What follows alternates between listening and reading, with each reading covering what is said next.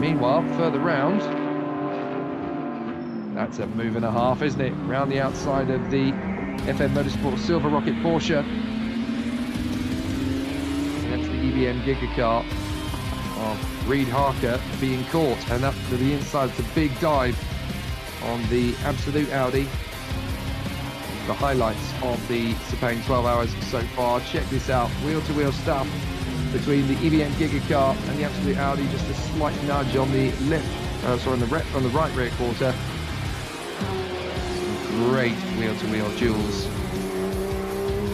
That's the beauty of this race. We've not got many cars in it, but the quality has just been exemplary. And there, just a short while ago, Move diving up the inside there. New fight on the inside of the R&B Lamborghini of uh, Bao Jinlong. Cars now settling into a fine rhythm here at Sepang for this 12-hour classic, which has been resuscitated and reborn for the 2023 season. Jake Sanson and Sean Hesselwood with you all the way through the coverage of this uh, great event, and it is turning into a really great event. Peter Kox battling away with the AMAC Porsche. Once he got behind the wheel, he's just been carving his way through the field fairly rapidly, actually, picking them off one at a time.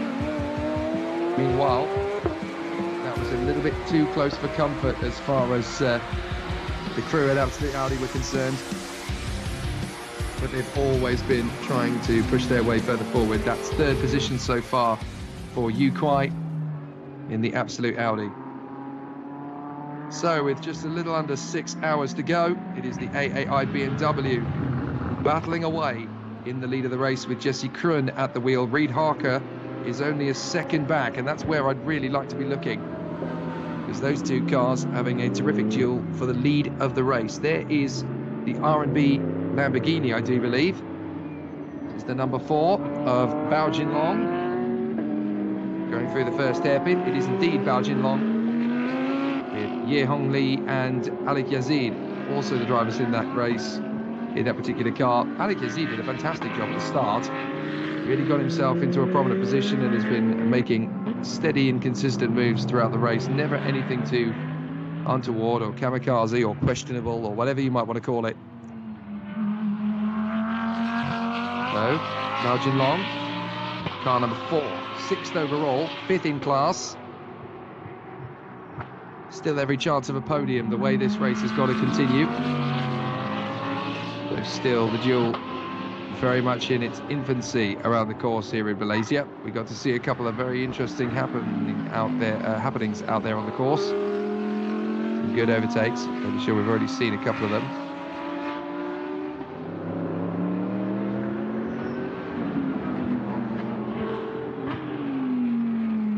A good run so far from the number four of Bao Jinlong in the R&B Lamborghini, having taken over from Akiz Yasid. Still the jail not far away, only about two streets in your rear.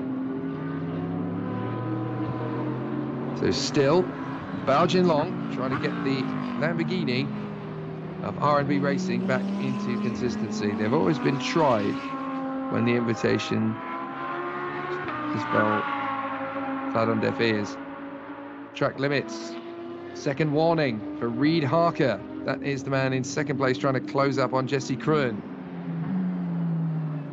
So again, that shows you not only how Jesse, uh, not only that uh, Jesse Krohn is under intense pressure, but also that the future is safe for the young generation. They're going to have a great race of it today.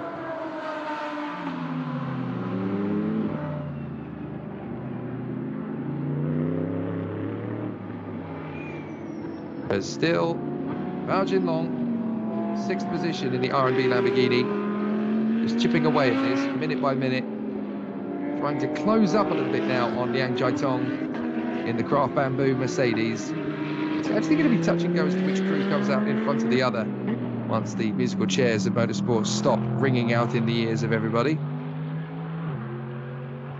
Certainly a fascinating insight into what happens Chinese culture. They get a little bit of a band out of it.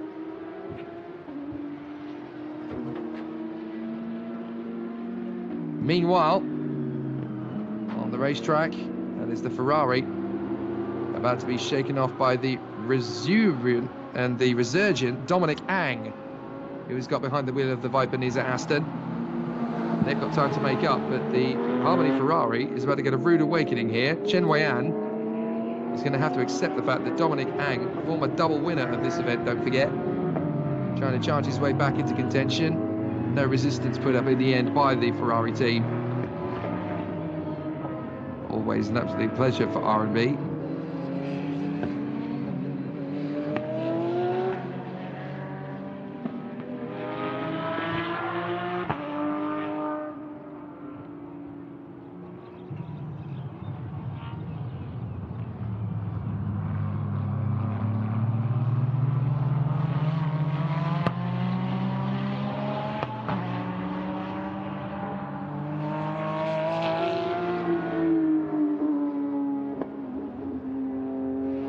On the far side of the course then.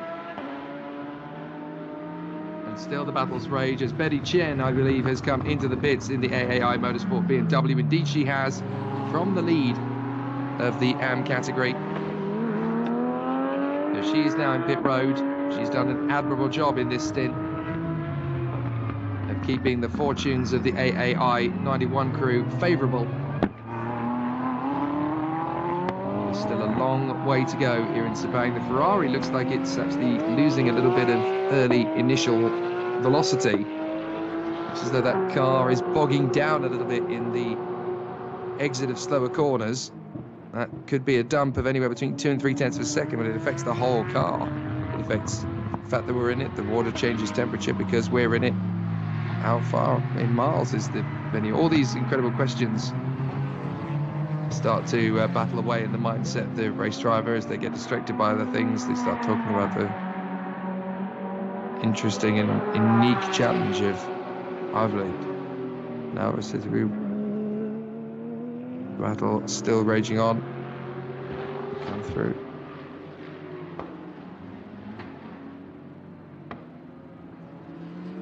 Now that is the Porsche coming through out of the final turn.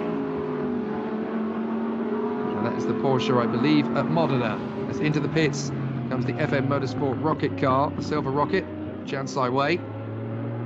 Going into the pits to join Betty Chen as we watch the Modena car. Now, let's go back down into the pits and you'll see the leading crew in the AM category, the AAI Motorsport number 91. BMW is in pit road, having been guided in there by Betty Chen.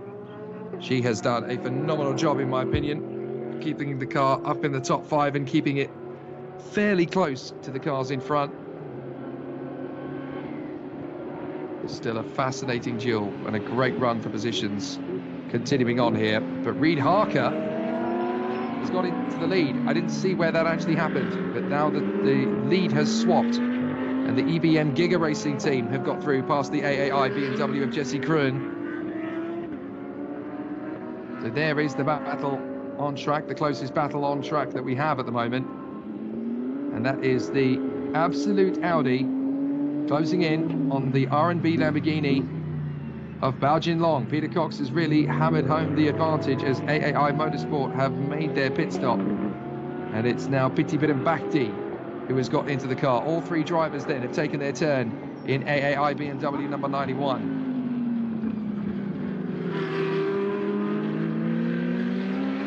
Interesting come through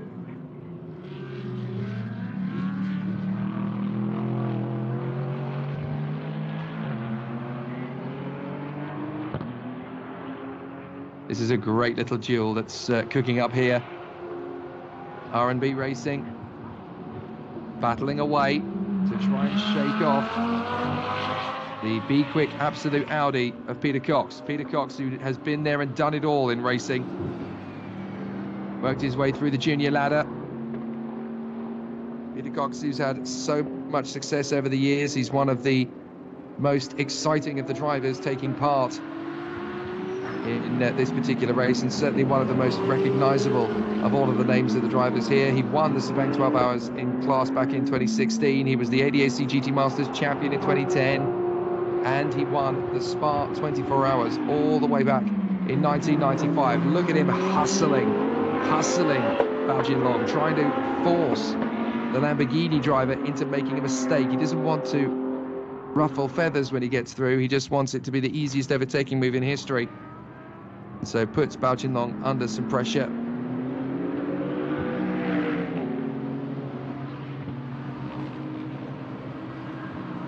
That was intense, is what that was.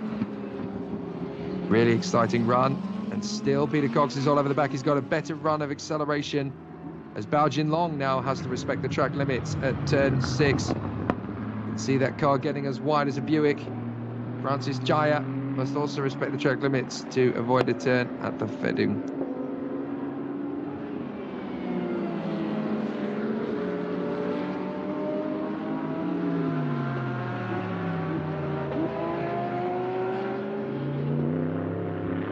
They're down the straight. This battle doesn't appear to be over yet.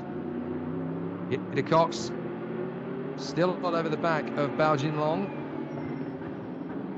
Goes deep into the braking zone the opening hairpin at Vancourt Lout chicane. Still sweeping to try and get through, trying to dive in for the inside line. No chance. Bao Jinlong was ready for that. No cheap overtakes today as far as they're concerned. You're going to make the overtake, you better do it properly as uh, Chen Weian has come into the pits in the Harmony Ferrari. And look, Bao Jinlong has been instructed he has to respect the track limits at turn six. That's the first warning. Bit of a run wide there from Bao Jinlong. Has to move across to the middle of the circuit to stop Peter Kox from getting through. And Jesse Krohn now has to respect the track limits at turn six. That's the second warning for the BMW mishap. Skating off the uh, Excellent battle continues. Here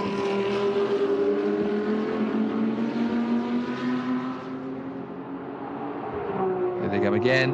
You can see, look, once more, Bao Jinlong just moves the car over to the middle of the circuit. He doesn't hug the inside, doesn't hug the outside. Just places the car in the middle of the road so that it doesn't matter where Peter Kox finds the power. He's going to be able to hold on to it, but this time he's done it too much. And that's perfect for Peter Kox. He just drives around the outside of Bao Jinlong and takes the lead in that battle. Beautifully done by Peter Kox. Just read the situation masterfully. Fifth position is now where the car resides. Meanwhile, AAI Motorsport have now brought the third car into the pits, and Jesse Krohn is now pit lane bound. So with Jesse Krohn having dropped to third position, temporarily of course, although that is for your mark. And made it the way it continues, the way the battle moves on, can see just how intense it is further back as well. The duel going on between the BMW and the Mercedes. This is Jesse Krohn versus the Yang Jiatong. So Jesse Krohn, and they haven't come into the pits. It just looks as though Jesse Krohn has had a very tricky couple of laps, trying to keep the car on the straight and narrow, so the BMW has actually fallen back. So a really exciting run. But Jesse Krohn and the AAI Motorsport BMW team, Jesse Krohn actually struggling. They haven't made a pit stop. I thought they had. We can see, look, Jesse Krohn, I think maybe they're just burning the tyres a little bit too quickly. As Reid Harker has got through into the lead, the Absolute Racing Audi has got through to second place. That battle is not far away from uh, heightening up. This is Piti Bhirombhakdi trying to shake off their nearest challenger. Piti Bhirombhakdi now is now second position in the AAI Motorsports AM category, having allowed Francis Tjia to come through. Francis Tjia, of course, has not made the requisite pit stop to even up the score. Now, this is the Audi of Peter Kox, having lapped the FM Motorsports Silver Rocket of Shantung as they come through on the far side. Peter Kox and the Be Quick Absolute Racing Audi, still with plenty of time to get back into it. It's the Craft Bamboo AMG that's up the road from them in fourth position. So Liang Jiatong. So that's a very good race of it.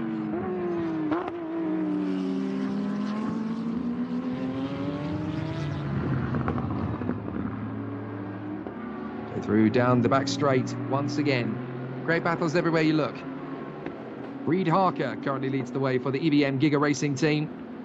Yu Kuai has moved up into second position. 5.8 seconds is the deficit. But Jesse Krohn and the AAI Motorsport BMW are dropping about three seconds a lap at the moment.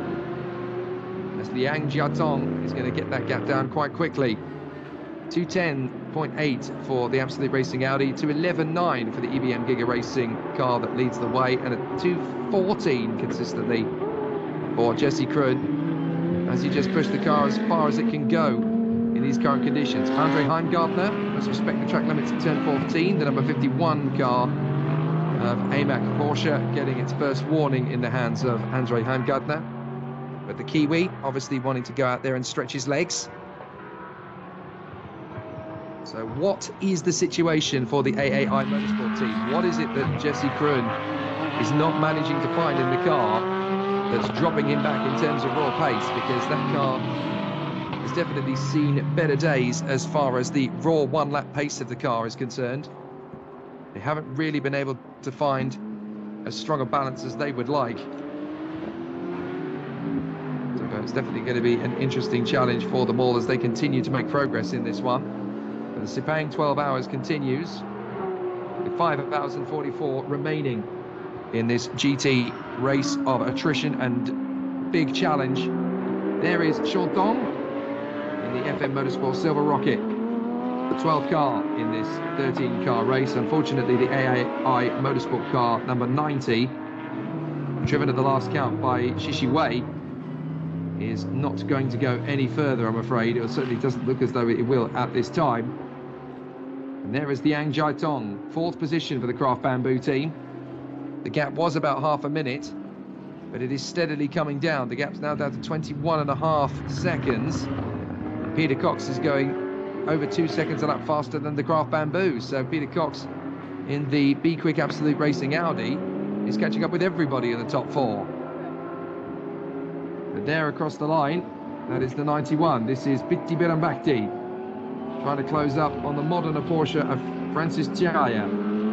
Francis Tjia technically leading the race in the AM category, although he has not made requisite pit stop to even up things a little bit. But Bitiki Bhirombhakdi, the tyre driver, definitely watching the bonds of a terrific and very talented young American if he wants it.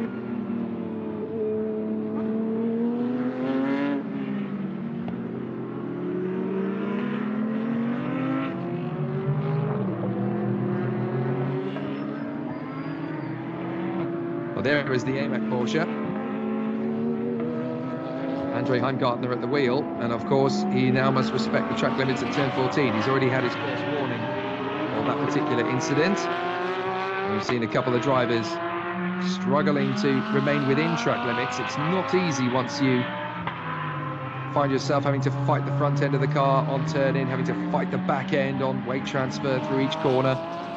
The elevation changes and the core air temperature and the humidity are definitely going to be a challenge that a lot of these teams were not able to anticipate quite so easily. They've done a lot of practice going into this weekend, but certainly none of them have done the post battle with three or four other drivers where there's a chance to potentially pick up some pace on raw carrot, raw carrots towards the end. There's the Ferrari out in front of the Porsche. So this is the Harmony Racing Ferrari of Wu that is obviously now trying to make up for lost time. Andre Heimgartner in the AMAC Porsche is actually behind them, which uh, is very indicative of how tough it's been for the Harmony Ferrari team because that's the AMAC Motorsport of Andre Heimgartner running in ninth and the car in front of him is the car running in 10th. So for Andre Heimgartner, the Kiwi can be very satisfied knowing that if he manages to get past that Ferrari pretty quickly, he will be a lap ahead of his nearest opposition. Pretty solid position to be in, and you can see how hungry Andre Heimgartner is to get the job done, so he can just disappear away from Piti Bhirombhakdi. Not just yet. Big late breaking into the hairpin for Andre Heimgartner trying to close in.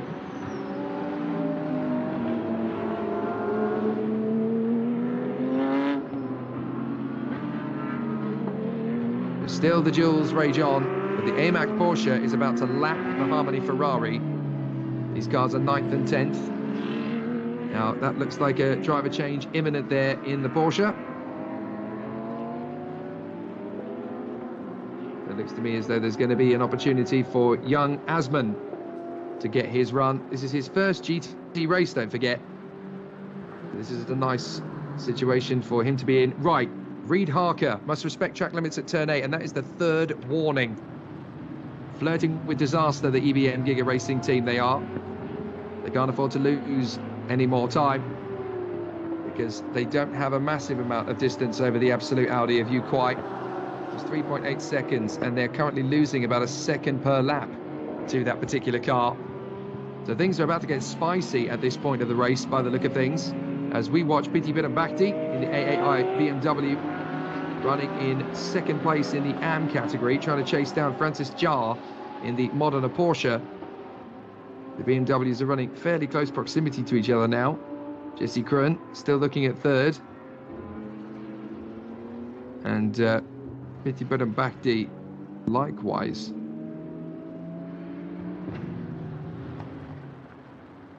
So into the pits now. We have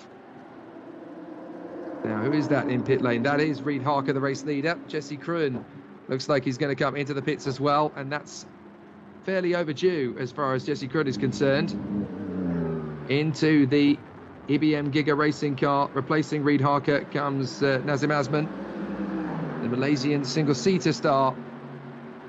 Now hoping to get his first proper taste of the Sepang 12 hours. He's done the qualifying, he's done the practice session. But this is where he really gets to shine. And as the shadows get longer over the Sepang International Circuit, and the dusk is coming in thick and fast, you can see there the AAI Motorsport car as well of Jesse Krohn. So Krohn is going to get into that car, and this all allows the Absolute Racing out uh, to stretch out in front for Yu Kuai.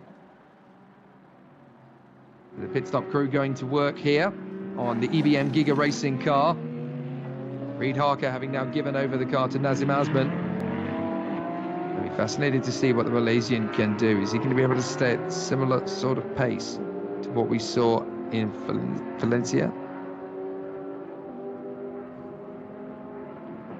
So the pit stop race going on down there in the Sepang pit lane.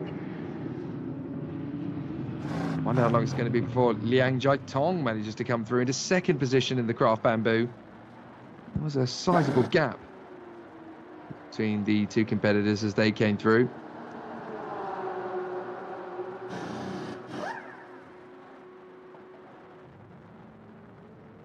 Now, it looks as though there's been some adjustments made to the number 88 down there in the pits. I should say, actually, the number 15. So Jesse Krohn is going to leave the pits after Nazim Azman, who takes over the EBM Giga racing car that briefly led. But there goes the Absolute Audi past the pits, and they have been lapped. But let's not panic, because Yu Kuai in the Absolute Audi also needs to make a pit stop. Also needs to pit in for tyres. Also, also, also, also. There's still time to turn things around. We're still in the middle of ridiculous away.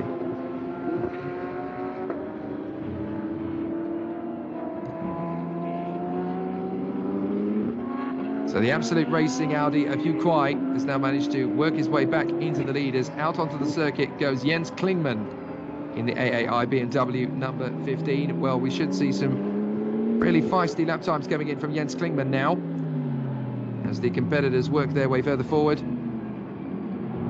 But this is probably a good opportunity to look through the order of the field at this point. Yu Kuai driving the Absolute Racing Audi is currently race leader, but the gap between himself and Liang Jiatong is currently at 39 seconds.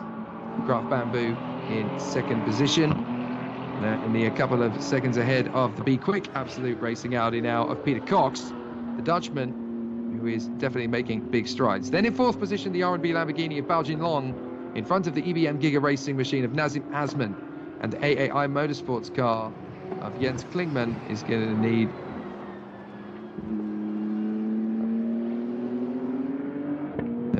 Ah, through they come. And still, the time ticks on. Five and a half hours to go here in Sepang. Jake Sanson and Sean Hesselwood taking you through the action all the way through this fabulous encounter, the first Sepang 12 hours since 2016. And it has been changing quite a lot. Several teams have had their turn at the lead, and speaking of several turns, this is for second place now, as Peter Kox has caught and closed in on Liang Jiatong in the Craft Bamboo Mercedes. He would dearly love to make it a 1-2 for the team. He's just taking his time. He's in video game mood as he tries to get alongside Liang Jiatong to move up past the Mercedes up front. And there is a black and white flag for Liang Jiatong. Black and white flag for abusing truck limits at turns 6 and 14. It's got to be in response to the car behind, trying to get their way through. To the first corner. Now here comes the dive up the inside from Peter Kox. He has to think about it. He wants to intimidate Liang Jiatong into making the mistake. So far it doesn't come, but a black and white flag has already come for Liang Jiatong in the Craft Bamboo Mercedes for abusing track limits at both turns 6 and 14. Now, watch Peter Kox. Is he going to go left? Is he going to go right? He will dive for the inside line. He doesn't commit to the move. In fact, if anything, he bails out of it quite early. Allows Liang Jiatong to get ahead again. But now the chances creep again. Again. Peter Kox cannot get through past Liang Jiatong in the Craft Bamboo AMG car. Still, they battle away for position. Second place is up for grabs between these two cars. The R&B Lamborghini of Bao Jinlong. Fourth position ahead of the Modena Porsche of Francis Tjia. And the EBM Giga Racing car of Nazim Azman ahead of the second place car in the AM category, the AAI BMW of Piti Bhirombhakdi. Ahead of the former GT car, NDSC Motorsport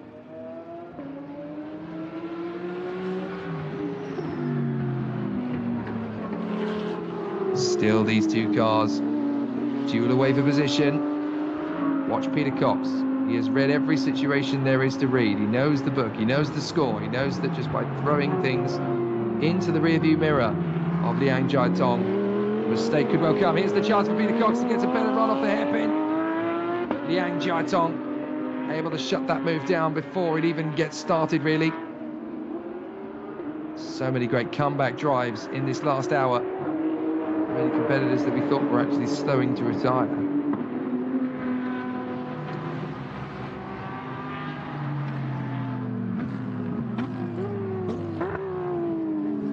There's the move. Took him long enough, Peter Kox. He had to read the situation quite nicely. But Liang Jiatong has been trying every trick in the book to keep him at bay, but now he's got the slipstream for the next hairpin. So Liang Jiatong now going to draw level and so they switch positions again, but Peter Kox reads it smartly, lets him go, lets him overshoot, cuts back, and then cuts back again. And they're going to be very careful not to hit each other. Goodness me.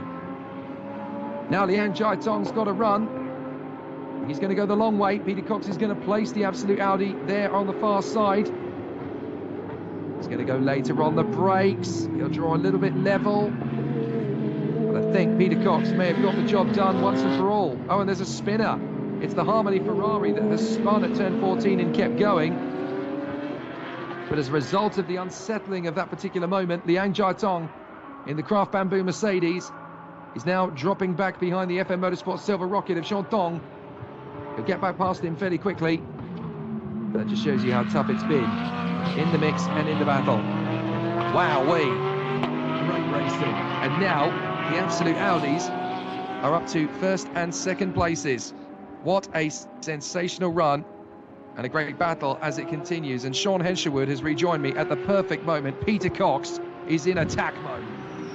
It's looking good, isn't it? What have I missed in the last hour? This has got very interesting. I'm, I'm pleased to see that we've still got the uh, full quota of cars, less one, of course, with the number 90 entry still in pit lane. But uh, it's gotten very interesting over the last hour. What have we seen? Well, the AAI Motorsport car has come into the pits from its lead. We're still waiting to see when the Absolute Audis come through, but it's been an amazing comeback charge from Peter Kox, who has essentially done the job he was paid to do, charged his way forward. We, uh, uh, this is a great little battle going on. Shandong doesn't want to be lapped by the Mercedes of Yang Jiatong. Yang Jiatong in the Craft Bamboo is losing time hand over fist as the R&B Lamborghini is only 24 seconds back from this. So this is getting a little bit irritating for Liang Jiatong, and he's going to burn out his tyres in all of this.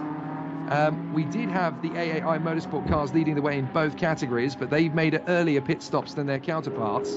So we're still waiting for the Modena Porsche, driven by Francis Tjia, to come in for their pit stop. And Jens Klingmann actually pitted quite early. And I'm not entirely sure why they've fallen quite so far back to eighth position. I'm not entirely sure what the news is on that one, but Liang Jiatong certainly comes into the pits uh, uh, from third position, and that was long overdue, I think. So uh, it's going to be interesting to see where they filter back in. They should filter in around the same sort of place as the AAI Motorsport BMW. Jens Klingmann is definitely on the comeback charge. As we've now got five and a half to go, Sean. All yours. Thank you, mate. Go and get some well-earned rest. It's going to be interesting to see how this one plays out. It'll be interesting to see what strategy the teams play too, as to which drivers they're going to put in in what sequence. I mean, we're only what five and a half hours to go, so two and a half hours into this race, is to see whether. Uh, sure whether that's Sandy Stuvik's helmet or not. I don't think it is. I think that. Uh, could be Jeffrey. No, it's likely to be Sandy Stuvik jumping behind the wheel of the 88. So this will start punching out some very, very quick laps. So that'll keep the 88 well and truly in this equation. Liang Jiatong has uh, done his best.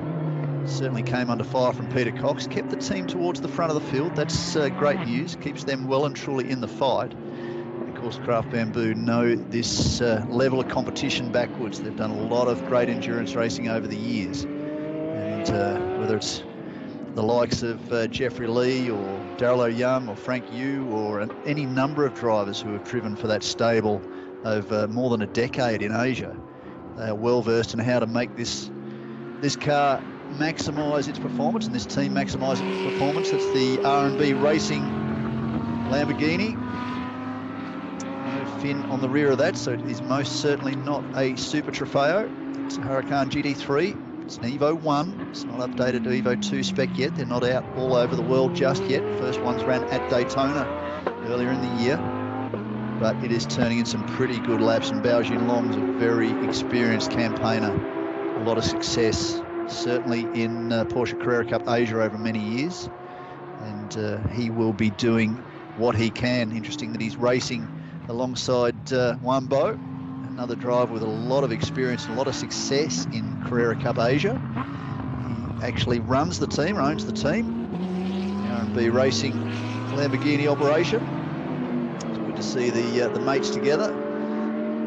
Lights flashing. Nazim Azman. I'm sorry, it's not Nazim Azman. I'm talking uh, about Dominic Ang is in the number 65 Viper Niza Racing Aston Martin Vantage GT3. I think he's probably taken that position away from the Lambo. Not just yet. As the screen, the screen clears up, yes, he has. Jazeman Jaafar doing a great job in the middle stint. Douglas Khoo, Viper Niza Racing team boss, local driver, Spent a lot of time circulating Sepang International Circuit's 5.543 kilometre 15 turn circuit. He has really done a great job. Now, Bao Long must respect track limits at turn eight. Second warning. I think the real penalties start once you get to five abuses of track limits. So he knows he's got a couple up his sleeve. With five and a half hours to go, though, that seem want to be a little bit careful overall position three in class. See Kuai in the number 18. Absolute Racing Audi must be due for a pit stop very, very soon. Second place, Peter Kox in that uh, now iconic Be Quick yellow and black livery. Certainly a uh, well recognised brand when it comes to Thailand, but stretching beyond the borders of Thailand now. And Kiks has built a, a great automotive empire. And he's building a, a very, very impressive race team with the support of the Absolute Racing operation, Ingo Mater and Fabian Fior. A lot of experience from that team. As we go back to the now eighth placed 88 entry. Sandy, Sandy Stuvik at the wheel, of course the reigning Thailand Super Series champion, three-time champion in that category.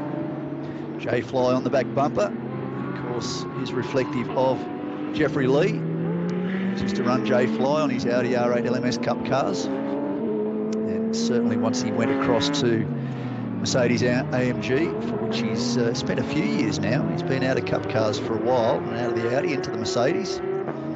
J Fly, well recognised in this part of the world. Jeffrey Lee, when he gets behind the wheel, can be one of the widest drivers in Asian motorsport. But still one of the uh, one of the quickest. He's no young man anymore. None of us are these days. So uh, he is still out there putting in some very solid laps. And to be working with the Craft Bamboo operation as now the R&B Lamborghini comes down pit lane. So that leaves three cars now that are still yet to stop. Francis Tjia on screen is one of those cars shown in position four, actually putting in a very, very solid run for three great mates that, uh, well, two of them are brothers, but three great mates that have raced together for a very long time. Wayne Shen, the other part of that equation, unfortunately no longer with us. He has uh, certainly laid a foundation for his brother John to uh, to be a part of this team. Modena Motorsport, for which they've been a part for a very long time, They've provided some uh, solid technical support to their Porsche 992 GT3R. Different to the Cup car, of course. Driver aids and aero. Technically, performance-wise, they're very similar, but uh, aero is a big change. So these guys do a lot of driving in Porsche Carrera Cup Asia.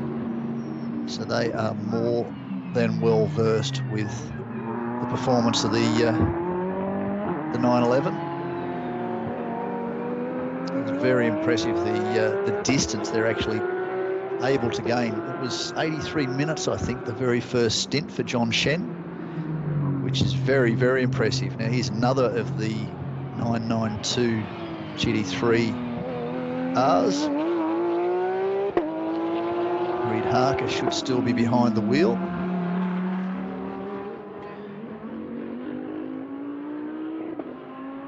Of course, it's Nazim Az Azman. I've just been uh, talking about Nazim and put Reid back behind the wheel. Reid did the previous stint.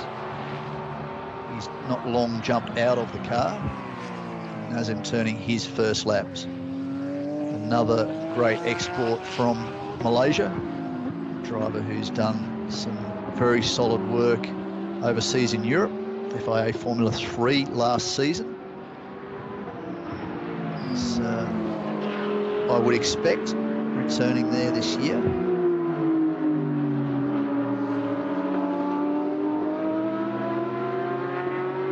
Fifth in 2020 in the uh, British Formula 3 Championship with Carlin. One in Euro Formula Open. He was fourth in 2021. Oh, this is tight. Peter Kox and uh, Andre Heimgartner. Andre Heimgartner, though, has plenty of skills, as does Peter Kox, but a much younger man in the New Zealander. Peter Kox must respect track limits at turn 14. There's been a lot of call for turn 14, also a lot of call for turn 8 early in the weekend. People are exploring limits there, but no doubt during driver's briefing, they were given a uh, bit of a note that officials would be keeping a very, very tight eye on track limits.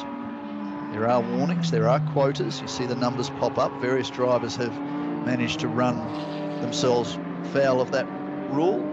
Peter Kox, second warning. Bao Long, second warning as I stroll back through it. Third warning for Reid Harker. First warning for Andre Heimgartner.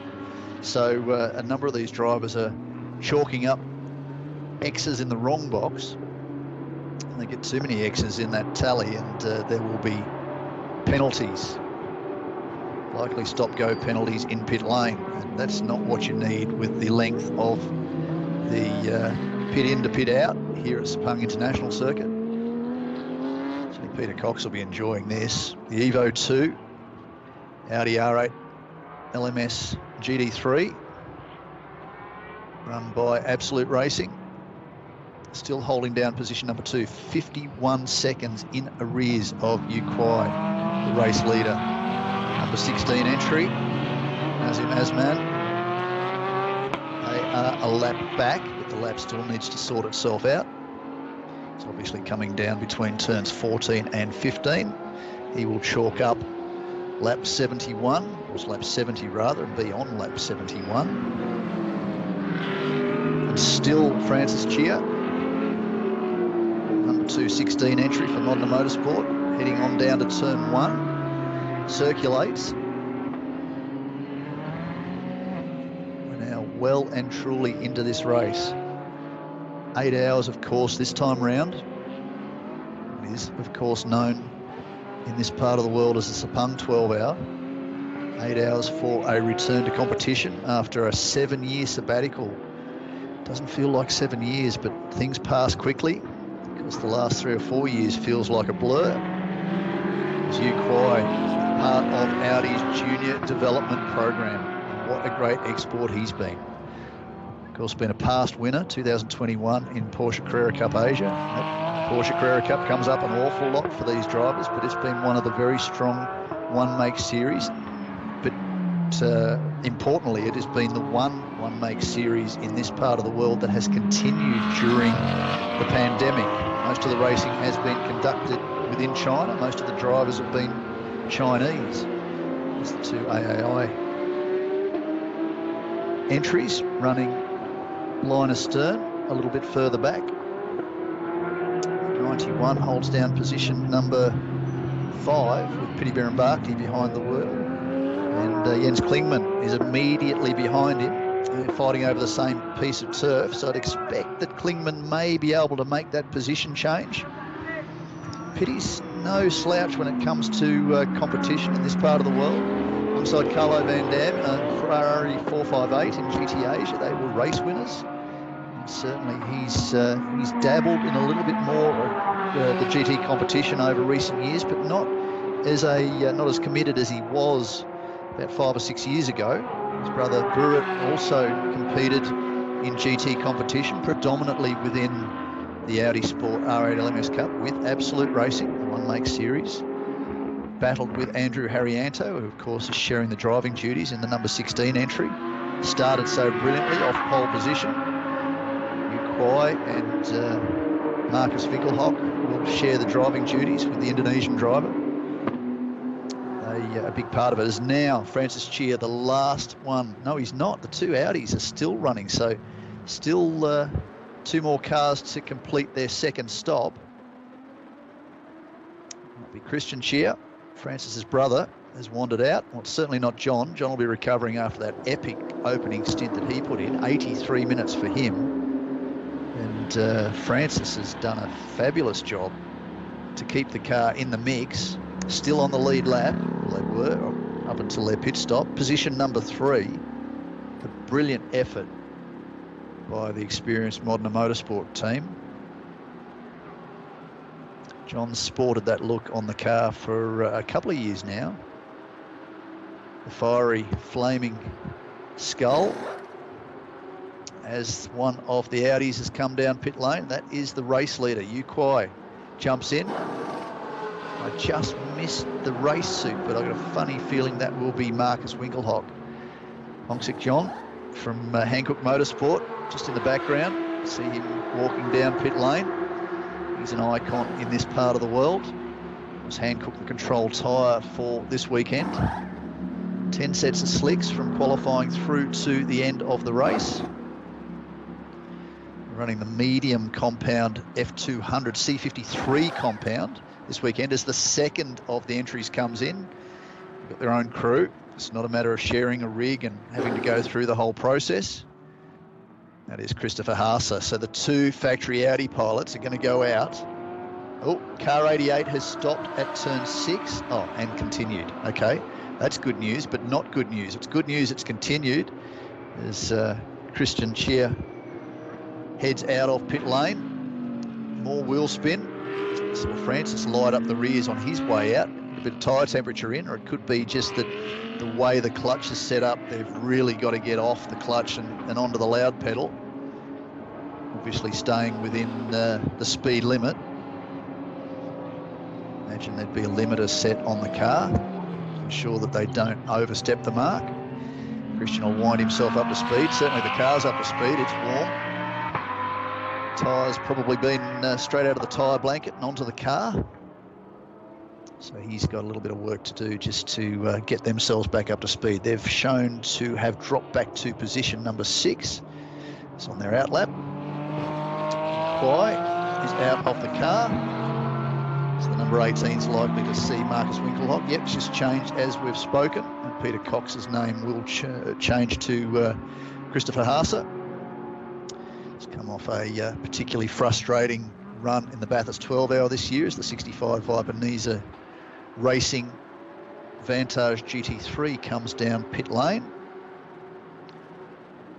Andre Heimgartner, oh no, he's just changed position. I was looking at a, a change in the timing board. So Dominic, I thought, had not long got in the car. Looks like it's Douglas getting ready to jump in. So Douglas has decided to do his run. We were talking strategy a little bit earlier. The the gentleman drivers or the AM driver in a team has to do a minimum of 80 minutes. Douglas, I think, has done something like 45 minutes in his first stint before they made their first stop. A little bit of damage to the left front of the car, too. That's interesting. He did have a spin very early in the piece.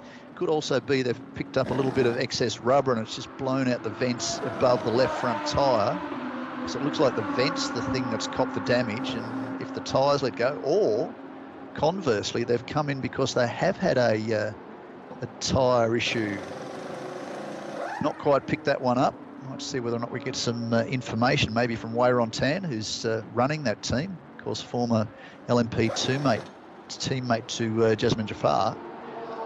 But uh, looks like a little bit of carbon damage to the left front guard of the car.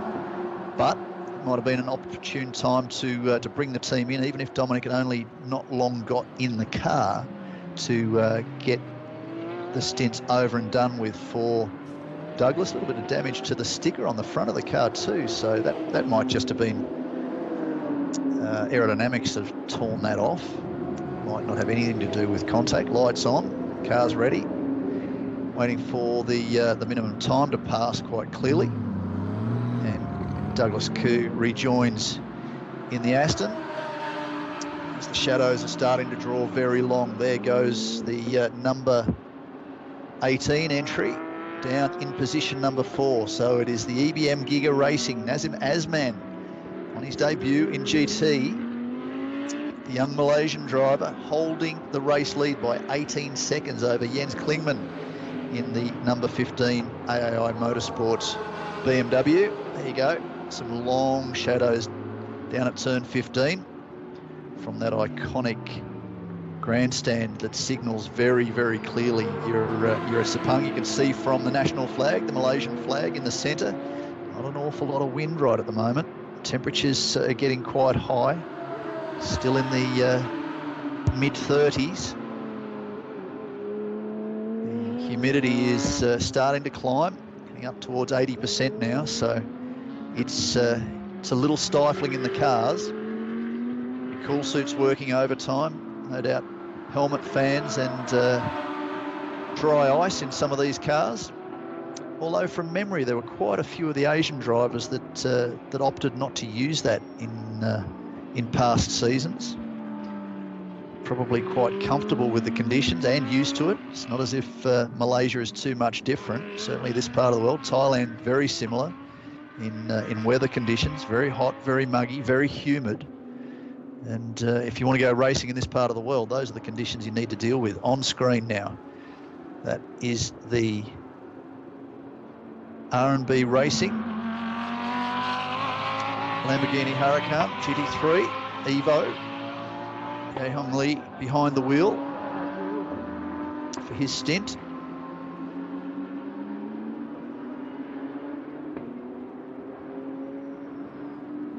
Taking a look on board. Is that one of the drivers or is that somebody else just getting, well, I can see Dominic Young there. Uh, I don't think that would have been Jazeman Jaafar, so maybe it's one of the uh, one of the crew looks like he's struggling just a little bit with the heat. These guys got a lot of work to do, and, and whilst it's hard on the drivers in the car, it's also very, very hard on the teams.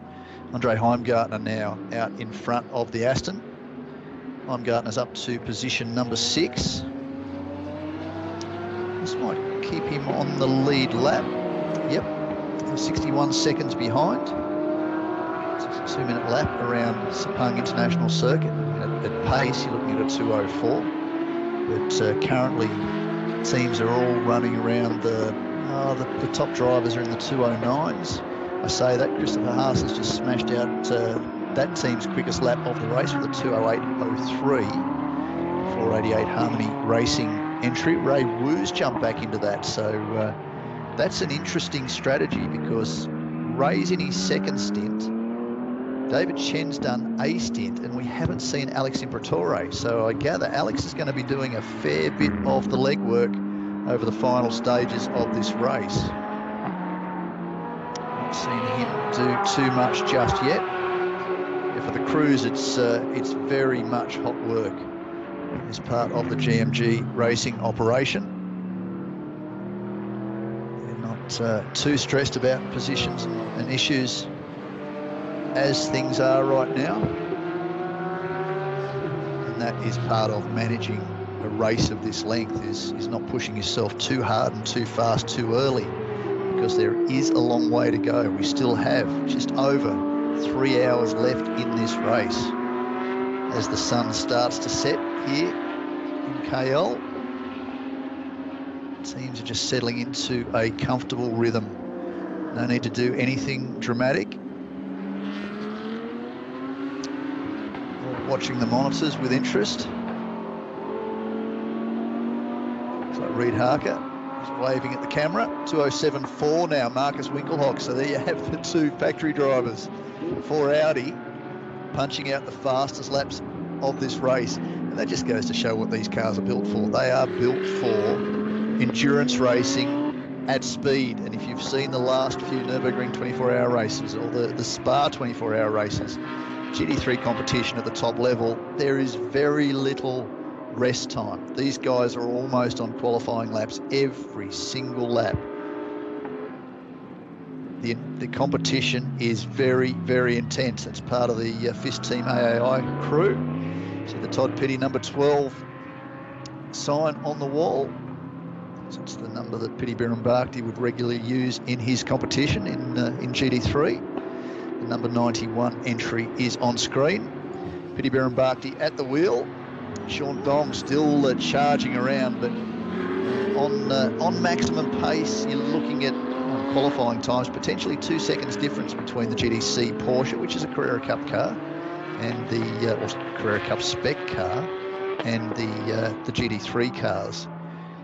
So I'd say he won't be competing at any level at the moment with Markus Winkelhock, as Winkelhock fly, fires down the inside at turn four. Douglas Khoo continues to charge through. Those two Audis will be looking to try and regain their form at the front of the field. Like Andre Heimgartner is in pit lane. If I just check the, yes, he certainly is. So the 51 AMAC Porsche, the uh, very, very fast young Kiwi, has hit pit lane. Best lap for Andres at 209.6, which is about where he qualified, which is interesting because uh, his teammate Ben Porter was actually quicker. Now we're going to see Ben back behind the wheel. I would imagine so, although that said, we'll wait and see what happens when the timing monitor updates. It might be the opportune time to uh, to put team boss and car owner Andrew McPherson back behind the wheel. Probably just topping up the dry ice there to keep the keep the drivers cool suits cool because it will be hot work. Hongsik John telling me yesterday that uh, during the practice session in the afternoon, track temperature was at 55 degrees Celsius. And you've got all that heat coming up through the floor of the car to add to the heat of the engine, to the heat of the tyres, to the the conditions inside the car. Now, some of these GT3 cars do have air conditioning to make conditions a little bit better, and I'd say with the stint that John Shen and Francis Tjia had done, their Porsche might be one of those that does. Although, again, they've done a lot of miles around the circuits of Asia, so they may well be acclimatised to that. It was interesting just looking in that shot, you could see the uh, the tower of KLIA, Kuala Lumpur International Airport in the background. Some of those boys have seen some miles around these circuits in recent years, even with the Clearwater racing operation. So there's a very, very experienced crew here. There you can see it. That is the uh, the operations centre for uh, the airport, control tower. That's how close we are. Often if you fly into Sepang, you come in the right way and conditions are right, you can see Sepang International Circuit out the window as the plane comes into land. As Markus Winkelhock continues to fire around the circuit. Haase, a 207.9 last time round. He's shown back in position number six. Winkelhock already now up to position number three. 284 last lap. Fastest so far for him is a 207.43. That is the fastest lap so far of the race. Surprising it's come from a factory pro driver. Also in the 207s. No, it's only Christopher Haase. Um, 281 to uh, Jens Klingmann.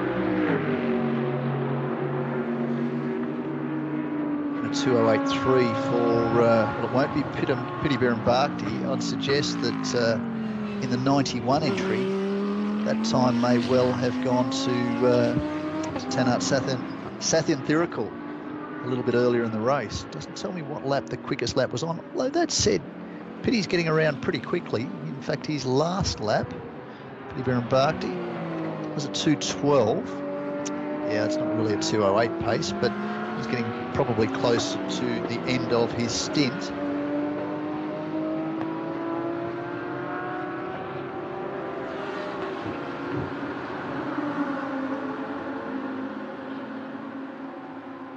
Viper Racing crew is biding their time, sitting comfortably as the team boss does more laps. And the one thing that Team Boss will enjoy whilst he's out there is an opportunity to actually work himself into being a little bit more comfortable with the car. Done a little bit of LMP3 racing, I think maybe even a little bit of LMP2 competition in the not uh, too distant past as Douglas Khoo. Certainly cut his teeth on uh, classic racing here in Malaysia, certainly at Sepang in a uh, Datsun 240Z this was no stock Datsun 240Z, let me tell you. It was a very, very impressive piece of kit. Cross paths with Henk Kiks too, who often did a lot of that classic car racing in a Porsche 944. So Henk did a lot of uh, early miles in um, more GTC class or, or Carrera Cup car class Porsche machinery before moving across to uh, to Audi. Of course, a former class winner in GTC in the Be Quick number 26 entry when they were uh, first generation Cup cars alongside Peter Kox and Daniel Bilski, who's been a big part of the Be Quick operation over past years. And uh, Henk Kiks already a multiple winner here, but in the uh, not outright class. This time round, he will be hoping that uh, Markus Winkelhock will uh, be able to hustle the number 18 entry, but of course he won't be hoping that Markus Winkelhock gets that across the line because it's Christopher Haase who's driving alongside him, and currently they are in position number six, immediately behind Sandy Stuvik, who, funnily enough, is the reigning Thailand Super Series champion in one of Henk Kiks' Be Quick Racing Audis. Won the championship last year, very tight into the final round, but uh, ultimately Sandy prevailed for what was his third Thailand Super Series Supercar title, GT3 title. So uh, very talented young man this weekend. He is in the Craft Bamboo Mercedes alongside Jeffrey Lee and young Jia Tong. As Francis Tjia gets himself up to speed. Now, Francis has been pretty quick this weekend. In fact, I think he's actually been quicker than his brother Francis. Christian, I'm talking about, rather, has been quicker than his brother Francis. They are now shown in position number eight, 211.4 for Christian.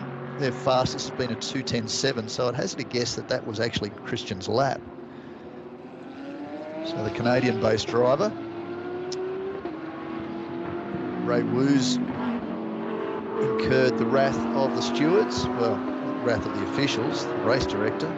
First warning for track limits at turn eight. Certainly that was a big one, turn eight during official practice. A lot of drivers getting uh, the gong for overstepping the mark there.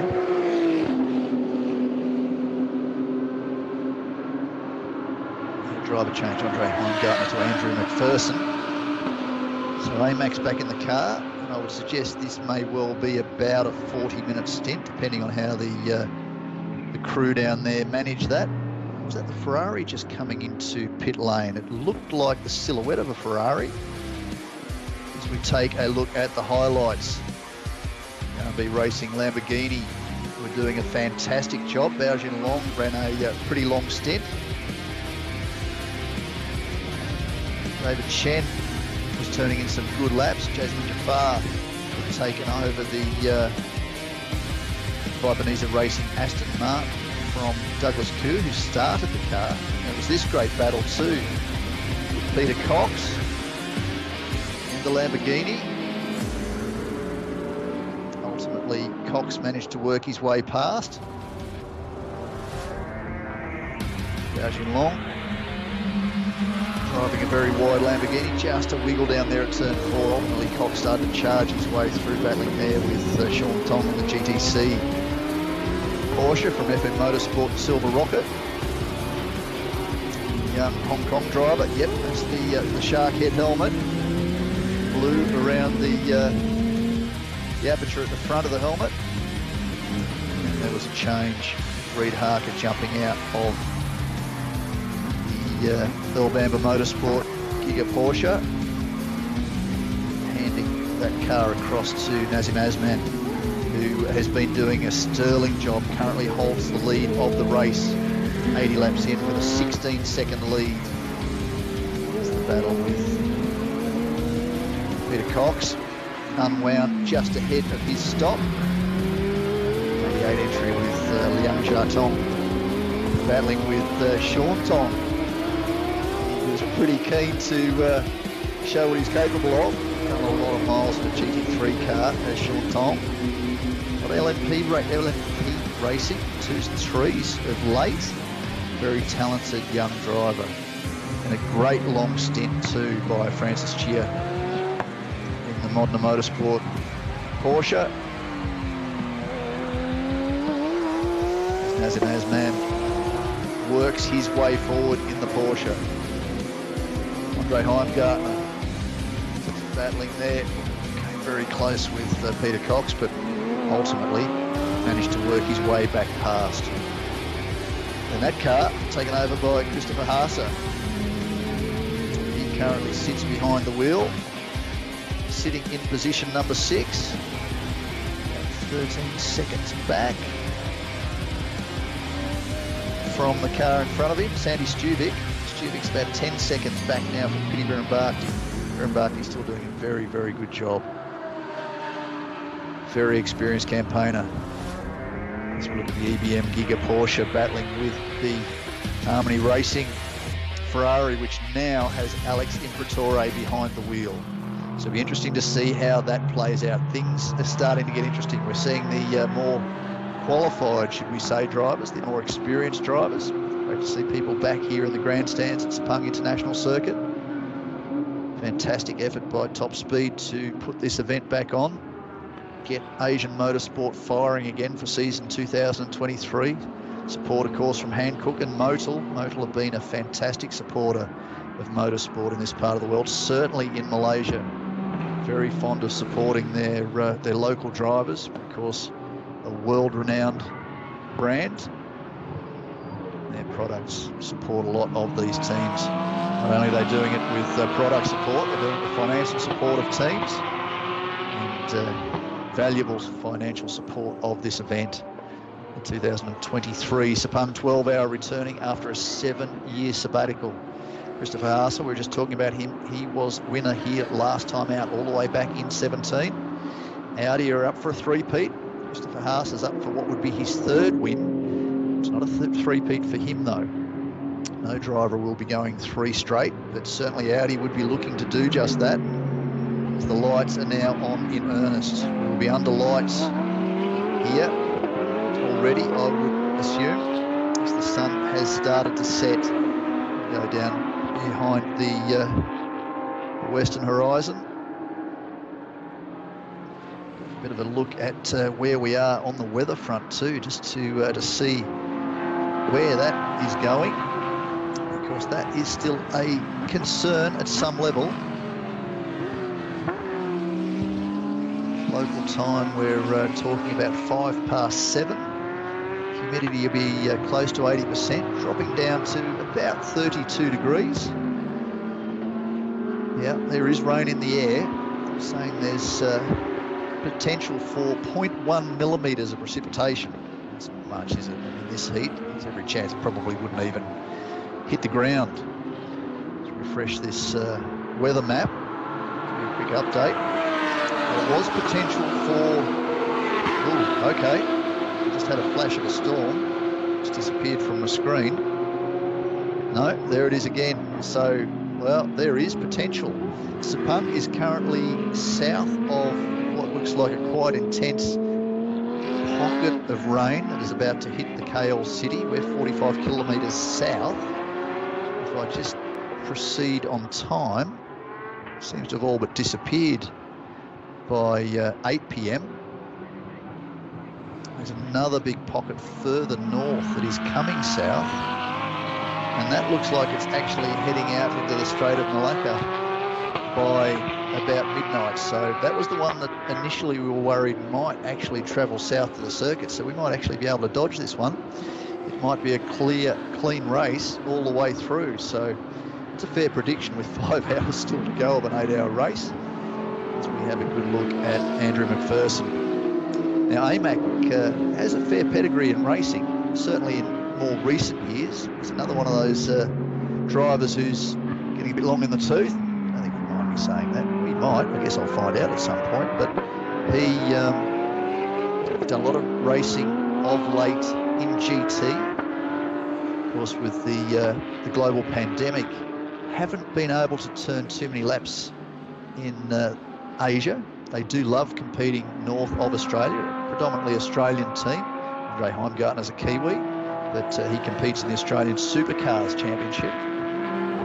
And uh, McPherson and Porter have had uh, some pretty reasonable wins in, in past years. Okay, they spent a lot of time in, in uh, GT World Challenge in 18 and 19, actually won the AM class championship in 2019, battled against a couple of very strong Japanese teams and then took that success and uh, raced in GT World Challenge Australia and became the AM Class champions in 2021.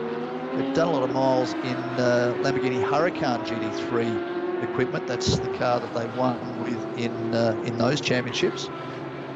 But he does love his Porsches, and uh, a chance to uh, to bring the the 992 GT3R back up to Asia and compete in the Sepang 12 hour on its return. Wasn't a big ask. Was always keen for that one. Loves coming up here to race. Ben's been racing alongside him for a uh, for a long time. Driver trainer by trade. Very handy man behind the wheel. And of course, they've got Andre Heimgartner as the third leg of that uh, that operation. That's not a bad third driver to have as part of your team. Expect we'll see uh, a little bit more action from Heimgartner once he jumps back behind the wheel later in this stint. But at the moment, I think what we're doing is we're seeing a few of the AM drivers, the gentlemen, just tick off that minimum requirement of 80 minutes. No driver can do more than four hours. There's only one team that ran two drivers, although it turned out that the third driver in that entry may have been unwell during qualifying because uh, certainly during the qualifying period, we didn't see we didn't see anything of um, trying to find the uh, it's the number 90 entry of uh,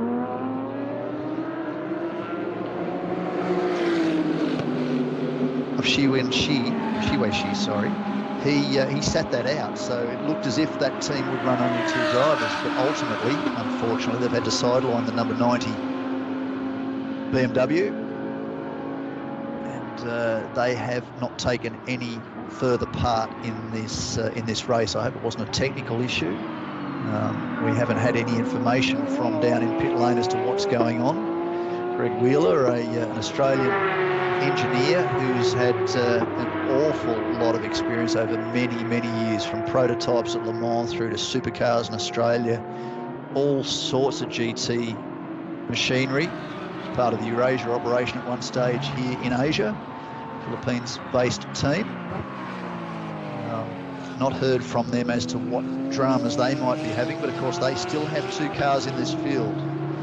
Number 15 and number 91 entries are still operating, the two uh, BMW M4 GT3s, which uh, are the more current spec entry. I think as I'm saying that, I'm actually wrong. It's the M6 that is the current spec entry. The M4 is the uh, the car that has recently been superseded by the uh, the M6 which, which runs the twin turbo 3 litre straight six, as opposed to the M4's twin turbo 4.4 litre V8. Produce similar levels of performance, although the, uh, the M6 is rated much higher. But that is the car that is sitting in pit lane, and the only retirement so far now more than three hours into this race, three hours and uh, 11 minutes. The only retirement in this race so far. 12 runners. Nazim Azman continues to lead in the EBM Giga Racing Porsche from Markus Winkelhock now up to position number two and just 11 seconds behind the race leader.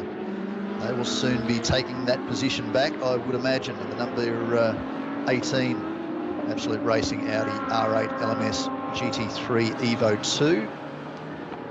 Looks like it may well be the number 91 entry. Piti Bhirombhakdi ultimately coming down pit lane, hitting from position number six. Scott Petty. 85 laps in the books. Last driver on the lead lap. This could well drop them down.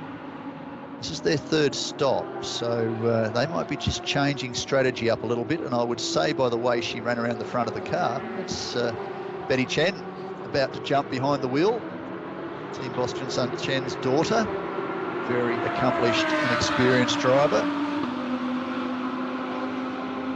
Plenty of miles in these cars. A lot of uh, great mentors in her time, certainly in the BMWs. Not sure whether she did much mileage in the team's McLarens back in the day. She's probably a little bit too young for that. Certainly Junsun did.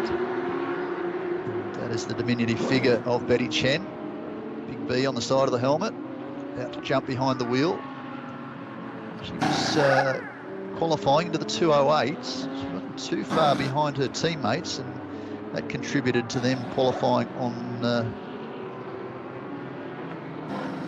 well, ultimately, go back to the qualifying results.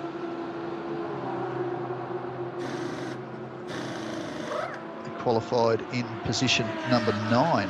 So a little bit further forward, but of course the uh, number 15 entry with Kevin Chen, Jens Klingmann and Jesse Krohn was uh, on the front row off the start.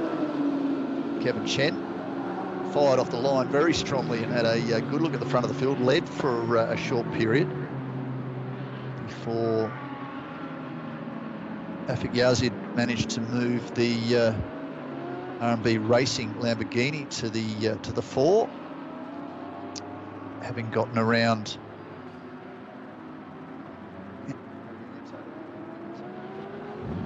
Back, but uh, certainly the, the, BMW was right in the mix, Ray Wu off the start. Got the Ferrari in front for uh, a matter of metres before he lost that position again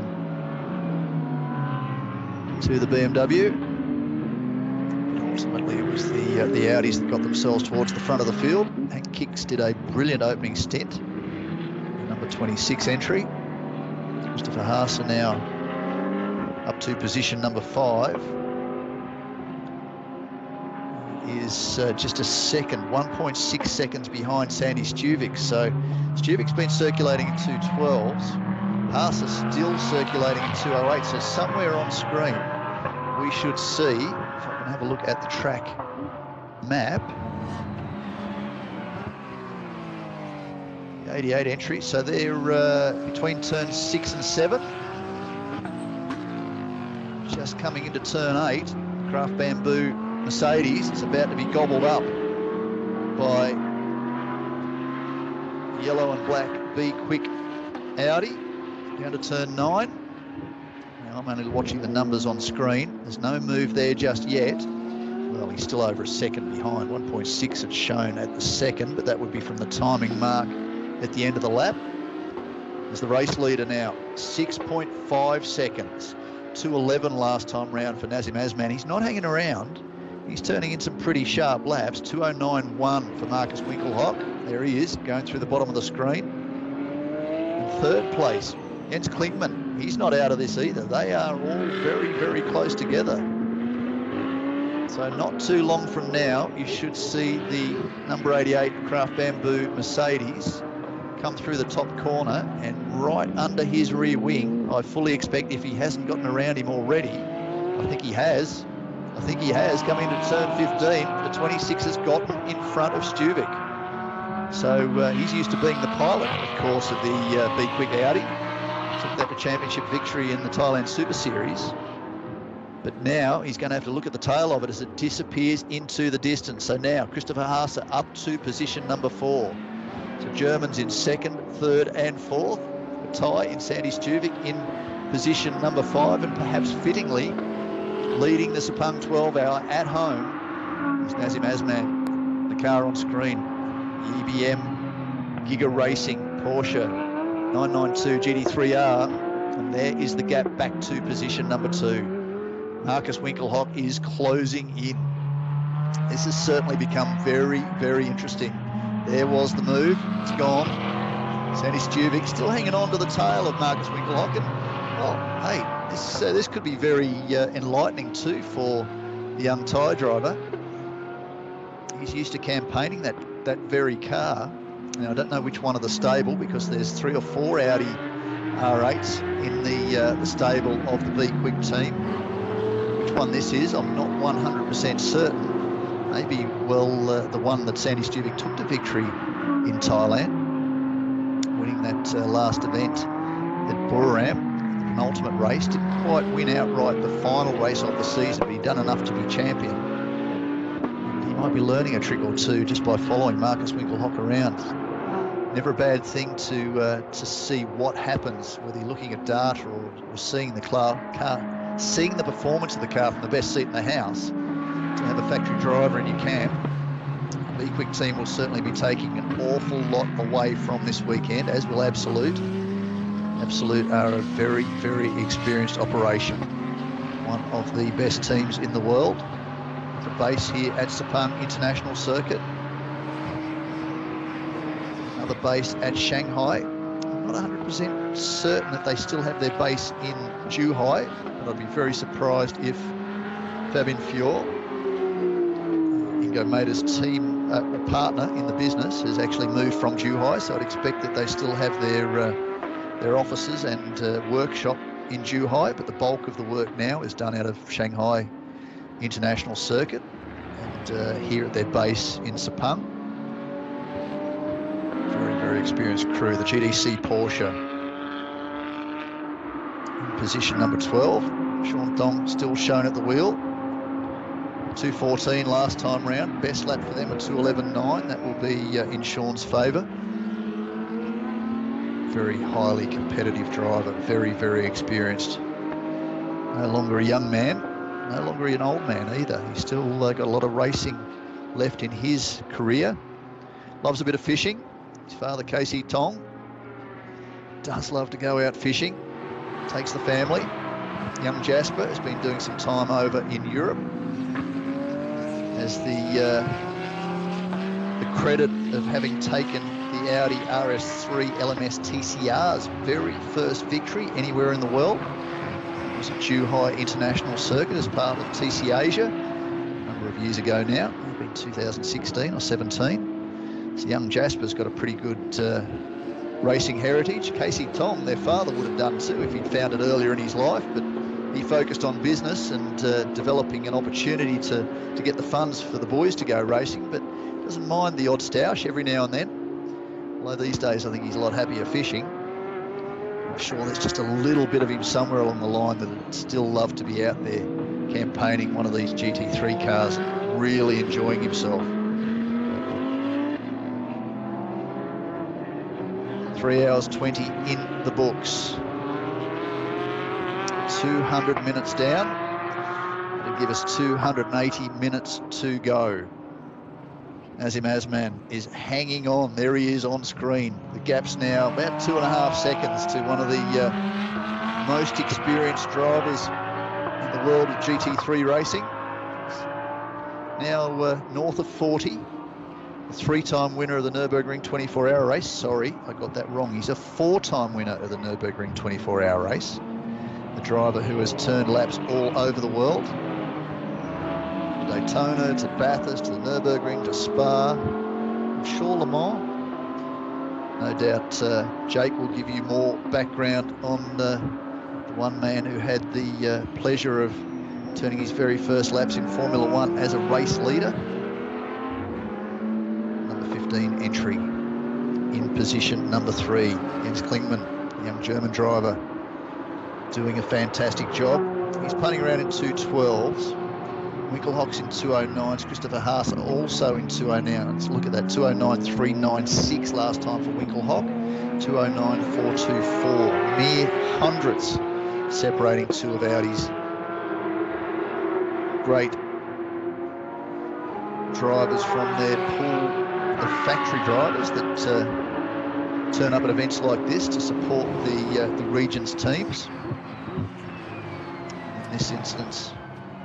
Absolute Racing running two of the Evo 2 R8 LMS GT3s. A little bit wide there for Klingmann. So he's, he's still pushing on. There's no drama running wide over the edge of the curb, that back part of the circuit. I'm not sure that constitutes track limits. Certainly turn 14, which uh, Jens Klingmann has just exited and come through. He's now in 15. That is a corner that has uh, brought the wrath of the stewards. Just as I say that, car 15 driver Jens Klingmann must respect track limits. Actually, in this instance, it's turn six. The uh, the mid-speed right-hander. So turn through turn four, fast left-hander into a slightly slower right-hander. That is turn six must be on the exit there that is an issue. This is four into five. Next corner is turn six. So this right-hander is turn six. This is where Klingmann found trouble, so it would have been on the exit. So he's just gone a little bit too wide. Winkelhock using all the road. Through the kink to the right, and then a big jump on the brakes into the tight right-hander. Flowing out to uh, to get the right line fairly tight left-hander, not quite hairpin, but pretty close, uphill to the next medium fast right-hander. It's tight-ish right-hander in turn 11. Not a heavy stop, but it's a stop nonetheless. Left-hander turn 12. Sweep medium fast right-hander turn 13 into turn 14 where a number of drivers really have obviously on the exit overstepped the mark on uh, using track limits.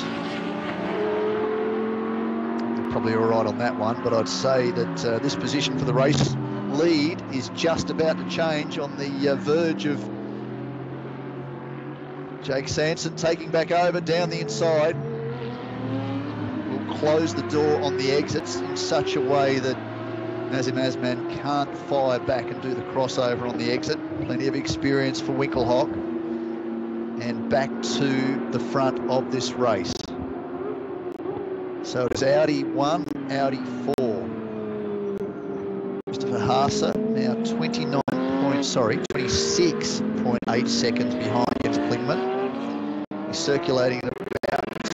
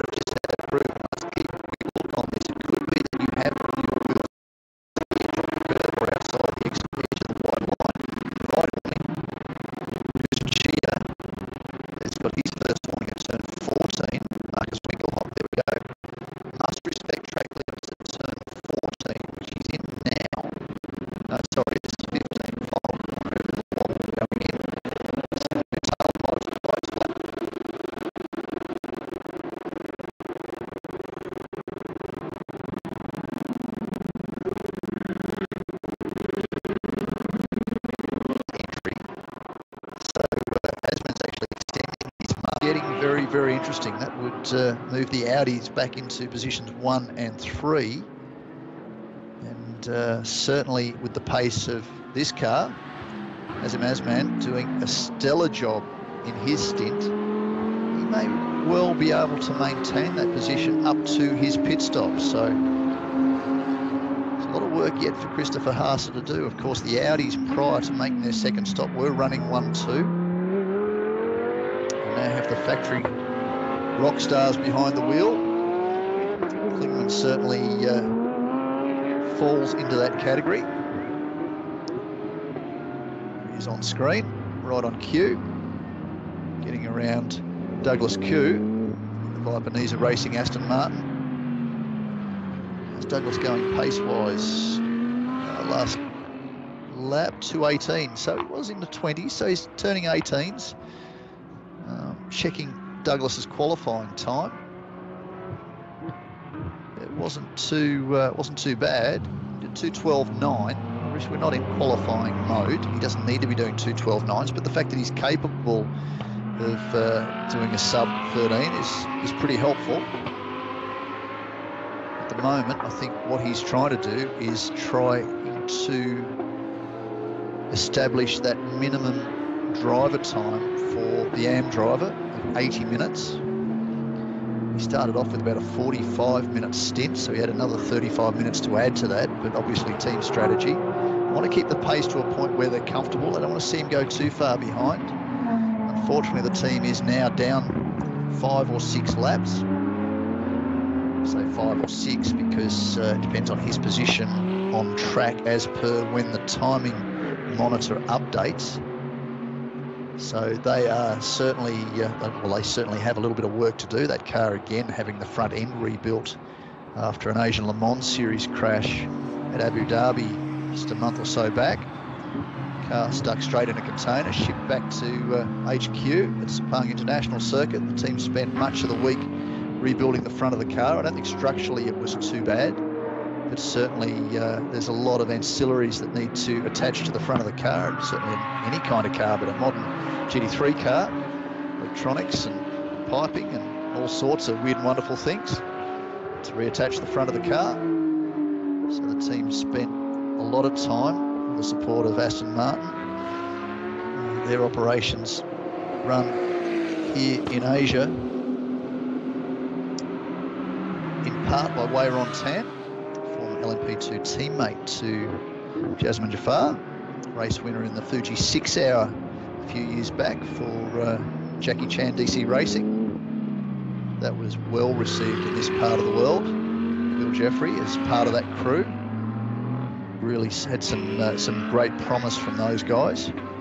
That whole thing's gone a little bit quiet, but uh, the global pandemics silenced an awful lot of the motorsport industry over the last three and a half years. So having this event back signals a good return to competition within Asia. We look forward to uh, seeing an awful lot more of it. We'll get into it a little bit later on. The championships that are coming this year and where some of those events will be. Certainly, a number of them will be competing here at Sepang International Circuit as the R&B Racing Lamborghini continues on, shown as one lap down, but uh, race leader has just gone across the line.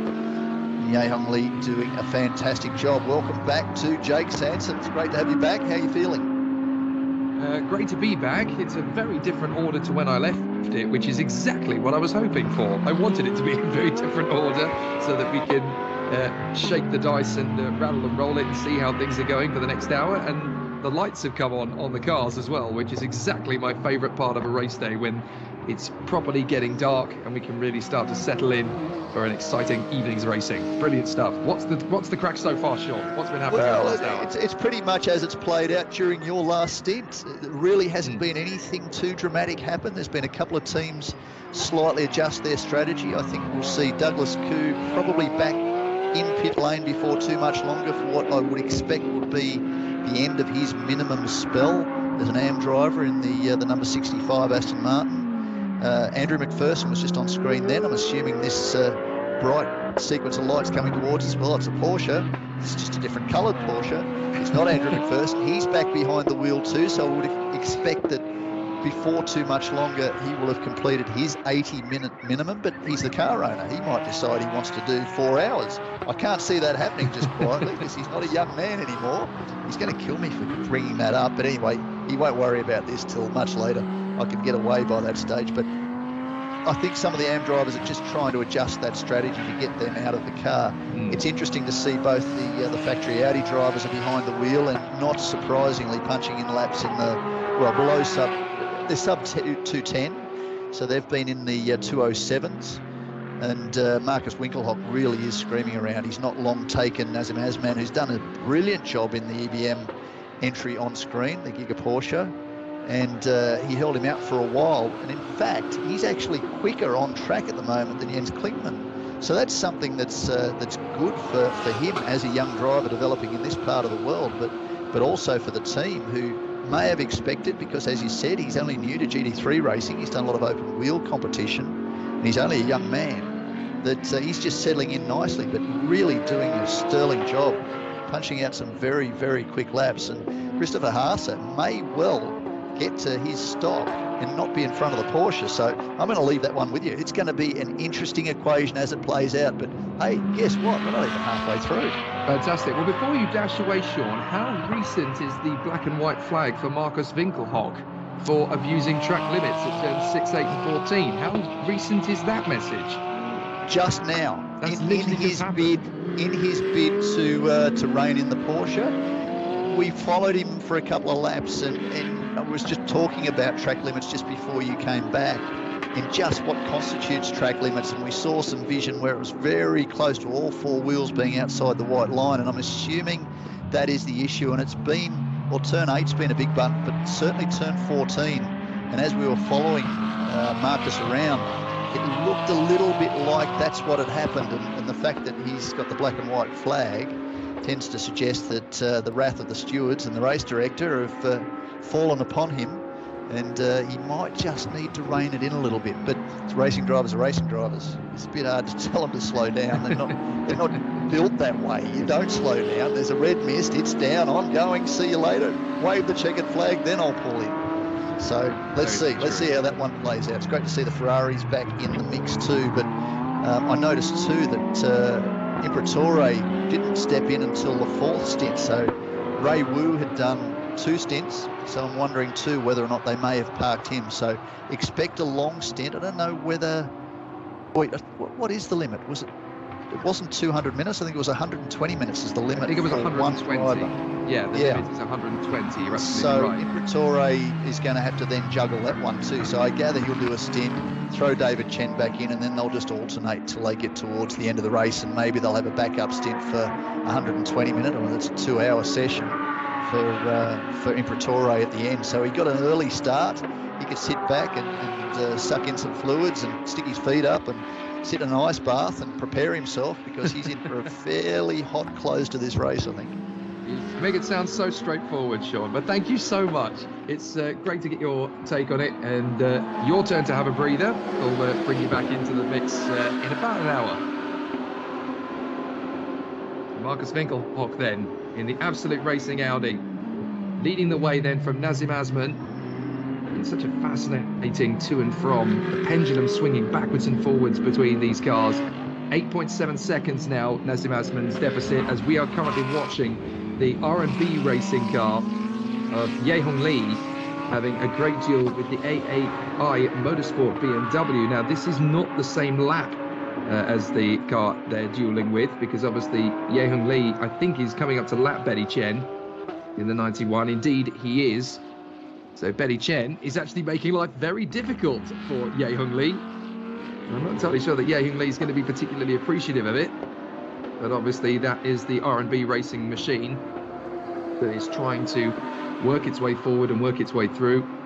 Uh, do get your messages and your comments into it. We're now at the stage where we could really use all of the uh, live, all of the uh, live support that you guys have got to give us. We're really uh, enjoying uh, the battles out there on the course at the moment. So great to have your uh, support to help us go through it. I'm surprised that the R&B Lamborghini has not been able to make its way through past the AAI BMW with uh, quite the rapidity that perhaps it should have done. So it's quite interesting the fact that that hasn't actually worked out in their favour. So fascinating situation, but uh, definitely uh, an interesting and intriguing situation that the car now finds itself in. Not quite able to uh, make the cars get through. But uh, if you are still joining us here in Sepang, it is great to have your company and great to have your support. Everybody's cheering for their own particular individual teams uh, to make the steady progress. So obviously everybody keeping the focus firmly fixed on their car and team of choice. But look at this, the R&B Lamborghini still can't quite find its way past the AAI uh, BMW of Betty Chen. And this is to lap them, of course. But this is my favourite part of a GT race, when it gets dark when things get much trickier to see, when drivers start to crack under the pressure, when things really start to fall away. And my prediction pre-race of there being about 220 laps or so to the race is starting to look relatively close to the mark because we're on that 98 at the moment for Markus Winkelhock and we're approaching the half distance point in the race. So we're watching the car of Betty Chen, Piri Bhirombhakdi, and Tanad Satantiakul. But still, the R&B racing car, Hongli, trying to get through here. This is not an easy situation. Sepang by night is a fabulous uh, circuit to behold. The last time I commentated on racing at night in Sepang was in the World Touring Car uh, World Cup a couple of seasons ago when the championship came down to the wire and the three races were all held under the floodlights. And boy, oh boy, was that great racing. I always felt that the Grand Prix should have been held under the floodlights of Malaysia as well. And I kind of hope that if it ever it returns, and I really want it to, uh, that it would become a night race moving forward as well. This place takes on a very different persona, a different personality at night. And uh, it becomes an even tougher race challenge than usual. Now, Betty Chen, the driver who is in second place, she is currently Christian Tjia's nemesis, 46 seconds behind the leader in the AM category, the Modena Porsche, still trying to stay uh, well clear. There is a lap roughly now between Markus Winkelhock and Nazim Azman. and then plus an alternative 14.6 seconds or so. 22 seconds back from Azman is Christopher Haase, and another 10 seconds back from him is Jens Klingmann in the second of the AAI BMWs. So there's still a fair bit of racing to cover. But we're approaching the century lap as into the pits comes Jens Klingmann. So Jens Klingmann has brought the AAI Motorsports BMW into the pit lane. Now, that's interesting. Uh, Lee Jaya, the FM Motorsport Silver Rocket, gets out of the way. And as a result of that, that's the catalyst for the R&B Lamborghini, Ye Hongli, to storm past Betty Chen so they have been able to make the move. So it does work out in the favour of R&B Lamborghini in the end. Now, interestingly, the AAI Motorsport car they've handed over to Chen Chen Hua. So Jens Klingmann has got back into the car again. Uh, sorry, has got out of the car again. And Reid Harker has got back into the EBM Giga racing car. So it's Absolute 1 and 2, Winkelhock and Haase, the two German drivers, and the Craft Bamboo of Sandy Stuvik now third. But Reid Harker is back in the EBM Giga car, so expect some fast laps from the Kiwi. And then Chen Chen Hua is a fresh pair of hands in the AAI Motorsport BMW. Now, Ye Hongli has gone past the pits, so he, he now moves up into fourth position. And it means that the Absolute Racing car is only 35 seconds clear of the race leader now. It's the EBM Giga Racing car of Reid Harker has come into the pits. There is the Craft Bamboo. This is the car in third position now, and it's Sandy Stuvik who is behind the wheel at this present moment in time. The young Thai driver who worked his way up the ladder of junior single seaters for so long. I can remember commentating on him at the Red Bull Ring years ago uh, and at the Hungaroring as well in GP3 when that was the third tier on the Formula One weekend. Of course, now it is known as FIA Formula 3. But Sandy Stuvik is now converted to the world of GT racing and himself a living and doing a very good job. Now, interestingly, Christian Tjia must respect track limits at turn six, and this is the second warning now for car number 216, the Canadian for the Modena Motorsports team in the Porsche. Really up against it now in terms of track limits. As meanwhile, round the outside, that is brave from the bamboo of Sandy Stuvik to go the long way round the outside of the AAI BMW. And I think that is Chen Chen Hua, who is a lap adrift now, having just come out of the pits. We'll double check as to which of the three BMWs that is. Is it the 91? Or is that the is that the 15? I think that is the 15 of Chen Hua Chen. So as they come down the straight, I want to double check. It is the 15. It is Chen Chen Hua. So having come fresh out of the pits, and now Chen Chen Hua is now down to seventh position, just in front of Betty Chen. So the field works its way through the hairpin once again, or at least these two cars certainly do. But the Craft Bamboo Mercedes now finds itself in third position. It isn't going to be long until the R&B Lamborghini crosses the line in fourth position. Ye Hongli, having done a 130, well, having done a 1, what was the time on the last lap for Ye Hongli? Done a 1, a 2 minute 11, 845 on the last lap. Nearly two seconds to lap quicker than the Craft Bamboo of Sandy Stuvik. I don't know how much of that is that Sandy is due a pit stop and how much of that is a sudden need to change things up a little bit. Because obviously we're now starting to think about the next phase of the pit stop regime. But we're on lap 100 for Markus Winkelhock in the Absolute Racing Audi. And the sister car of Christopher Haase now finds itself in second place.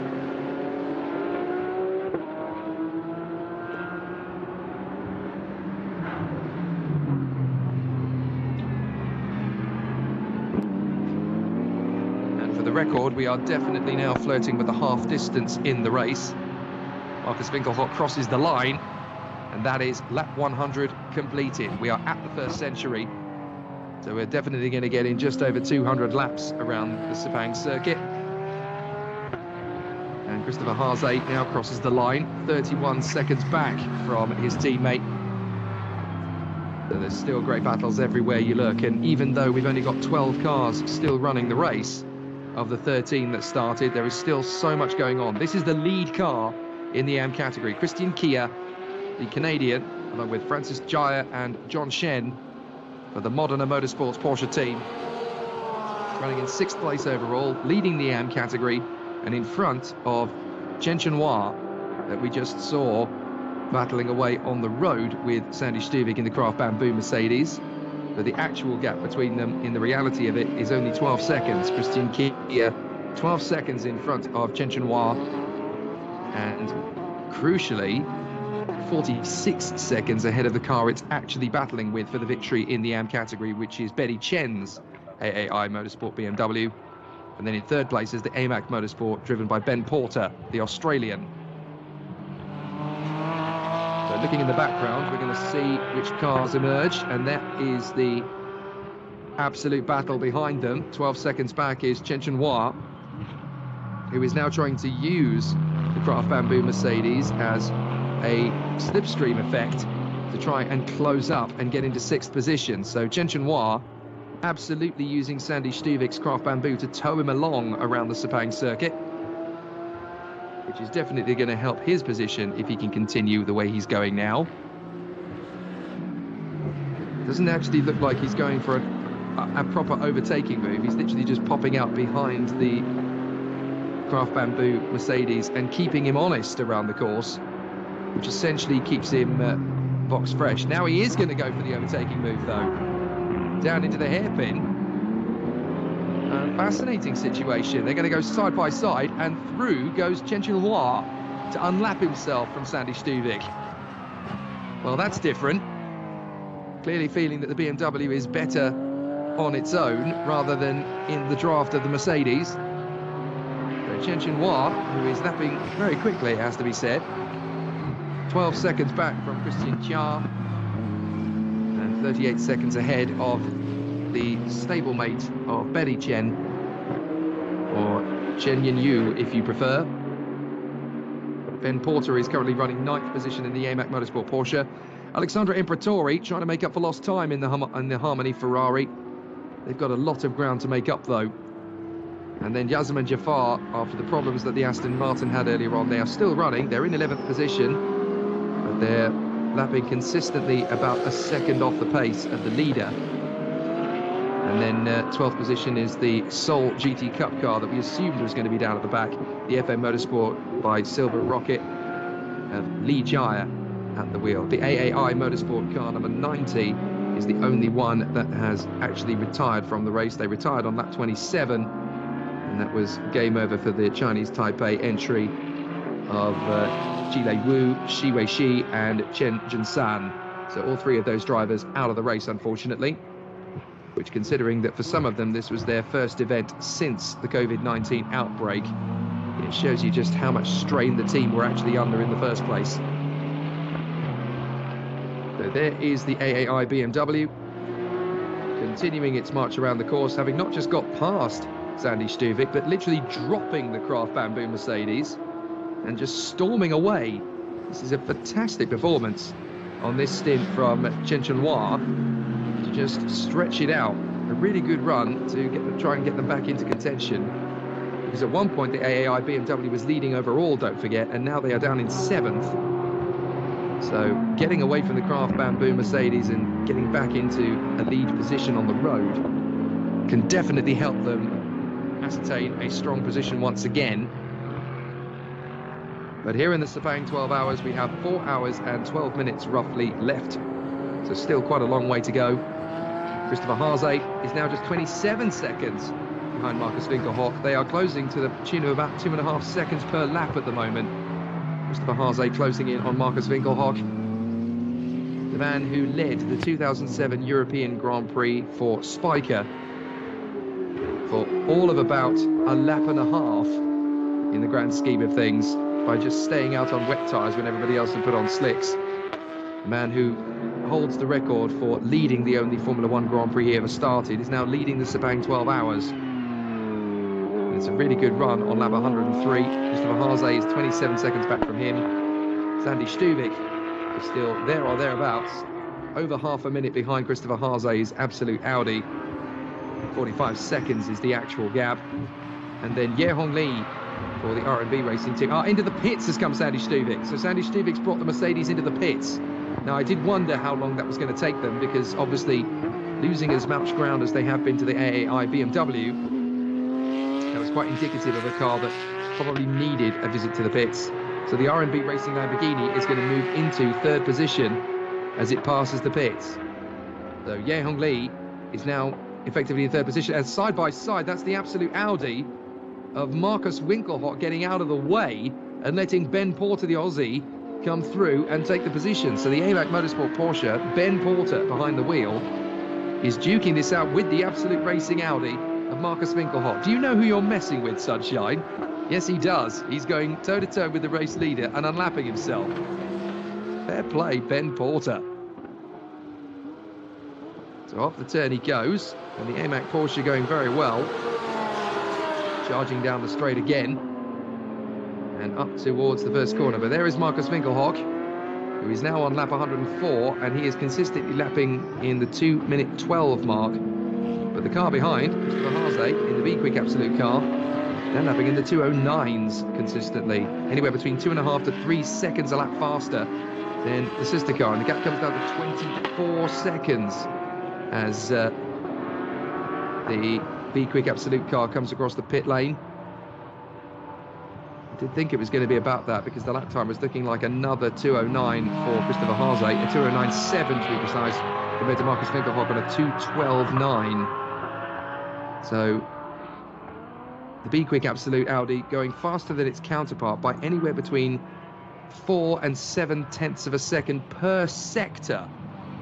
Which just shows you how much fitter at the moment Christopher Haase's car is feeling. Whether that's to do with the driver, whether that's to do with the way the car is currently handling, whether that's to do with tyres or not. We can't keep up with that one at the moment, but we will eventually. Now there is the Ferrari coming through. That is Alexandre Imperatori who was running in P10, still is, but is desperately trying to close up on its opponents and try and get back into the game a little bit. The Craft Bamboo team that was in third position, now waiting for Ye Hongli to come through and take away that third position as they come through this time. And there is Ye Hongli in the R&B car going into third place as they go past the pits this time. So the R&B Lamborghini now in third position in front of the Craft Bamboo Mercedes. I think Reid Harker is going to put the EBM Giga Racing car into fourth position as well. So good work from the Kiwi.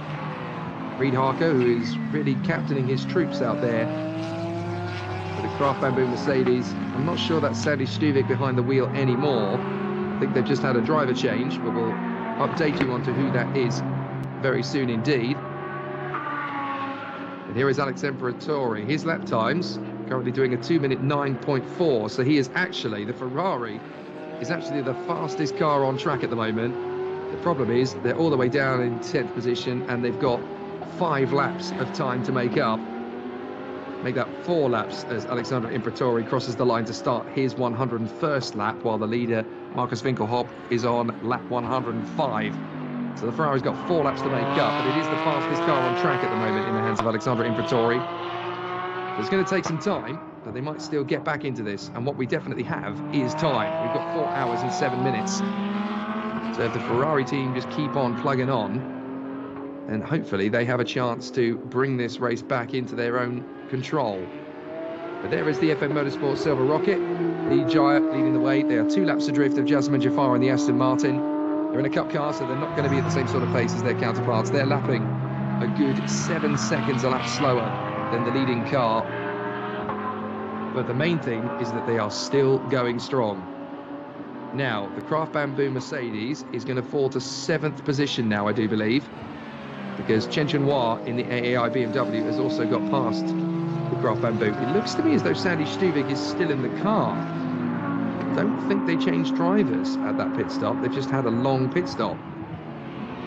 We'll double check, because they may well have changed drivers after all, as hopping over the curves is the 16 of Reid Harker, the New Zealander, in the EBM Giga Racing Porsche.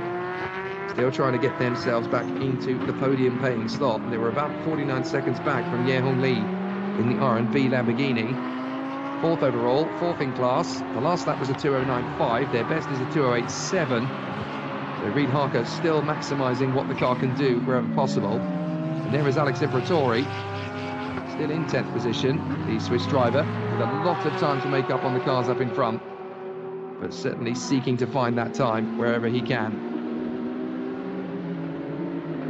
Really interesting situation continuing here at Sepang as we get the lights flashing from the Porsche just behind. That is Li Jia hoping to... Oh, no, that's the Aston Martin. I do apologise. That's the Viper Niza car. But the gap between these three cars, they are 10th and 11th, but the actual gap between them is three laps.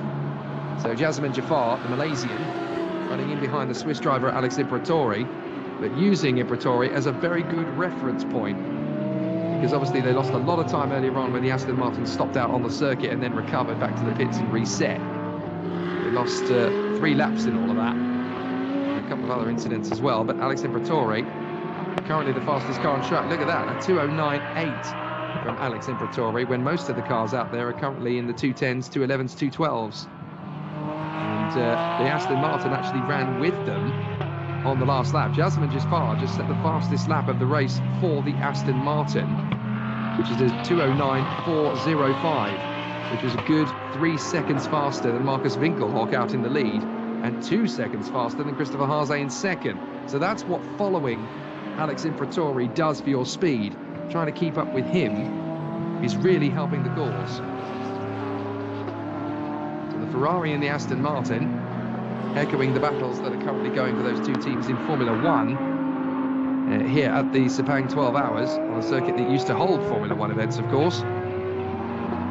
Last race at Sepang 2017, if memory serves me correctly, although I'm sure one of the viewers is going to correct me and say, Jake, I think you'll find it was actually 2016. So we'll, uh, I'm sure that correction will come. You're watching along and you are glued to the Nitro YouTube feed, then you are very welcome. Do please continue to watch with us and support your favourite team. It's going to be a very exciting run. Chapong Lekchom is uh, currently rooting for the number 26 group, the Be Quick Absolute squad, the team that is registered in Thailand. And they are currently in second place, gaining about two and a half seconds per lap on the leaders. Everything else is all about supporting the favourite team your company is very appreciated. We are delighted to bring you coverage of the Sepang 12 Hours, the first race uh, of its kind since 2016. Thank goodness the top speed crew have been able to put together such a fantastic race and a great event. And the race is still going strong. 16.9 seconds is now the gap between the two absolute Audis. So Christopher Haase is absolutely chopping the gap to Markus Winkelhock. Absolutely savaging that uh, distance between the two of them. That was double that about uh, 20 minutes ago. So Christopher Haase just chipping away, chipping away, closing in on Markus Winkelhock. But Ye Hongli, the R&B Racing Lamborghini from China, is currently in third position. Reid Harker, the New Zealander, fourth place at the moment in the EBM Giga car. And fifth overall is the leading AM driver, that is Christian Tjia for Canada, in the Modena Porsche. They've still got few drivers around them. As into the pits comes Betty Chen. She's done a great job in the AAI BMW. They're currently running second in the AM category. Still about a minute back from the Modena Porsche of Christian Tjia. But there's still every chance that the AAI Motorsport BMW has got what it takes to win the AM category here as we watch Reid Harker in the very distinguishing Nay Hark livery. See what we did there? Kiwi doing a fine job. As we now watch the race leaders, this is the absolute car. And this is the car of Andrew Haryanto, Yu Kuai, and Markus Winkelhock. Winkelhock is behind the wheel on lap 107. But the lap time is decreasing as Ye Hongli has brought the R&B Lamborghini into the pits now as we approach the half distance mark. So Ye Hongli, the Chinese driver, has now come into the pits in uh, the number three car, and I can tell you that the AAI Motorsport car is now driven by Tanat Sathan So Tanat Sathan has taken over from Betty Chen. And as I predicted, Sandy Stuvik is still behind the wheel of the Craft Bamboo Mercedes. They've got out again in seventh place, 3.5 seconds adrift of Chen Hua in the AAI BMW number 15. So there's still a really nice little battle cooking up as the R&B Lamborghini of Ye Hongli finds itself in third place. But the gap comes down again between Winkelhock and Haase in the two absolute Audis. 13.4 is now the gap. So into the pits, you can see the R&B Lamborghini of uh, Ye Hongli. Still running a very solid race there in third position. But obviously they're going to lose that position next time by because Reid Harker in the EBM Giga car is going to go through. So too is Christian Tjia in the Modena Porsche. So still some good battles and some very exciting runs to come. As we watch the cars coming through, we now have exactly four hours to go. Ladies and gentlemen, we are halfway home in the Sepang 12 hours. Don't ask.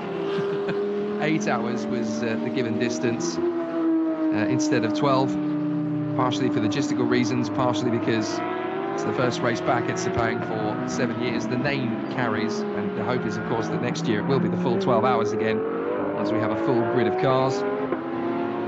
But considering the quality of the teams that are racing, we've had several lead changes here in the Sepang 12 hours. It's been great to watch. But we are now heading into the second half of this encounter as Markus Winkelhock and Christopher Haase, the two German drivers for the Absolute Racing crew, one for the number 18 car and one for the Be Quick number 26, are just chipping away at each other all the way through as there goes Reid Harker unlapping himself from Markus Winkelhock. Now, what is the strategy? What are the tactics for Markus Winkelhock and the Absolute Audi team here? Because clearly they're quite happy for Winkelhock to be losing about three seconds a lap to the sister car.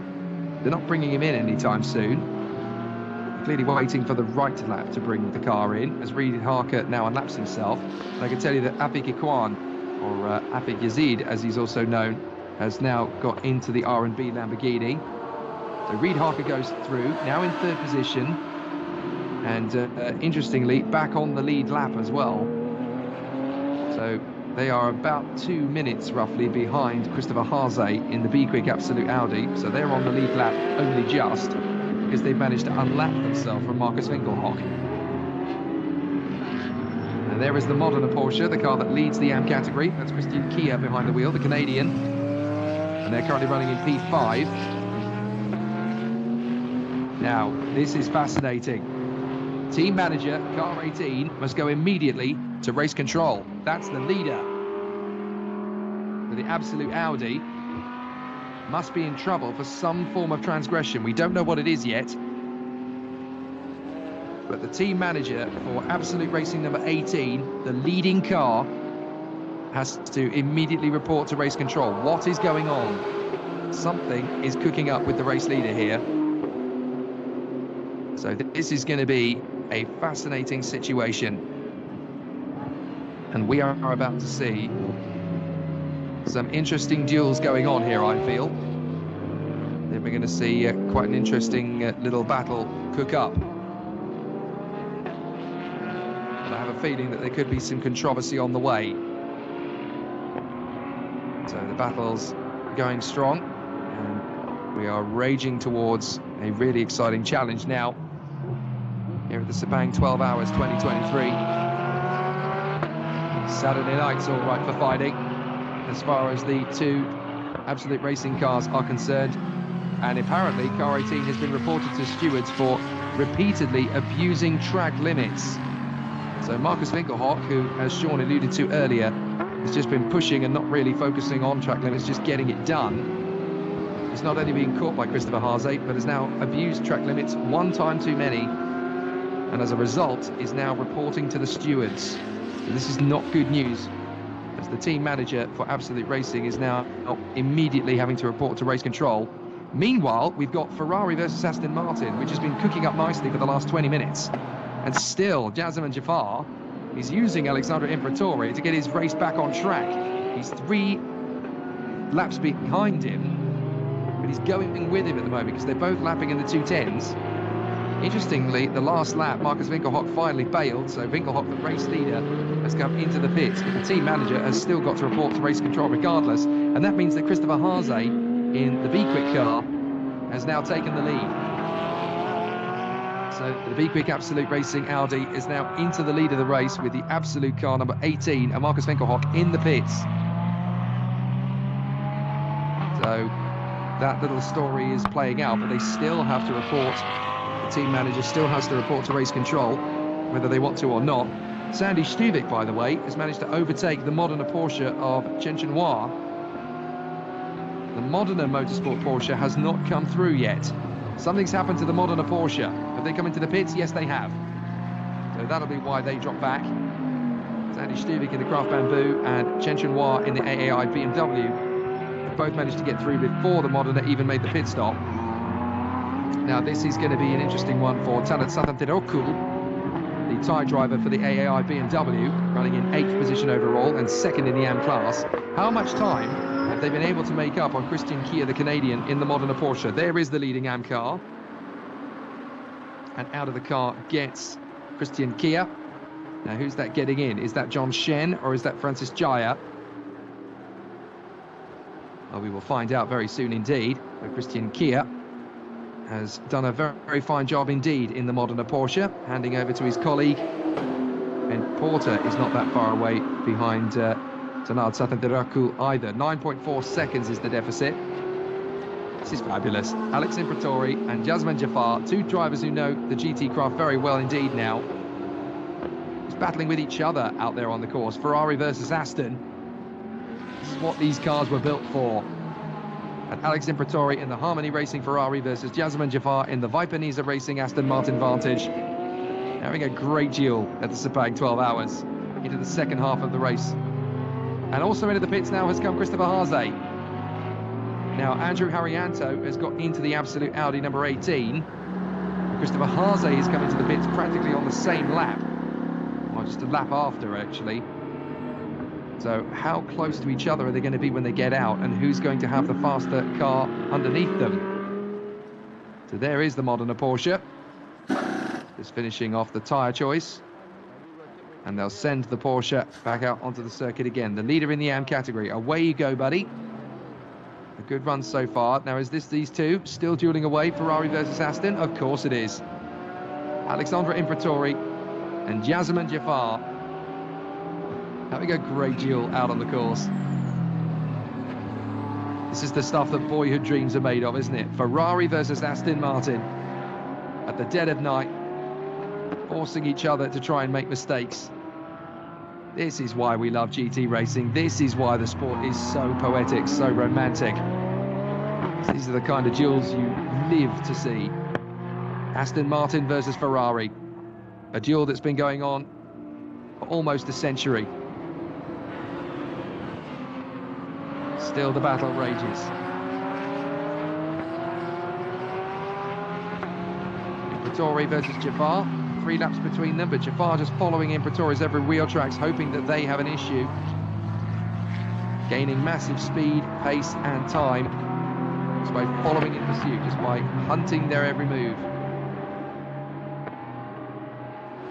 Christopher Haase into the pits. Now, has he been replaced in the car? As Andrew Haryanto has got back out onto the circuit behind Reid Harker. Kiwi now moving into second place.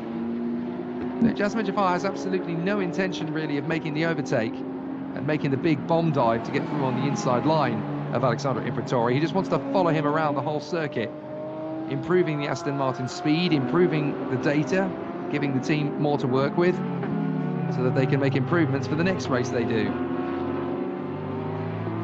Right, this is an interesting one. Car 18 has had 10 seconds added on their next pit stop for constant abuse of track limits. That is going to hand the lead of the race outright to the Be Quick Absolute Racing car once the musical chairs have stopped. And Henk Kiks is the one who is now behind the wheel of the Be Quick Absolute, by the way. So Henk Kiks has taken over on lap 111. I do wonder, is Reid Harker the race leader now in the EBM Giga Racing car? And that's definitely good news for Andrew Haryanto, uh, sorry, for Henk Kiks and co, because Andrew Haryanto on his next pit stop is going to have 10 seconds added on for constant abuse of track limits. This is not good for the number 18 crew, and this is really going to hamper their chances of going for the victory later on in the battle. So still the battle's raged. It's been a scintillating race battle so far. And a really strong race continues. It has been phenomenal. Absolute Racing, Modena Motorsport and FM Motorsport X Silver Rocket, your team leaders. Been a really exciting run all the way through though. And still the race continues to play out. But here is the Viper Niza Racing Aston Martin having now overtaken the Ferrari. So Alexandre Imperatori struggling. Ferrari does not look as fast as it once was. So something has befallen the Ferrari. Not sure whether it's just the ebb and flow, the natural ebb and flow between the two cars. And then they've obviously ended up forcing each other into an error somewhere along the line. Uh, it's the Ferrari that's come off worse. So whether this is an actual shift in the transfer of the race battle. So I'll have to keep an eye on this one. But certainly out in front at the moment, it's all going well for the EBM Giga Racing team car. They are now the team that's out front with the New Zealander Reid Harker out in the lead, based on the fact that the two absolute cars are pitted. And the number 18 car has got to take a 10 second penalty at their next pit stop. So it's looking very difficult indeed for Andrew Haryanto. Now, the gap between Haryanto and Kiks in the two cars is only going to be about 10 seconds or so by my mathematics, unless there's been a real problem at the Be Quick Absolute Racing pit stop. Gonna have to double check when they come through. 16.8 seconds. So a little bit of a sluggish stop for the Be Quick Absolute car. And they're only 3.7 seconds now ahead of Sandy Stuvik in the Craft Bamboo. Reid Harker, I think, in the EBM Giga car still needs to make a pit stop. So for my money, there are still three cars in this race. Oh no, sorry, three pit stops have now been made by the EBM Giga Racing car. So this is the outright positions. So Reid Harker in the EBM Giga Racing Porsche is the actual leader of the race now. They've had three pit stops rotation. A couple of teams have had four for various different reasons, but the leading cars, every car in the top seven overall, have all made three pit stops and three pit stops alone. So this is ultimately the actual race order. And the EBM Giga Racing team, with Reid Harker at the wheel, is 40 seconds nearly ahead of the Absolute Racing Audi of Andrew Haryanto, which has got to serve a 10 second penalty next time after Markus Winkelhock repeatedly abused track limits in the eyes of the officials. Henk Kiks has now moved up into third position again in the Be Quick Absolute Racing car, although I think actually Sandy Stuvik in the Craft Bamboo may have managed to move up into third position, depending on when the car crossed the line. But the EBM Giga Racing Porsche of Reid Harker, that is the actual race leader. That's not waiting for another pit stop or two to happen. That's on pace and on merit. So the New Zealander, Reid Harker, captaining his troops beautifully, Here's that coming towards us. That is the Aston Martin. That is the Viper Niza racing car of Jazeman Jaafar. So it's another fast lap, a 209.4. The only car that was faster than that on the previous lap, well, the only two cars were the AAI BMW of Tanat Southern Sathanthiraku and also the race leader, Reid Harker. So we're in the midst of a fabulous battle here as the pit stop procedures have all gone through. Everybody in the top end has had three pit stops apiece. So now it comes down to who is at the sharp end. The Craft Bamboo has got through into third position, but Henk Kiks is only 3.6 seconds back from Sandy Stuvik in the Craft Bamboo. So there's only a minute and three seconds between the top four cars in this race.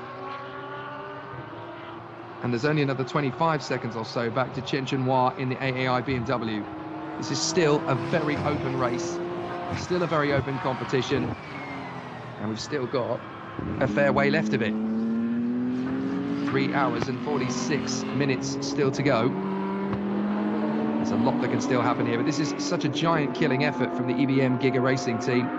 Reid Harker running the lead. There he is, leading this race. The Sepang 12 Hours is looking good for a Porsche to win again. They've already won the event four times over the years. They are the most successful manufacturer in the Sepang 12 Hours, and Porsche would dearly love to make it five. And Reid Harker is definitely going about that the right way out there in the car. His teammates on the sidelines just enjoying the moment. Adrian De Silva and Nazim Azman. I'm not sure they would have expected to be leading at this stage of the race, but at the halfway point, that is exactly where the EBM Giga Racing team find themselves. Leading the way with several more battles to come. But it's certainly looking really strong for the Kiwi up front. Reid Harker taking it one lap at a time. You don't need to push yourself too hard here. Just look after the car. Just look after yourself. Keep yourself in the zone. Keep focused. One step at a time. And Reid Harker giving EBM Giga exactly what they deserve here a very impressive and very strong run. Andrew Haryanto running in the Absolute Audi in second place from Sandy Stuvik in the Craft Bamboo. And then the Be Quick Absolute of Henk Kiks, fourth position. All of these cars covered by a little over a minute with four hours still to go. Well, less than that now, three hours 45 still to go. It's going to be a really entertaining second half to the race. I would estimate now that we're looking at about 208, 209 laps total for the Sepang 12 hours. We'll just reach the second century, but we won't do many more laps after that point. I'm absolutely astonished that in this time, we haven't really had yellow flags or anything, or certainly not a yellow flag period anyway. Afiq Yazid must respect track limits at turn six. That's the first warning for car number four, the R&B Lamborghini. He's done a fantastic job considering he's coming to the team cold and without any decent testing time behind him. fascinating to watch these guys battle out. The total laps covered by all participants at this point, 1,359. 45 pit stops so far. We're on lap 114. We have had no time under safety car, no time under full course yellow, no time under code 60. It has been one of the cleanest GT races I think I've ever seen in my life. And it's been a brilliant indicator that Sepang is ready to host these big events again, as is Malaysia as a country. I really hope, I'm touching wood as I say that, there's been absolutely no major incidents in this race. And the drivers are just getting on with it, they're just ticking laps down. Reid Harker in the EBM Giga racing car, having a great run. Now into the pits comes uh, Chen Chenhua in the AAI BMW number 15. Still going strong. Oh, bit of a run out wide there for the AMAC Motorsport car. That is Ben Porter at the wheel. Andrew McPherson and Andre Heimgartner, his teammates. Get back on the power once again as they storm round out into the pits. There is the AAI BMW that we talked about. So Chen Chenhua getting into is there a driver change i didn't see if there was a driver change but certainly they've got two great drivers to choose from in jesse Krohn and jens klingmann who can both take over very admirably indeed looks like they have made a driver change because there is an adjustment of seat belts going on but I couldn't tell you at this exact moment which driver it is that's got in. I can't tell from that distance whether that's Jesse or whether that's Jens. But there is the leading car, Reid Harker in the EBM Giga Racing car. He's sharing that with Nazim Azman, making his GT debut. And they also have the very skillful and very talented youngster, Adrian De Silva, in the car. He's been GT racing since 2008. I'm happy to call him a youngster because he'll be very happy about it. Third in the Malaysian Super Series 11 years ago, third in the Asian Touring Car Series in 2009. He's been there and done it all, but what he hasn't done is won the Sepang 12 Hours, and this is his best shot. As out onto the circuit again goes Jesse Krohn in the AAI Motorsport BMW. So they put Jesse Krohn into the car for this next phase of the race. Getting out onto the circuit behind the race leaders, in the AM category. That is the Modena Porsche of John Shen. Now, Reid Harker has been told he has to respect track limits at turn four. That's his first warning. So he's got to be very careful about uh, abusing track limits himself. But there is the Aston Martin. That is Jazeman Jaafar down in 11th position, having had a mechanical stoppage earlier on in the day.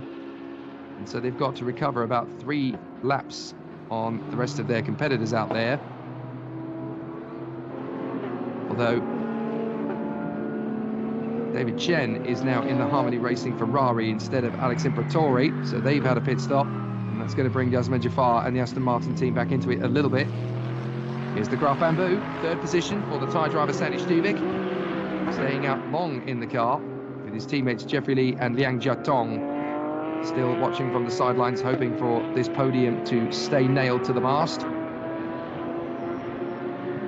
The battle for the AM category is really heating up. John Shen in the Modena Porsche is just 10.4 seconds now ahead of Talat Sathantarokul in the number 91 AAI BMW. And Ben Porter in the AMAC Porsche is only 20 seconds back from that. And these are the three remaining cars in the AM category because the fourth, the AAI BMW of uh, the number 90 crew, the Chinese Taipei wrote. they continued on in fine style until lap 27 when the car finally decided it had had enough. Chinese Taipei, of course, represented by the man in second position in the AM category, Tana the team from AAI Motorsports obviously representing Chinese Taipei. The band Transition, the official Olympic soundtrack to uh, Chinese Taipei for the London Olympics back in 2012. Good mates of mine, the band Transition. I opened for them once many many years ago. Good old uh, Sean Henselwood was uh, arguing about them, was telling me we don't know how early it is to get the singing voice out, but I certainly did for the official Olympic band of Chinese Taipei many years ago. So if the guitar is needed in a red flag period later, you know where to find me. But the EBM Giga Racing team out in front has no need for a decent tune to keep people interested in their progress. Reid Harker leads the way by 41 seconds to Andrew Haryanto in the Absolute Racing car, although at their next pit stop they need to add an additional 10 seconds penalty to their pit stop. Sandy Stuvik running third in the Craft Bamboo, and Henk Kiks running fourth in the Be Quick Absolute Audi. 14 seconds back from Sandy Stuvik in the Craft Bamboo uh, squad. Fifth position for the R&B Lamborghini of uh, Afiq. And then the AAI BMW, the leading car from the Chinese Taipei-based outfit, Jesse Krohn, is behind the wheel. They were leading at one stage, but then who hasn't been at various points of the race? The R&B Lamborghini's been a race leader. The Craft Bamboo has led. The Absolute Racing cars have both led at certain stages, as has the AAI Motorsport car of Jesse Krohn, Jens Klingmann, and Chin Chen Hua. But at the moment, it is Reid Harker at the EBM Giga Racing team, beyond half distance, that leads the way. There is the Harmony Ferrari, currently being driven by Chen Weian, partnered, of course, by uh, Hua Ruhua and uh, Alexandre Imperatori, who did so much work to get their speed back up to whack again. It is now Chen Weian, who is in the car number 488. The number so chosen because that is the model of the Ferrari that is being raced. Of course, in just a few weeks' time, the brand new Ferrari GT3 car, which is the Ferrari 296, is going to be making its uh, international competition debut. It won't be too long before the Asian GT world manages to get its hands on that new 296. Every sort of four or five years of rotation for Ferrari GT cars before they bring the latest model. There is the absolute Audi, Andrew Haryanto, the Indonesian, running in second position at the moment, but that car needs to have an additional 10 seconds penalty the next time it comes into the pits. There is Reid Harker, our race leader in the EBM Giga Racing car. Oh no, wait, that is the Lamborghini emerging out of the shadows. That is uh, Afiq Yazid sharing the car with Ye Hongli and Bao Jinlong. The R&B Lamborghini continuing on. The R&B racing team have already had a very busy 2023. They uh, sent a few cars over to the United Arab Emirates and Kuwait to compete in the Formula Regional Middle East Championship, also organised by Top Speed. They had some uh, fairly decent competitors there. They also gave the Formula Regional debut to the young Bulgarian talent Nikola Tsolov, who is a protege of Fernando Alonso. So R&B Racing have had a very busy winter, masterminding young talents and trying to work their craft further forward. Been a really interesting battle for the team so far. They've had a really exciting run. And still the drivers battle on. Certainly had some good fun when they were out in uh, the Middle East. It was uh, exciting racing that we saw from them. They managed to run Giovanni Mascio, Han Chen Yu, and Wang Xiongwei, as well as Tang Robin and Nikola Tsolov uh, through the course of the season. Good to see them all putting on uh, a good display out in the Middle East. But still, the battles rage on here at Sepang, and the teams are just keeping it together. No chaos, no disasters, no dramas.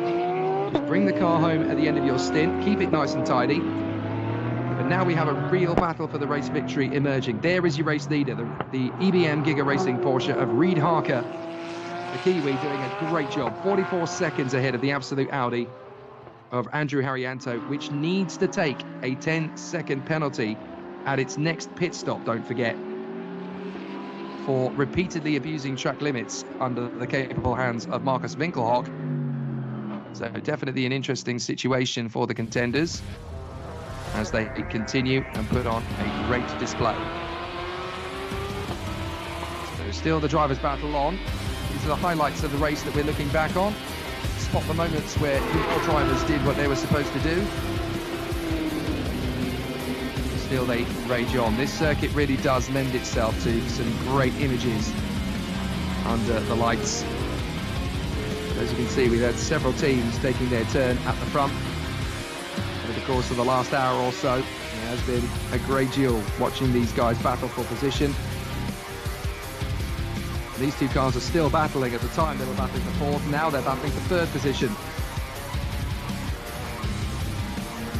Chen Chinois, the crew have run as high as third at one stage. They're currently running in P6, by the way, behind the R&B Lamborghini of Afiq Yazid. These two cars have been battling for the lead quite a long time, and they're still battling. The gap between them now is 45 seconds. There's Reid Harker making his bid up the inside and making a good run of things. He's looking back over the highlights, which is why it says that there's four and a half hours to go. It's actually three hours and 34 minutes to go. The teams have definitely been batting away. It's been good to see Jazeman Jaafar get the Aston Martin back up to speed after their earlier technical difficulties. But the race is well and truly joined here at Sepang 12 Hours under the floodlights. It's pretty exciting. There is the AMAC Motorsport team. Ben Porter, Andrew McPherson and Andre Heimgartner. The team currently running in third position in the AM category. Second in the AM category is the number 91 BMW, the AAI Motorsports team based in Chinese Taipei. Driver behind the wheel at the moment is Tanat Satapirakul. They've been working very hard since the start. There is the car that's running in second place in the category. The leading AM car, however, is the Modena Motorsport Porsche, currently being driven by the Hong Kong driver John Shen.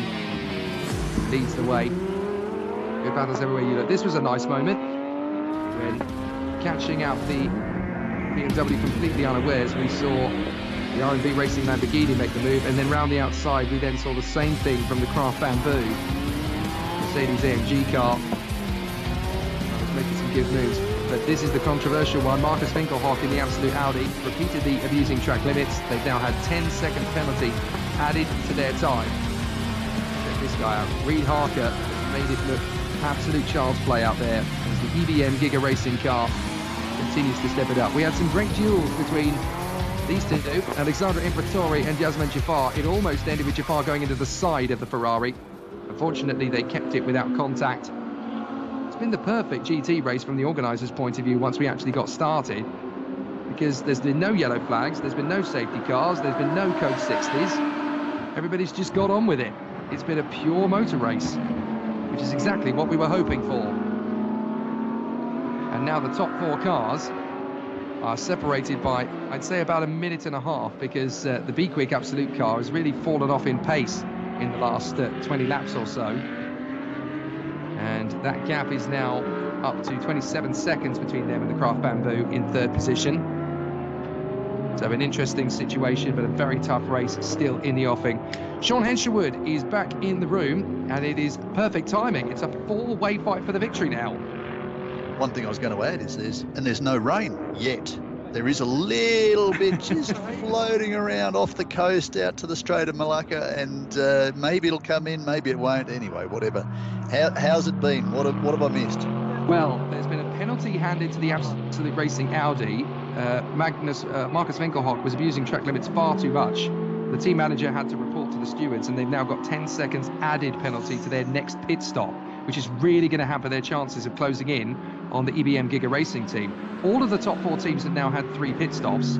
So this is the true order. And it's actually Reid Harker, the Kiwi, doing a sensational job out front, keeping good pace. Their pace has been pretty metronomic. They're keeping it in the 209s, but so too is the Craft Bamboo Mercedes. They're starting to chip away. The Absolute Audi is really starting to falter at this point of the race. They're kind of costing themselves time here. They need to get themselves back into it.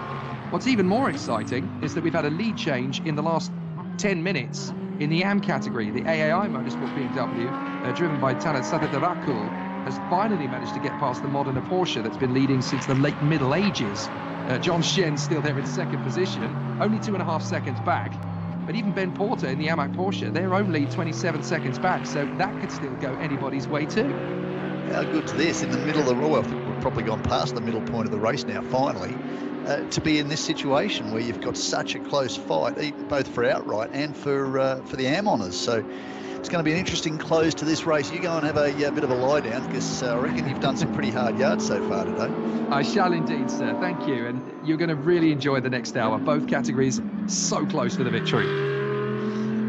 Andrew Haryanto on screen. The Indonesian driver charges around again. The former Audi Sport R8 LMS Cup champion. Loves this circuit. In fact, from memory, and I use that word a little, uh, he may well have won his championship here under lights against Buirat Bhirombhakdi. So this is a circuit that uh, he remembers only too fondly. He's got a Ferrari ranging up behind him by the look of things. But currently the Harmony Racing entry, he's got David Chen behind the wheel. They are a little bit further back down in the order in position number 10. Haryanto 43 seconds, 46 seconds now behind Reid Harker and these combinations are going to be uh, very interesting to watch. I wonder whether or not we will have seen the end of Andrew Haryanto's stints at the close of this one. And we'll see the, uh, the remainder of this race played out between Yu and Markus Winkelhock. Yu did a brilliant job during his stint in the car. David Chen really has managed to hunt down Andrew Haryanto. It looks like there will be a uh, change of track position, not outright position, because uh, there are a couple of laps between the two cars. In fact, Haryanto is on lap 121, David Chen, unfortunately, on lap 117. So there's a four lap difference, but the Ferrari is really starting to uh, find some pace. Last time around, David Chen in the 210s. Haryanto also in uh, the 210s I think the Ferrari driver is uh, a little hungrier at this point. There is John Shen, still getting around in that Modena Motorsport Porsche. This could well be the end of his stints. Leave it to the Charr brothers to uh, to finish this off. Francis and certainly Christian's pace was very good during his first stint in the car. Just as we got on to dusk, we're now well and truly under lights. And Reid Harker is, as uh, Jake was saying, doing an absolutely stellar job. 209.7 last time round. 208.7 is the fastest lap from that car. Now, if Adrian De Silva can manage to find the pace that he was showing during the early leg of the race, he started the number 16 EBM Giga Racing entry. If he can find that pace during his next stint, and he might well be next in after Reid Harker, which would leave Nazim Azman, who did a brilliant job during his stint, the young Malaysian driver. Not well versed with GT driving, but boy, he's uh, fast tracking his experience with an eight hour race. He's learned an awful lot about how to make one of these cars work over the course of the last couple of days. And uh, during his first stint, he really found some impressive pace and, and went beyond uh, the pace we saw during qualifying. He didn't improve his time, but he was just more consistent. The qualifying time was one out of the box because he needed it in order to uh, to make up important track position, but he's just been consistently quick. Who's in the 26 entry at the moment? That is team boss, car owner, Henk Kiks. Be Quick by Absolute Racing entry. Both these Audis are Evo 2s.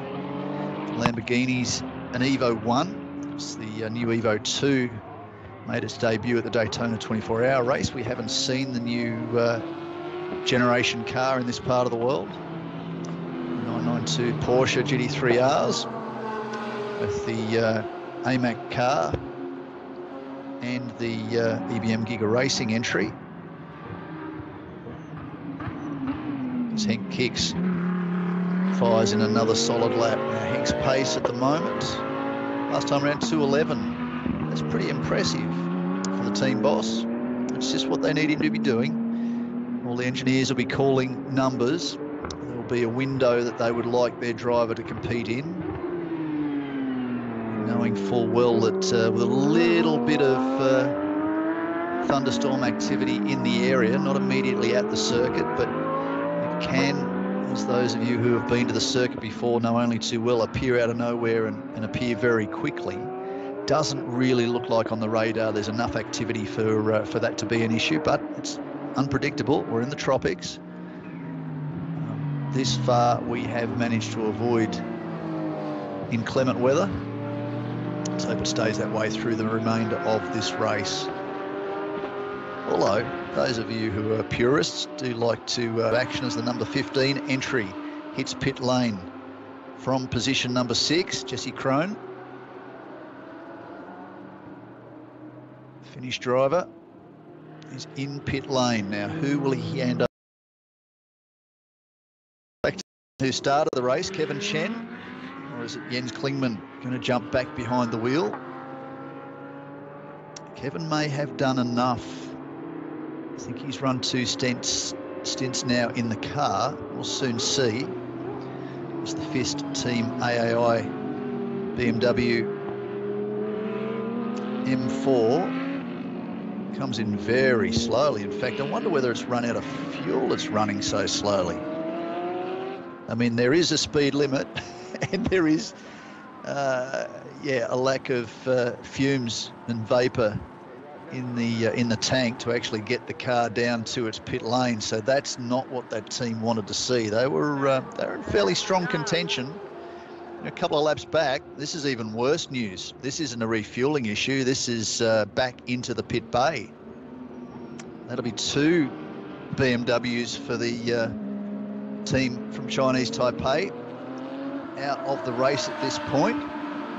We saw the uh, the team boss Jun Sun Chen in pit lane after just 26 laps. Viper Racing Aston Martin Vantage GT3. I say GT4, then I've just been doing a bit more research to update my uh, spec. It's been a few years since I've called a GT race, and I did, I think, admit earlier that the AMG GT3 might have been a 4 litre twin turbo. That, of course, is the GT4 car. Still that thundering great 6.3 litre naturally aspirated Mercedes AMG V8. It's an unmistakable sound. I was a bit surprised you could get that kind of sound out of a twin turbo 4 litre, but hey, they do work miracles, HWA. But no, it is still the engine we know and love. That great big thundering 6.3 litre V8, and what a sound it makes. I think at some point there was plans that uh, there may be a specification change, as BMW have recently made from their twin turbo V8 through to the uh, twin turbo inline six or the new M6. Unfortunately, it was sidelined early with a number 90 entry. And the car that's just pulled into pit lane is also the car that uh, is shared between Kevin Chen, Jens Klingmann, and Jesse Krohn. There is the one surviving FIST Team AAI BMW, Chen was behind the wheel a little bit earlier. Tanart Sathienthirakul is back behind the wheel. And he's been the faster of the trio. Piti Bhirombhakdi did a fantastic job. Of course, a lot of experience around here. Run in the past in uh, various categories from GT World Challenge Asia to GT Asia, the forerunner to the uh, SRO International platform back in those days in the 458 Ferrari. Of course, the uh, Bhirombhakdis have a great association through Singha with uh, with Ferrari. Go back a few years to uh, Kimi Raikkonen racing the Ferrari with the Singha logos emblazoned on the car. These days, it's quite likely Singha's still involved with Ferrari at some level. I haven't picked that up with the uh, the current car, but certainly they are associated with the uh, the Alfa Romeo team. And uh, another fin. Oh, okay. So that is the GDC entry. The FM Motorsport by Silver Rocket entry. Now this might just be uh, maintenance with what they need to update in the front of the car because there isn't any engine in there. So that might just be uh, heat from, from brakes. There has been a driver change there.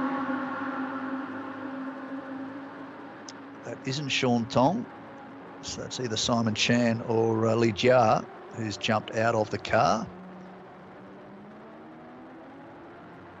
Get an update on that one. In fact, Li Jia is listed, so it may be Li Jia that's got out of the car. So you'd expect Simon Chan has jumped in.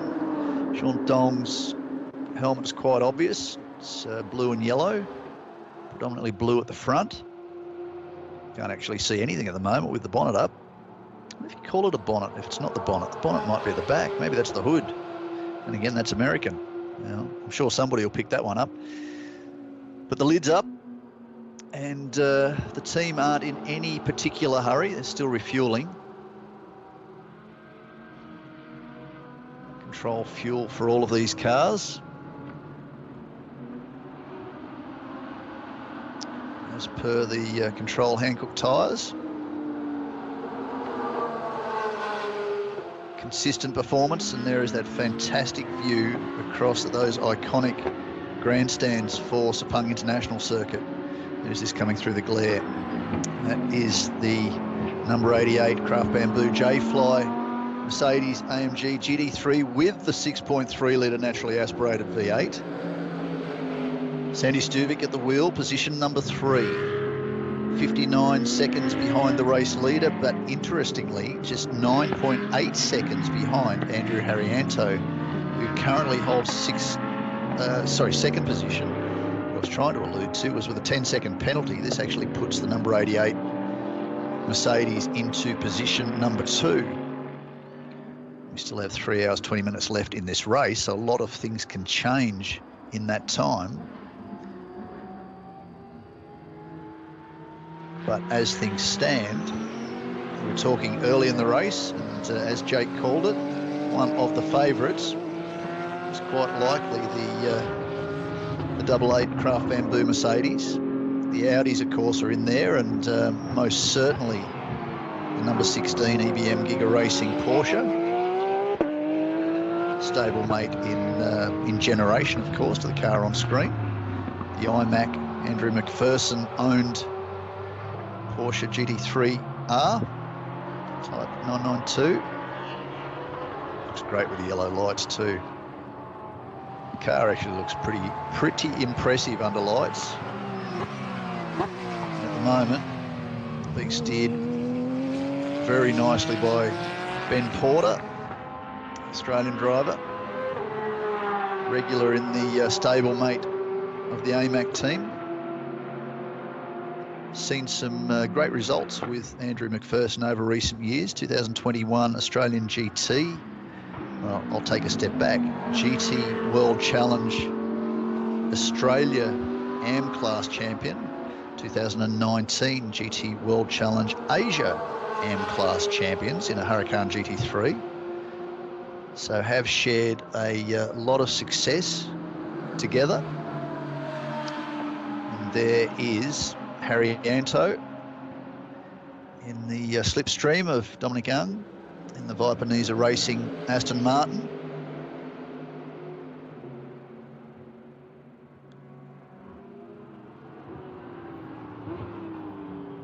Heading up to turn four. Through goes the GDC Porsche, so that leaves just the two AAI Motorsports BMWs in pit lane.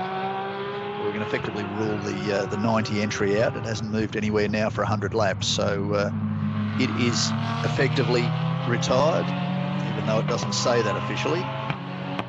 The Jesse Krohn entry has just come into pit lanes, now back in position 10. They're now five laps in arrears from the leaders, so that would effectively rule them out at this stage of the race to be an outright contender. It's getting a little bit too far back in the race order David Chen continues to charge around. Last lap at 210. That's not too bad. At 208.1, quickest lap. The Alex Imperatori's first stint. David Chen, of course, has done a lot of miles around Asia. Came into motorsport late in the piece, was uh, studying and very focused on business.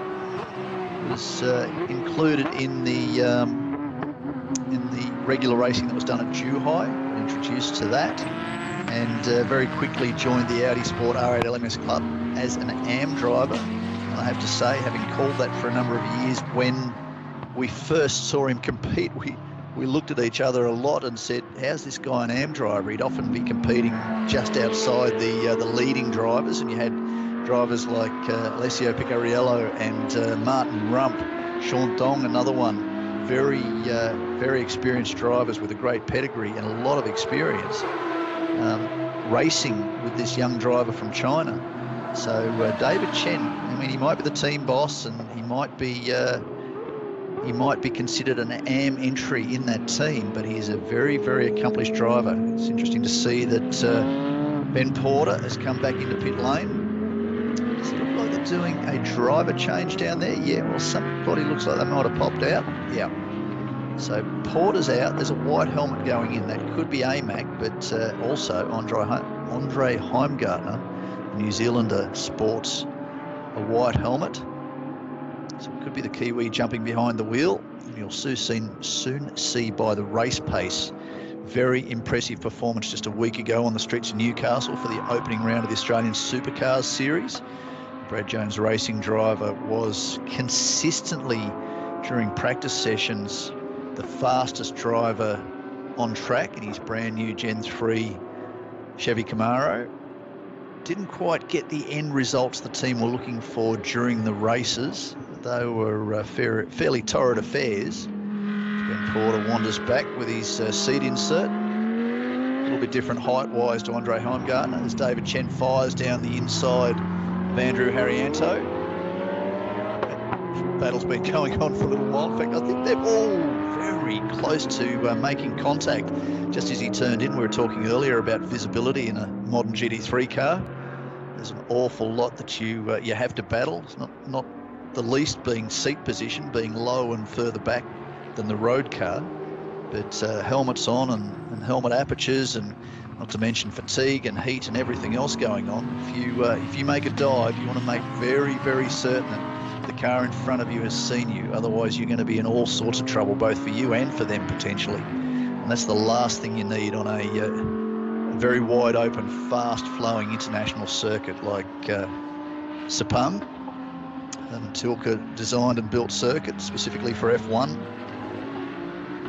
So F1 spent a lot of time on this circuit. In fact, uh, lap record I think was a 134. We go back to uh, Sebastian Vettel. Just going to find my notes to uh, recover exactly what that lap time was. But uh, he certainly held the lap record outright for Sepang International Circuit with 134.08. The lap record outright for a GT3 car was held by James Calado. I say was, is held by James Calado in a Ferrari 488 GT3. It was set in 2019 at a 203.8. And interestingly, we saw in qualifying yesterday, sorry, this morning, the fastest time was set by uh, Markus Winkelhock with a 204.32, so just half a second from the pace back in 2019, and that would have been a well-rubbered circuit at that particular time. A racetrack that uh, had seen plenty of action. We've been in and through it a number of times today about uh, the lack of motorsport activity in this part of the world over the last three and a half years. So uh, the Sepang circuit wasn't particularly race ready there's been a bit of testing going on, but certainly not the miles it's used to seeing. So uh, the, um, the, track may not have been in prime condition. So for these guys to be turning laps just half a second off the outright lap record, pretty impressive performance. Obviously a factory Audi driver. You would expect that it'd be a, a fairly impressive performance as Reid Harker continues to lead this race. The lead out to uh, 56.1 seconds now. Sandy Stuvik should just about be in frame now. That was him, I would hazard a guess. 5.7 seconds behind Andrew Haryanto. So the uh, Craft Bamboo Racing by J-Fly Mercedes is closing in every single lap. In fact, last time round, Stuvik turned in uh, second fastest lap of the race. Third fastest, as it turns out, at 210.8. 209.5 to Reid Harker. So the race leader's continuing to increase that lead. So the young Kiwi is doing absolutely everything that's asked of him. And uh, will be interest, will be interesting to see who jumps in in the next stint. I'd, I'd, suggest that perhaps Adrian De Silva would be well placed to jump in now, and that would allow the uh, two younger drivers, Nazim Azman and Reid Harker, to close out this race and put them well and truly, I would expect, in the box seat. And Kiks would be completing his last stint in the car, as will Andrew Haryanto. Three hours, nine minutes still to go in this race. So, depending on when they last hit pit lane, we're seeing some teams make their fourth stop. Interesting to have data to see exactly when and where those teams did make that stop. Of course, with the uh, commentary changeover, notes aren't much good. We're not actually sharing them at the moment, so we just have to run on uh, when the teams next come back into pit lane, and that will be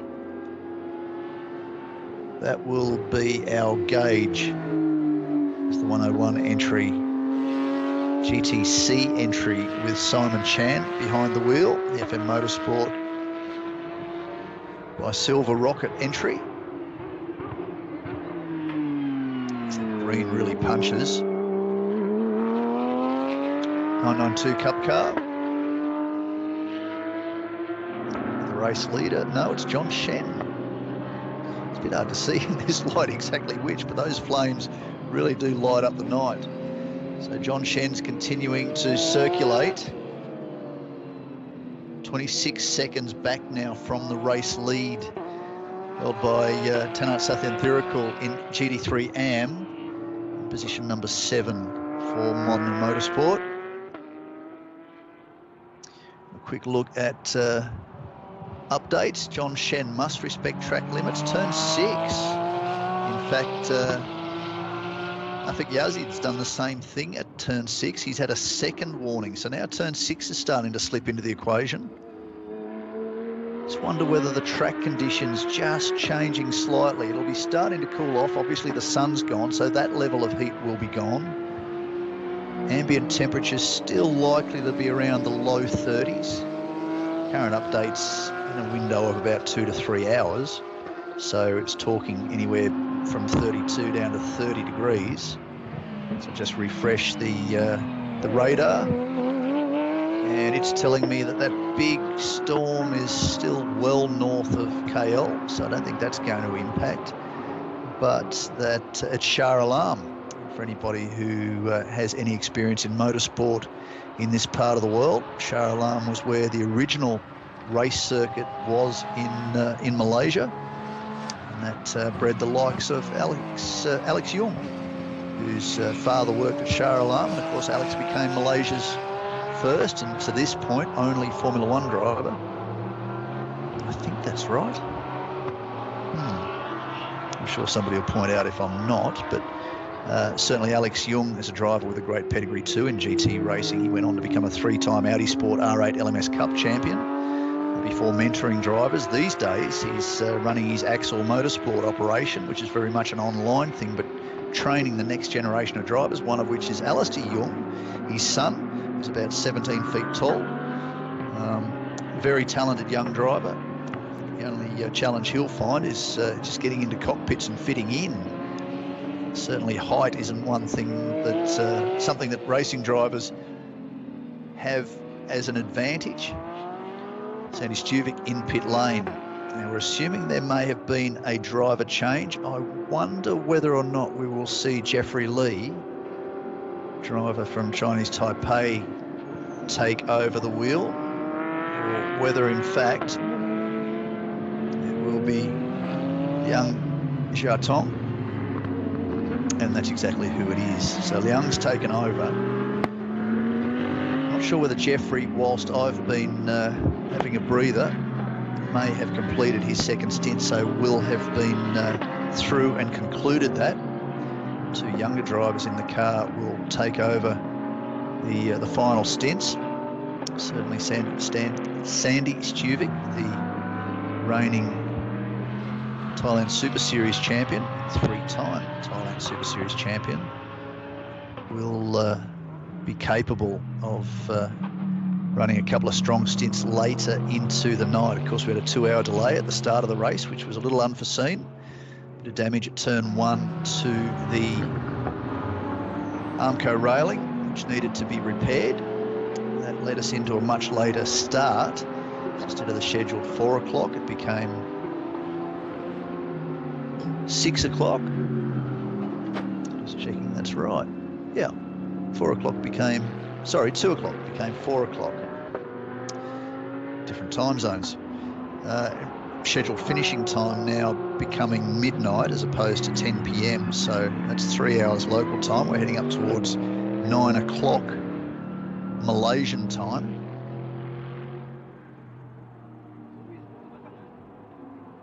Liang gets out and uh, gets himself comfortable in the car again. Reid Harker out to over a minute now. So this is arguably the biggest lead we've seen in this race so far. Doing a stellar job, the young Kiwi, as is John Shen. Not so young, but not so uh, shabby. His pace last time around 212. That is impressive considering the best lap for that car is at 210. That is super consistent. The Char brothers and uh, John Shen are doing absolutely everything the Modena Motorsport team want. Of course, they've had plenty of experience. They've done a uh, a lot of uh, driving in the 24-hour series, the Creventic series. Been over to the Middle East and around various different parts of the world racing in that series. In those days, it was with Wayne Shen, who uh, sadly is no longer with us.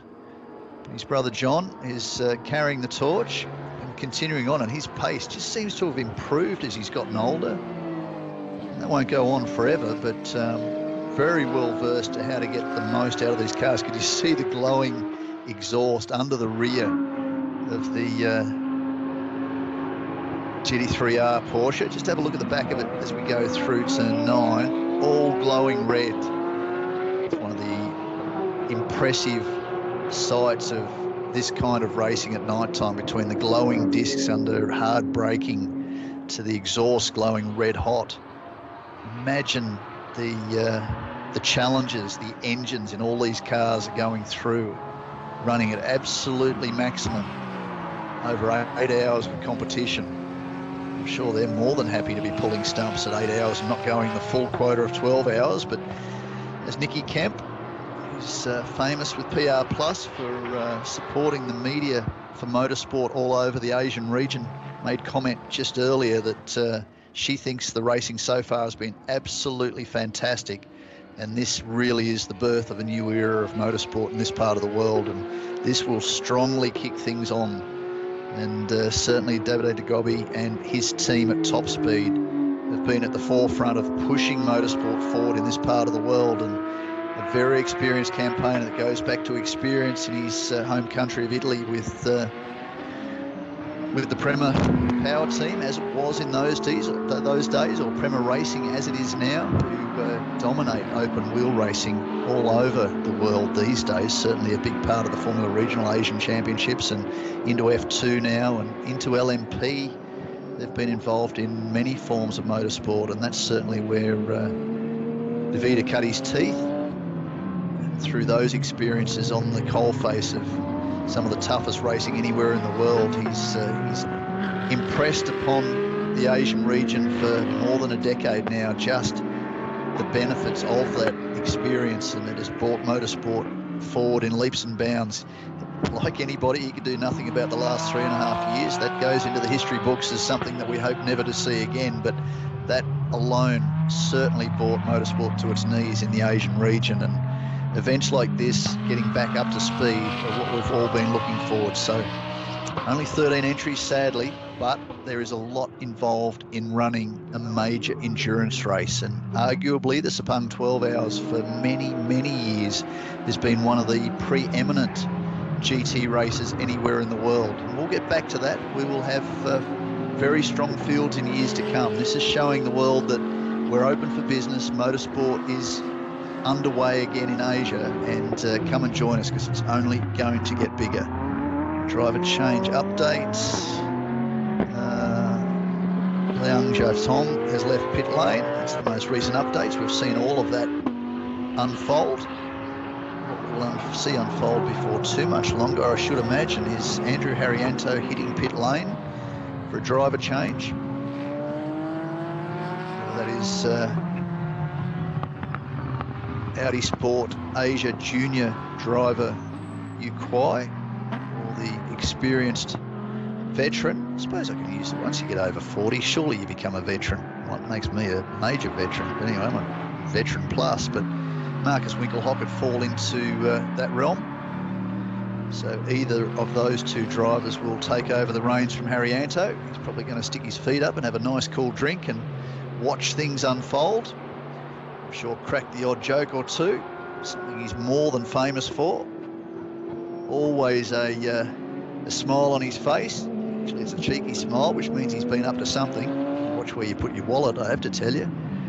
But uh, Andrew's been a great part of the, uh, motorsport, the motorsport environment in Asia for a lot of years, and to see him enjoying his motor racing and going over to European Le Mans racing in Le Mans in the 24-hour race, that's been fantastic. Let's take a look back at some of the action a little bit earlier in the night great battle between Imperatori and Jazeman Jaafar.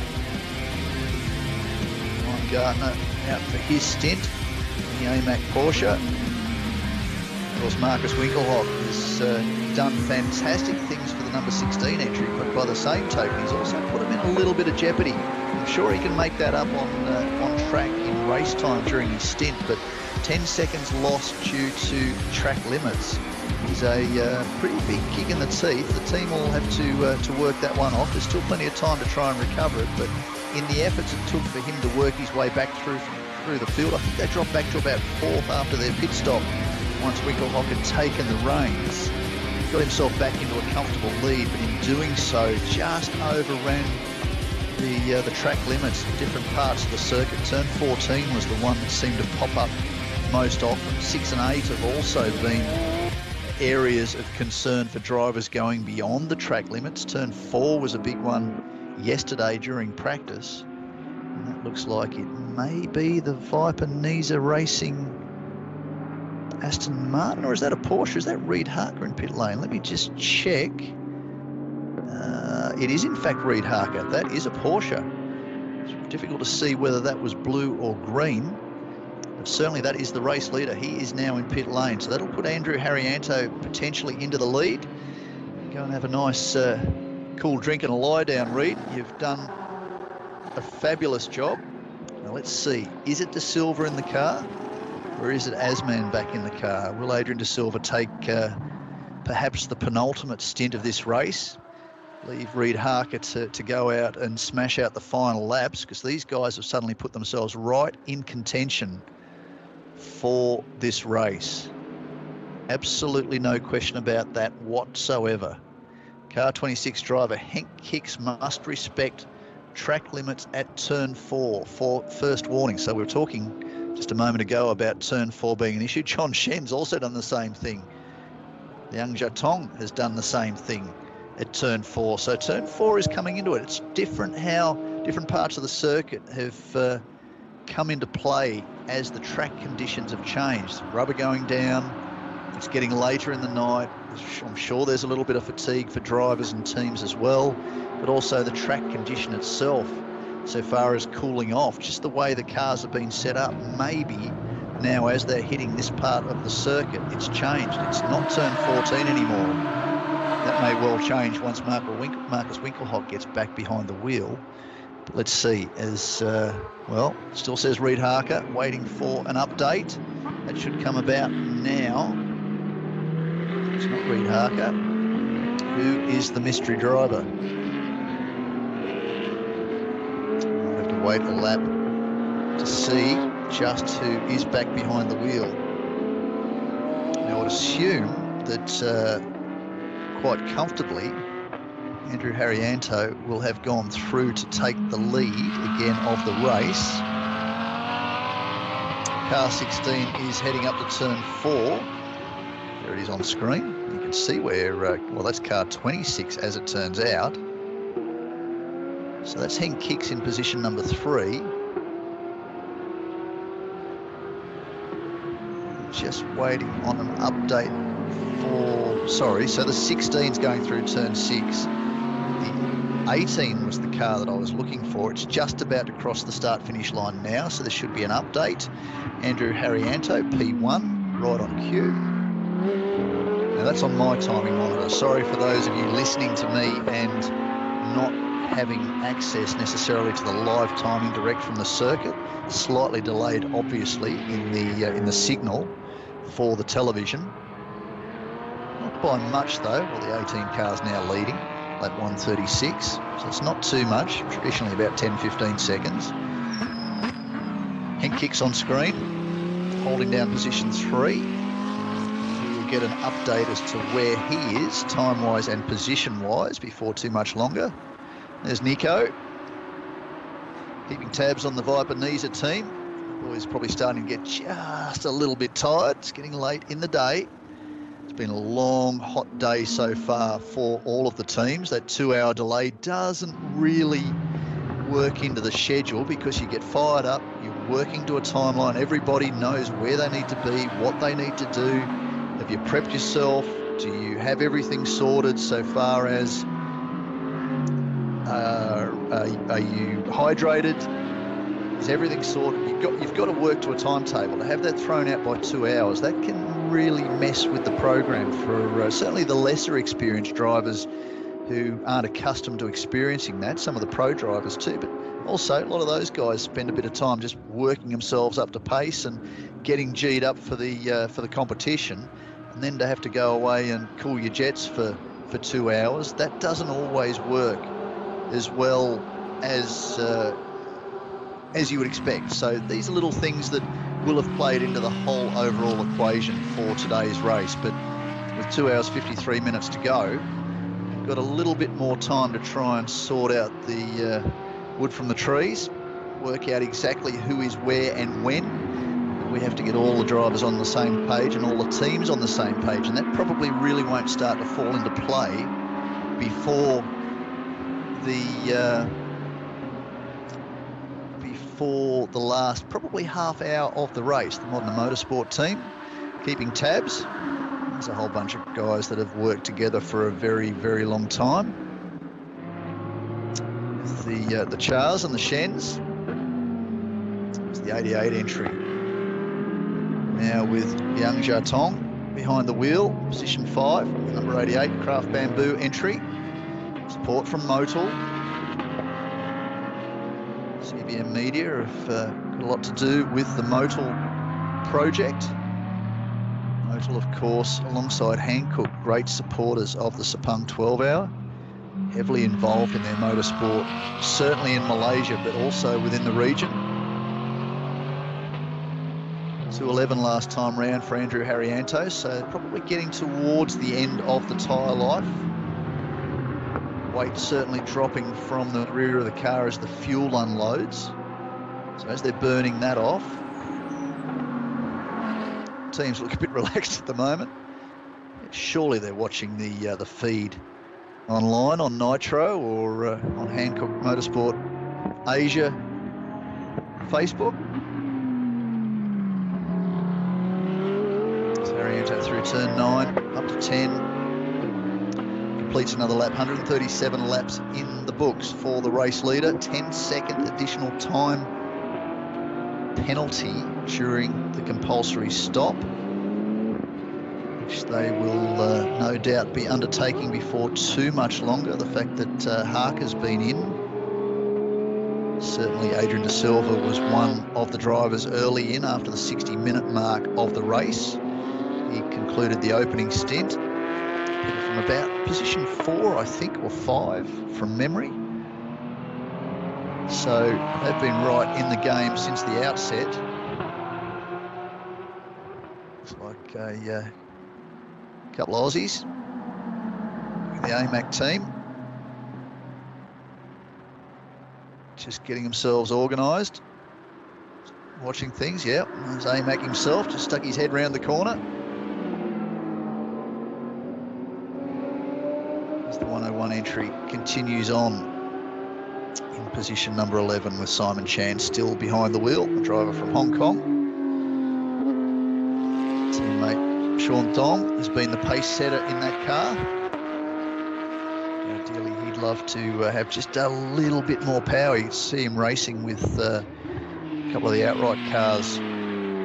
Certainly the uh, Craft Bamboo Mercedes at one point, just eager to get in the race. It's always frustrating when you're the only entry in a category and on outright pace, probably about two seconds a lap off the uh, the cars that you're racing with. So they're racing to their own format. They want to get to the end. They're uh, basically assured victory, provided they make the end of this 12-hour event, the eight hours of the 12-hour event. Just need to paraphrase that. As Henk Kiks, comes under fire from the R&B Racing Lamborghini, which has now worked itself up to position number three. So they are looking now at position number two as the Absolute Racing Audis go back to positions one and two. As the pit stops start again to unwind. The top three are yet to have concluded their fourth stop. So to John Shen, who went longest of all the teams during his first stint. Got to 83 minutes into the race before the Modena Motorsport Porsche hit pit lane hand over to Francis Tjia. Now, Afiq Yazid is looking to try and take a position away from Henk Kiks before they hit pit lane. Given that uh, Haryanto is continuing to circulate. Just make sure on the uh, the timing monitor. Yes, it's just clocked up lap number 139 I can't imagine that these guys will be in pit lane just yet. I think it's almost inevitable with uh, Yazid turning in laps in the 212s.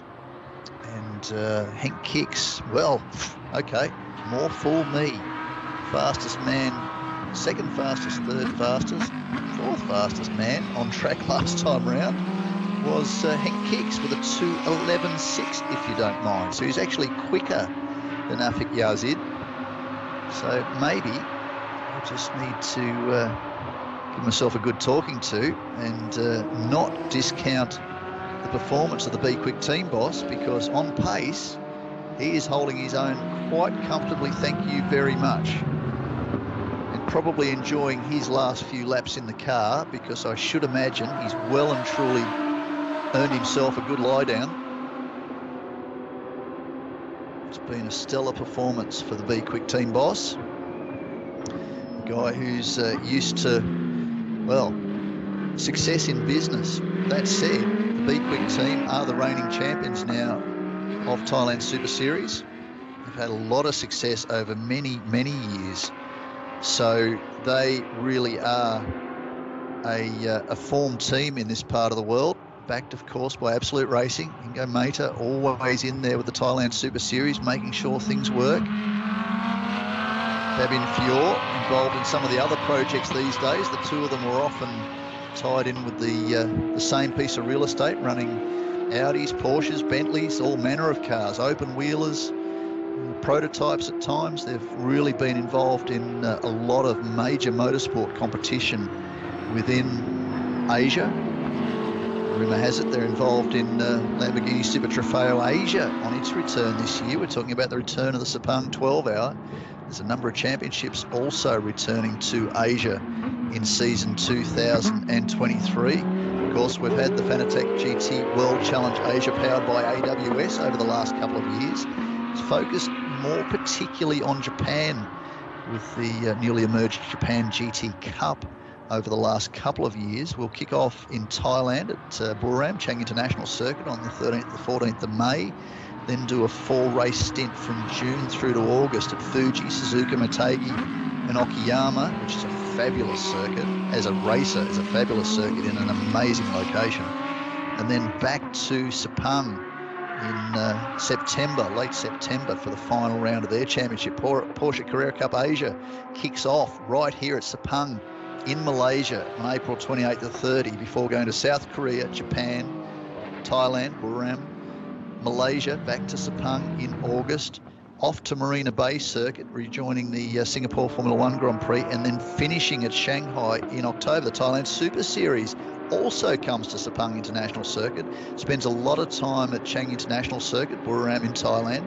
Kicks off on 20th, uh, 20th to 23rd of April.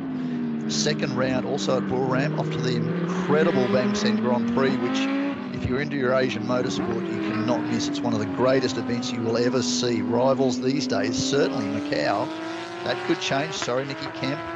It really is an incredible event, but Macau is another event that, as Asian motorsport rebuilds and gets back to where it was pre-pandemic stages, Macau is really the jewel in the crown of Asian motorsport, and we're looking forward to that a little bit later in the year. And stories are that we will see Formula 3 back this year, and let's hope that uh, we get the international teams back for GT3 because that event was absolutely incredible as long as they stay off the barriers.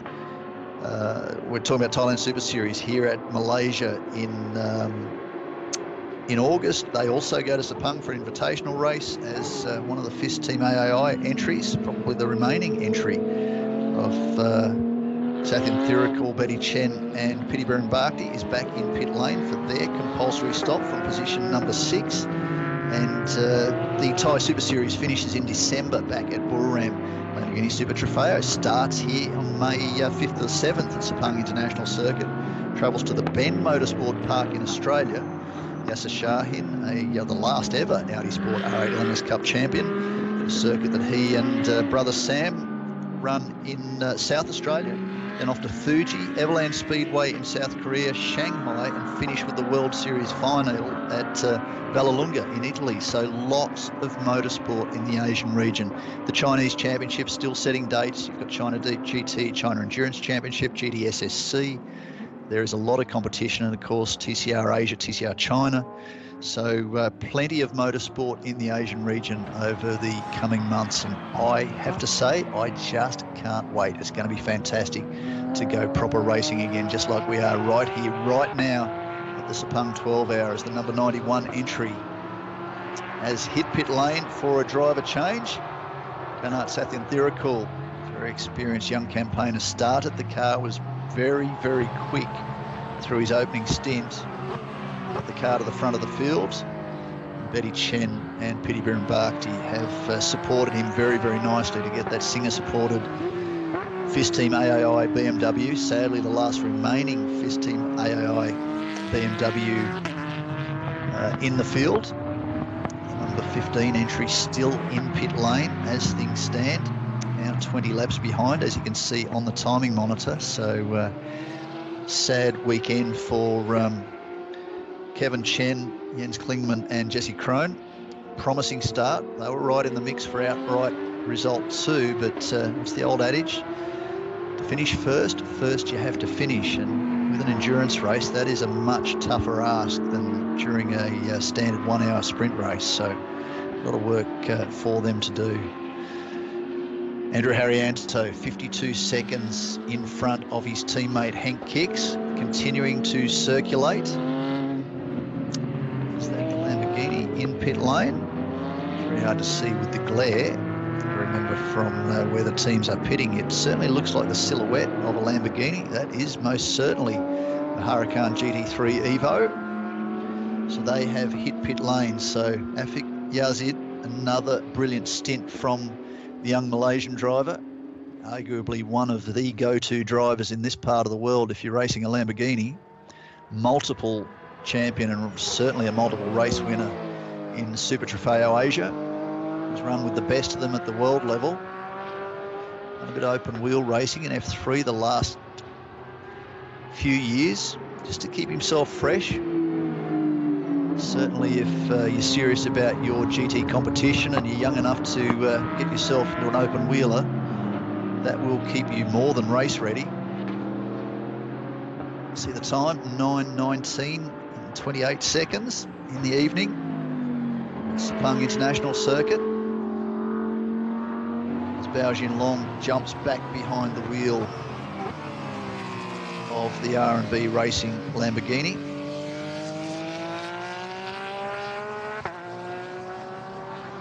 Just looking down the order as to who is doing what. John Shen resumes the lead of the GT3 AM category. Looks like the AMAC Porsche, or the IMAC Porsche. IMAC being the sponsor, AMAC being the uh, typically Australian shortened version of Andrew McPherson, AMAC, AMAC, you get it. IMAC is the sponsor of the car. Just make that distinguish uh, distinction a little bit more clear. Shoots down to turn one. Andre Heimgartner now at the wheel. Last time round, Heimgartner did a 209.8. So he, at the moment, is comfortably fastest on track. Next best, Liang Jiatong is doing a fantastic job. 210.03 last time round.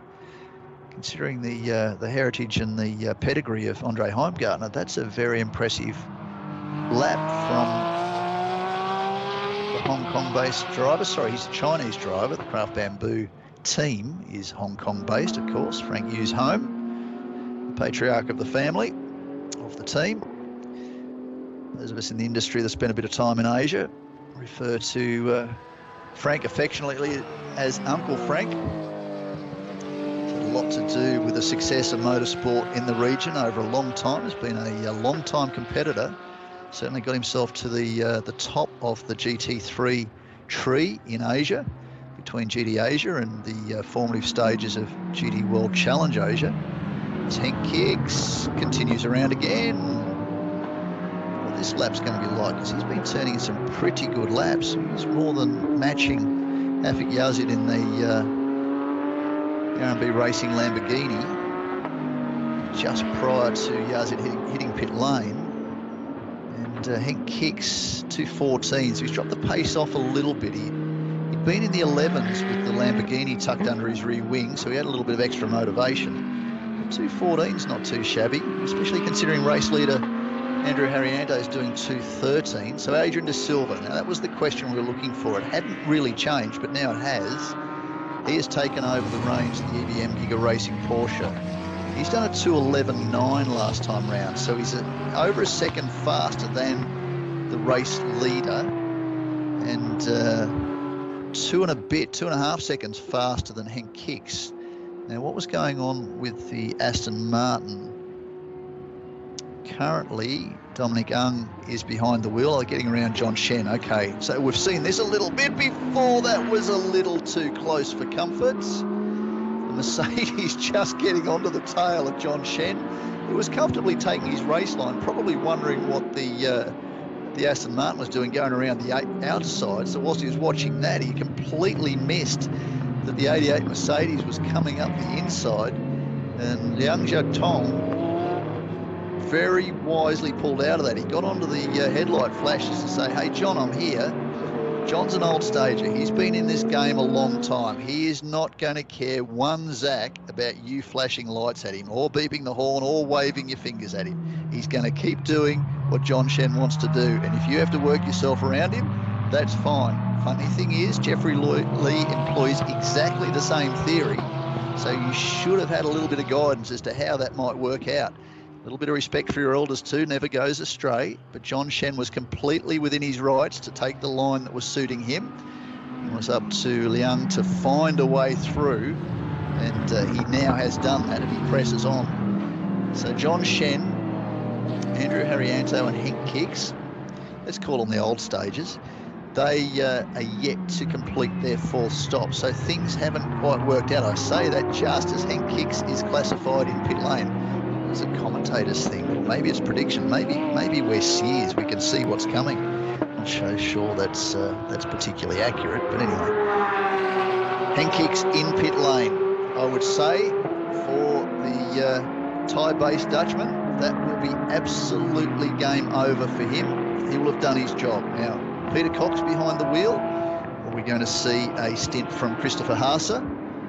Young German driver, the factory Audi driver, but I would expect those two drivers will close out between them the next two and a half hours once the number 26 Be Quick by Absolute Audi rejoins this race. So, what does the race leader do?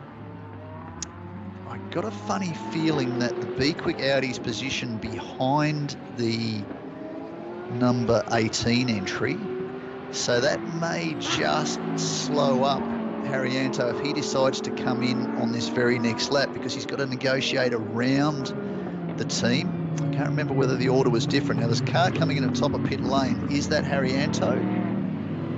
Let's see who comes across the line. Just check my uh, car tracker. It looks very much like it could be. After all of that, the race leader is down pit lane. So, 145 laps now in the books. Where does Adrian De Silva come out at the end of all of this? I hazard a guess that he's going to come out as the race leader. Now, what will the margin be? See what I was talking about, how tight that's going to be? It's okay. We've got a uh, foreshortened distance because of the long lens. That's Christopher Haase about to jump behind the wheel, looking at the race suit. Didn't see who'd gotten into the number 26 Audi. Haryanto's done. Right, seat insert, eject stage left or right, as it may be, depending on which way you were standing. It's gone. Strap Haase in. Car controller, the only one over the line. Fuel is just trying to balance himself, obviously, so he's kind of got a foot just over the line. 26 car is out. Avoids the teammate. And it's Peter Kox behind the wheel from one Dutchman to another. One of the most experienced campaigners in GT motorsport. Fantastic pedigree. I'm sure once he jumps back on, you'll hear more about that from Jake Sanson. But the, uh, the Be Quick team, they are well and truly up to speed. With Peter Kox behind the wheel, take very short period of time before they're starting to punch out some good laps. So Haryanto's shown still as race leader. That's not going to be positioned by the time we get through the lap. I think Adrian De Silva won't be too far from taking the number 16 car. trying to find where it is on track. It's not actually visible at the moment. Must be a gaggle of cars altogether. The 18 cars in pit lane, the 16 cars in pit lane. Why is the 16 car in pit lane? We're not seeing it, but the timing monitors just popped up that Adrian De Silva's popped into pit lane. Wonder whether he's now done his stint. Remembering that the absolute minimum time that any driver can do in the car is 80 minutes. So traditionally that would be the AM driver. So that's interesting. We're not seeing any vision of it at the moment as to whether or not the team's having any level of trouble, but the EBM Giga Racing Porsche is currently sitting in pit lane. They were on target for Adrian De Silva to take over the race lead, and he'd not long got in the car. It may have only been, what, a matter of 10 minutes or so since he'd jumped behind the wheel. They were effectively leading out the first of the the top teams to hit pit lane, so they were running on sequence with their rivals. They were first in, so it can't have been more than 10 or 15 minutes behind the wheel of the car. That doesn't make too much sense. Let's see how much longer it's leaving pit lane now. Let's see whether De Silva's still behind the wheel, whether they may have suffered an issue. Saying now Adrian De Silva to Nazim Azman. So maybe what has happened is De Silva's hit his time limit. That's it. And based on the strategy of what they're doing and the pace of his teammates, Nazim Azman and Reid Harker, they've decided we're cool. Let's go. Get that pit stop done. Take Adrian out of the car. He's done. His time's over. He can go and have a nice lie down and a cool drink. And we will let the two young guns go out there and take the fight these Audi stars. A couple of young guns in the Audi teams too. So it's going to be an interesting battle over the closing stages. Two and a half hours to go. I think we are set for a very, very interesting close to this race. And I'd hazard a guess that uh, you better have some voice left, Jake Sanson, because you've got one and a half stints left. And that final stint, that's going to be the cracker. I'm absolutely certain of it.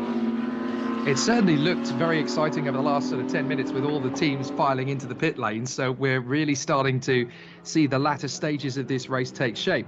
Looks to me as though all four teams in the hunt still have a really good crack at this. It's really going to be interesting to see how it, fi- it finishes off. Two Audis, a Porsche, and a Lamborghini. It's not too bad. It's a little bit of a pity that. Uh, well, I suppose there's another car in there too. There's the Porsche, of course, the EBM yeah. Giga entry, but um, it was frustrating to see the Ferrari dropped out of that lead pack. David Chen still punting around in position nine, although they've just hit pit lane as well. They're probably really out of the equation, and you'd probably suggest that maybe, maybe not, but the uh, the Piti Bhirombhakdi number 91 Fist Team AAI entry may also be out of the equation, but only just. A lot can happen. I mean, there's two and a half hours to go. How often have we seen in the closing stages of an endurance race somebody who's got it absolutely in the bag sitting in pit lane with some sort of obscure issue that you could never have predicted? So, still a long way to go. Indeed, very sad in particular in that latter stage to see the AAI Motorsports number 15 uh, sadly fall away, and that's uh, really disappointing. They could have made the podium. Oh, they most certainly could have made the podium. They're doing a fantastic job, and uh, the way that Kevin Chen started the car and got right in that mix at the front and, and took the fight to Haryanto, it was really great to watch. But uh, anyway, I mean, it is what it is. A lot of things have happened, and a lot of things can still happen. Bao Long, for instance, getting track warnings. Turn six seems to be the kicker at the moment. That's the one corner that they uh, they're pushing might get another one on that one too. That went very, very close. But certainly, I'll hand it over to you. Go and have a, a bit of a lie down a cool drink myself, and come back for uh, for the next stint. Thank you very much indeed, Sean Henshelwood. It's been a very exciting uh, last hour of the race, and now we're going to continue on into the next stage of proceedings. Jake Sanson back with you once again. Thanks to Sean Henshelwood, and he'll be back in the next hour. So let's settle in and really start to make the rafters rock in this battle for the Sepang 12 Hours title. This is a really intriguing race battle now that we've got going on. All three of the top three drivers out on track are all Chinese in origin. Uh, Jiatong Liang is currently leading for the Craft Bamboo team. The Absolute Audi currently running in second place. The R&B Lamborghini in third and then the Be Quick Absolute Racing Machine in fourth position. The EBM Giga Racing car is in fifth position, but they've had a fifth pit stop so that's worth bearing in mind. There's still quite a long way to go then uh, over the course of this race. Two and a half hours remaining, just under that now, of course. But yeah, some interesting developments. It's very unfortunate that the AAI motorsports team from Chinese Taipei has sadly fallen away and dissipated from the GT3 category. Still very much in contention for the win in GTM though. They are a, minute 17 behind the leaders Modena Porsche, and the AMAC car is about 12.9 seconds back from uh, Piti Bhirombhakdi in the AI, AAI Motorsport BMW. Now, Bao Long has to respect track limits at turn six. That's his first warning. And there's four corners really on the entire circuit, which has caused drivers a little bit of discrepancy in terms of track limits. Turn four, turn six, turn eight, and turn 14. And they are the ones really that are starting to cause the issues for people but obviously everybody's still getting uh, very interesting and very intriguing to see how the race has uh, played out so far and still we are going strong uh, in this fantastic battle so Chapong Lek John is still religiously staying by the team Be Quick 26 car which is still very much in the hunt for victory Sarah Sahadin as loyal as ever what did Jake and Sean have Malaysian food for dinner in the commentary box? Unfortunately, I didn't. I really should have done and uh, I'm feeling a little the worse for wear for not having some. So uh, I'm rather hoping that uh, Sepang cuisine is going to be provided for me in the commentary box next time. But certainly for the time being, uh, we've got food for thought out on the circuit as the Absolute Racing Audis are second and fourth. The R&B Lamborghini still P3, and the Craft Bamboo Mercedes going strong out in the lead. But this combination is going to be fascinating to behold. The Absolute Racing team with Yu Kuai currently behind the wheel the young man from Hong Kong, doing a great job out there. Second in class, second in the race. And uh, fascinating to see how it goes. Now, here is the Aston Martin back in the pits again. This is the Viper Niza Racing crew. Dominic Ang, who was going into this race hoping for win number three in the Sepang 12 hours. I can tell you that that is looking fairly distant at the moment. They are six laps down on the race lead in the Aston Martin, currently running in 10th position of the 11 cars that are still circulating. The two cars that have retired are both from the AAI Motorsports team, unfortunately. The GT3 AM competitors, uh, number 90, for, led by uh, Shishi Wei, unfortunately retiring on lap 27.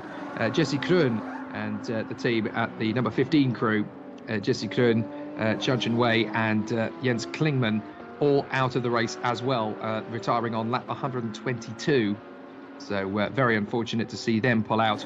And they've been in the pits now pretty much for the entirety of the last hour. So almost as soon as I handed over to Sean Hesselwood, that was when they decided to kick the bucket, unfortunately. So uh, big disaster for them. But they are still four cars on the lead lap, potentially five if you count the EBM Giga Racing car, which obviously has had one extra pit stop compared to everybody else. So has the battle for victory in the amateur category. It is currently the AAI Motorsports team that leads the way because the Modena Motorsports Porsche has just come into the pits uh, for its latest visit to pit lane. Piti Bhirombhakdi leading the way in the number 91 BMW. And the AMAC Porsche number 51, uh, currently being driven by the Kiwi Andre Heimgartner, is in second place, just 15 seconds adrift. So there's still a great battle brewing in the AM category. Every single car that is still running in the AM category is in the fight for victory, and they're all covered by less than a minute. So this could still go anybody's way in the AM category. And when you consider that there are five cars still battling for the win, uh, for my money, uh, that could still go either way as well. The only two cars that really you have to count out of the victory at this stage are the Harmony Ferrari and the Viper Niza Aston Martin, who have been battling with each other uh, for the best part of this race, actually. Uh, both cars having lost time earlier on and then uh, having to try and fight their way back into contention, but too many laps lost uh, really to consider a push for the victory. Ferrari are currently four laps adrift, and Aston Martin are eight laps adrift. Uh, sorry, seven laps adrift. My maths is terrible at this time of night. But the battle is still going strong. You can see the consultation still going on in the pit lane. We've got uh, a stint and a half or so uh, still to go before the final push for victory. And for my money, any one of the five cars that are in the top five could still win this. The EBM Giga Racing team looking strong because they've had a fifth pit stop and everybody else has only had four. And Nazim Azman is only 23 seconds back from Peter Kox. And looking at his lap times, he's keeping it steady in the 211s, so they're not going to lose a huge amount of time to the top four. Fourth position at the moment is the Be Quick Absolute Racing Audi. Peter Kox back at the wheel, so expect some big lap times coming in. They are, in fact, the fastest car out on the track at the moment. So that gap uh, of 15.6 to Bao Jinlong in the R&B Lamborghini up the road is going to start chipping away very gradually indeed.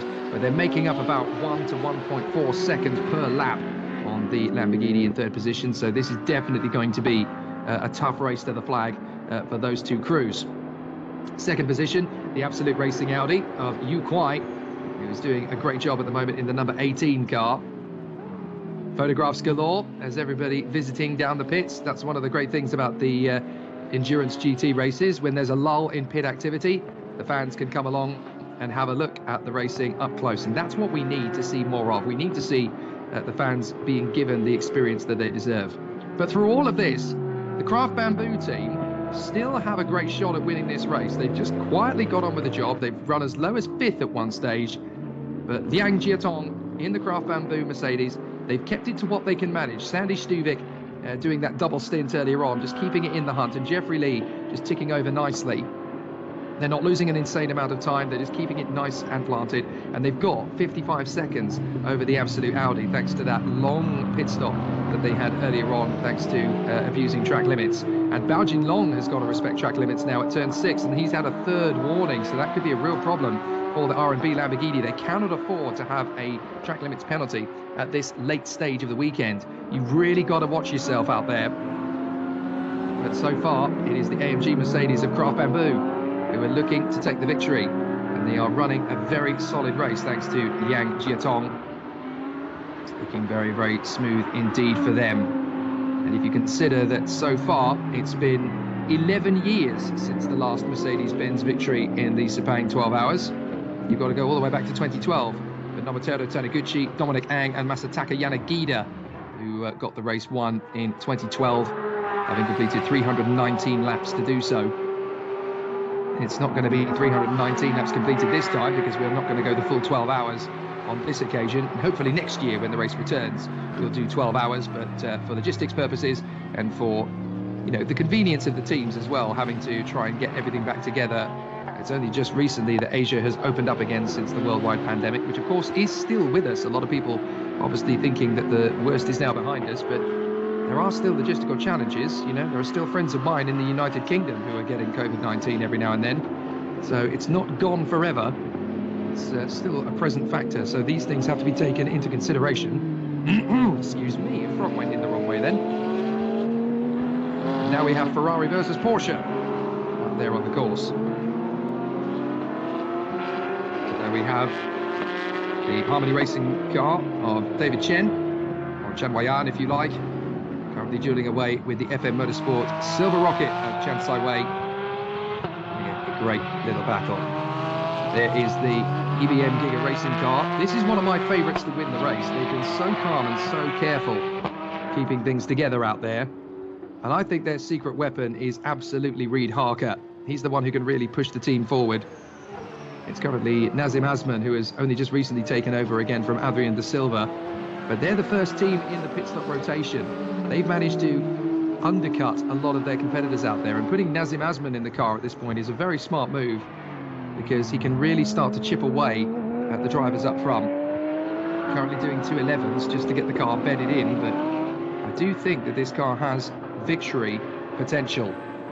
There is the car that's currently second. It's Yu Kuai at the wheel, alongside the Indonesian amateur racer Andrew Haryanto, and the man who led the 2007 European Grand Prix for a lap and a half, Markus Winkelhock. He only made one Grand Prix appearance, but he led it. Peter Kox must respect track limits at turn four. First warning for car 26. And that is the Be Quick Absolute car that currently runs in fourth position. That's the teammate to this car. Battles raging here at the Sepang 12 Hours. Love the sight of these cars blasting through the night time. And there is Peter Kox, who is once again doing what he does best. He only knows two speeds, Peter Kox, flat out and stationary. He's rarely ever stationary. He's always on the move, even when he's not behind the wheel of a racing car. He's one of the most active people you're ever going to see in the sport. Always finding something new to go and play with, always finding a new project. I've been watching Peter Kox uh, do his thing since the early 90s. Hasn't lost an ounce of speed in that time. Still as fresh as a spring chicken. So the competitors still giving us plenty to talk about, still plenty to do in the remainder of the Sepang 12 Hours 2023. We are going to have a really exciting showcase for the remainder of this event. Still, we battle on, just waiting for the next rotation of pit stops to really take a hold. Because obviously there's still work to do. And there's still a lot of race to play out here. The story isn't quite over yet, and I have a feeling there could be quite a few more stings in the tail before this race really wraps up. I think it's still got quite a lot left in it in terms of intrigue and battles. Peter Kox must respect track limits at turn four. Second warning. That's in consecutive laps as well. So Peter Kox is really pushing the limit of what's acceptable. And as far as the stewards are concerned, there's a fine line between tough and illegal, and he is flirting with it. The R&B racing team just come across the line. Bao Jinlong, having set a 2 minute 10.825. Peter Kox was 11 seconds back. He's now 9.7 back, doing a 208.72. And interestingly, Nazim Azman in the EBM Giga Porsche has done a 208.8. So they're really starting to ramp up the speed. The Audis and the Porsche in this battle really starting to take some punishment out of the cars in front of them. The Craft Bamboo Mercedes, the lead is down to 51.3 seconds now. And the R&B Lamborghini is dropping to just 9.7 ahead of the Be Quick Absolute Audi. Still very hard to tell which car is going to take the victory out of these five. And this is the leading car in the AM category, sixth overall. Piti Bhirombhakdi, the Thai driver, alongside Betty Chen and Tanart Sathienthirakul. Been doing such a good job leading up to this point. There's still quite a way to go. Still a lot can happen. And we've already seen two of the AAI motorsport cars drop out of the race out of the three that were entered from uh, Chinese Taipei. The sole remaining BMW from that squad still ploughing on, still determined to pick up the AM win. There's only 15.9 seconds between Piti Bhirombhakdi, the man on your screen, and the New Zealander Andre Heimgartner in the AMAC Porsche behind. And uh, Christian Tjia for the Modena Porsche, who led early on. Well, they have one pit stop less now than the cars in front of them. Unfortunately, it's all come unstuck for the Modena team. But they do still have a chance. It's not done yet. They are the least uh, pit stopped drivers of the AM category. They've pitted four times, whereas the AAI Motorsports and AMAC Porsche teams have both pitted five times.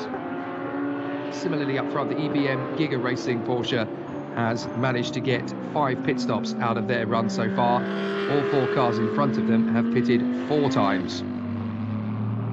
So it's uh, a very interesting and intriguing battle still. And it's not clear who's going to win this race. That's what we like. And still we battle on. The combined laps completed by every car in the field is now 1800. 1800 laps have been completed by the 13 cars.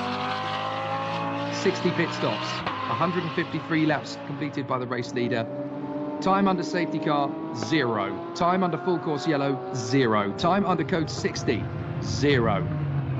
You rarely ever see that in the world of GT racing at this level. And I have to say, it's been amazing to watch a pure motor race where all you're focusing on is the tactics, the strategy, the pace, the rhythm. Been fantastic. A race that's been completely unsullied by poor driving and substandard crashes and safety car procedures and marshals tripping over each other trying to get the circuit cleaned away. It's a very good team here in Malaysia as well. But I have to say, I think one or two of them may need to be nudged here because they've had very little to do, which is a great thing, actually. It's great to see that the racing has been clean throughout, basically. I'm trying to remember if there's been a point of contact, and I think the only point of contact I can remember is going back to the very start of the race when there was a slight bit of door rubbing between the Absolute Racing Audi and the AAI Motorsport BMW. I think that's the O contact that there has been in the entirety of this race, which is quite an astonishing statistic. Two hours 13 remaining. And Liang Jiatong currently out in front in the Craft Bamboo Mercedes.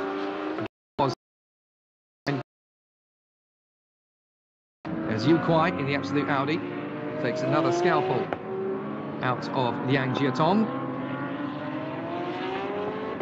Bao Jinlong, the R&B racing team. They pretty much matched each other for the third sector there. I thought there was going to be a little bit less time made. I thought the gap would be a bit smaller between Craft Bamboo and Absolute that time round, but they almost matched each other to the hundredth of a second almost in the fourth sector of the lap.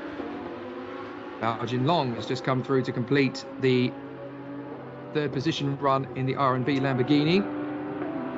And there is Peter Kox in the Be Quick Absolute Racing car, the Audi in fourth position. All four cars then separated by a minute and 20 seconds.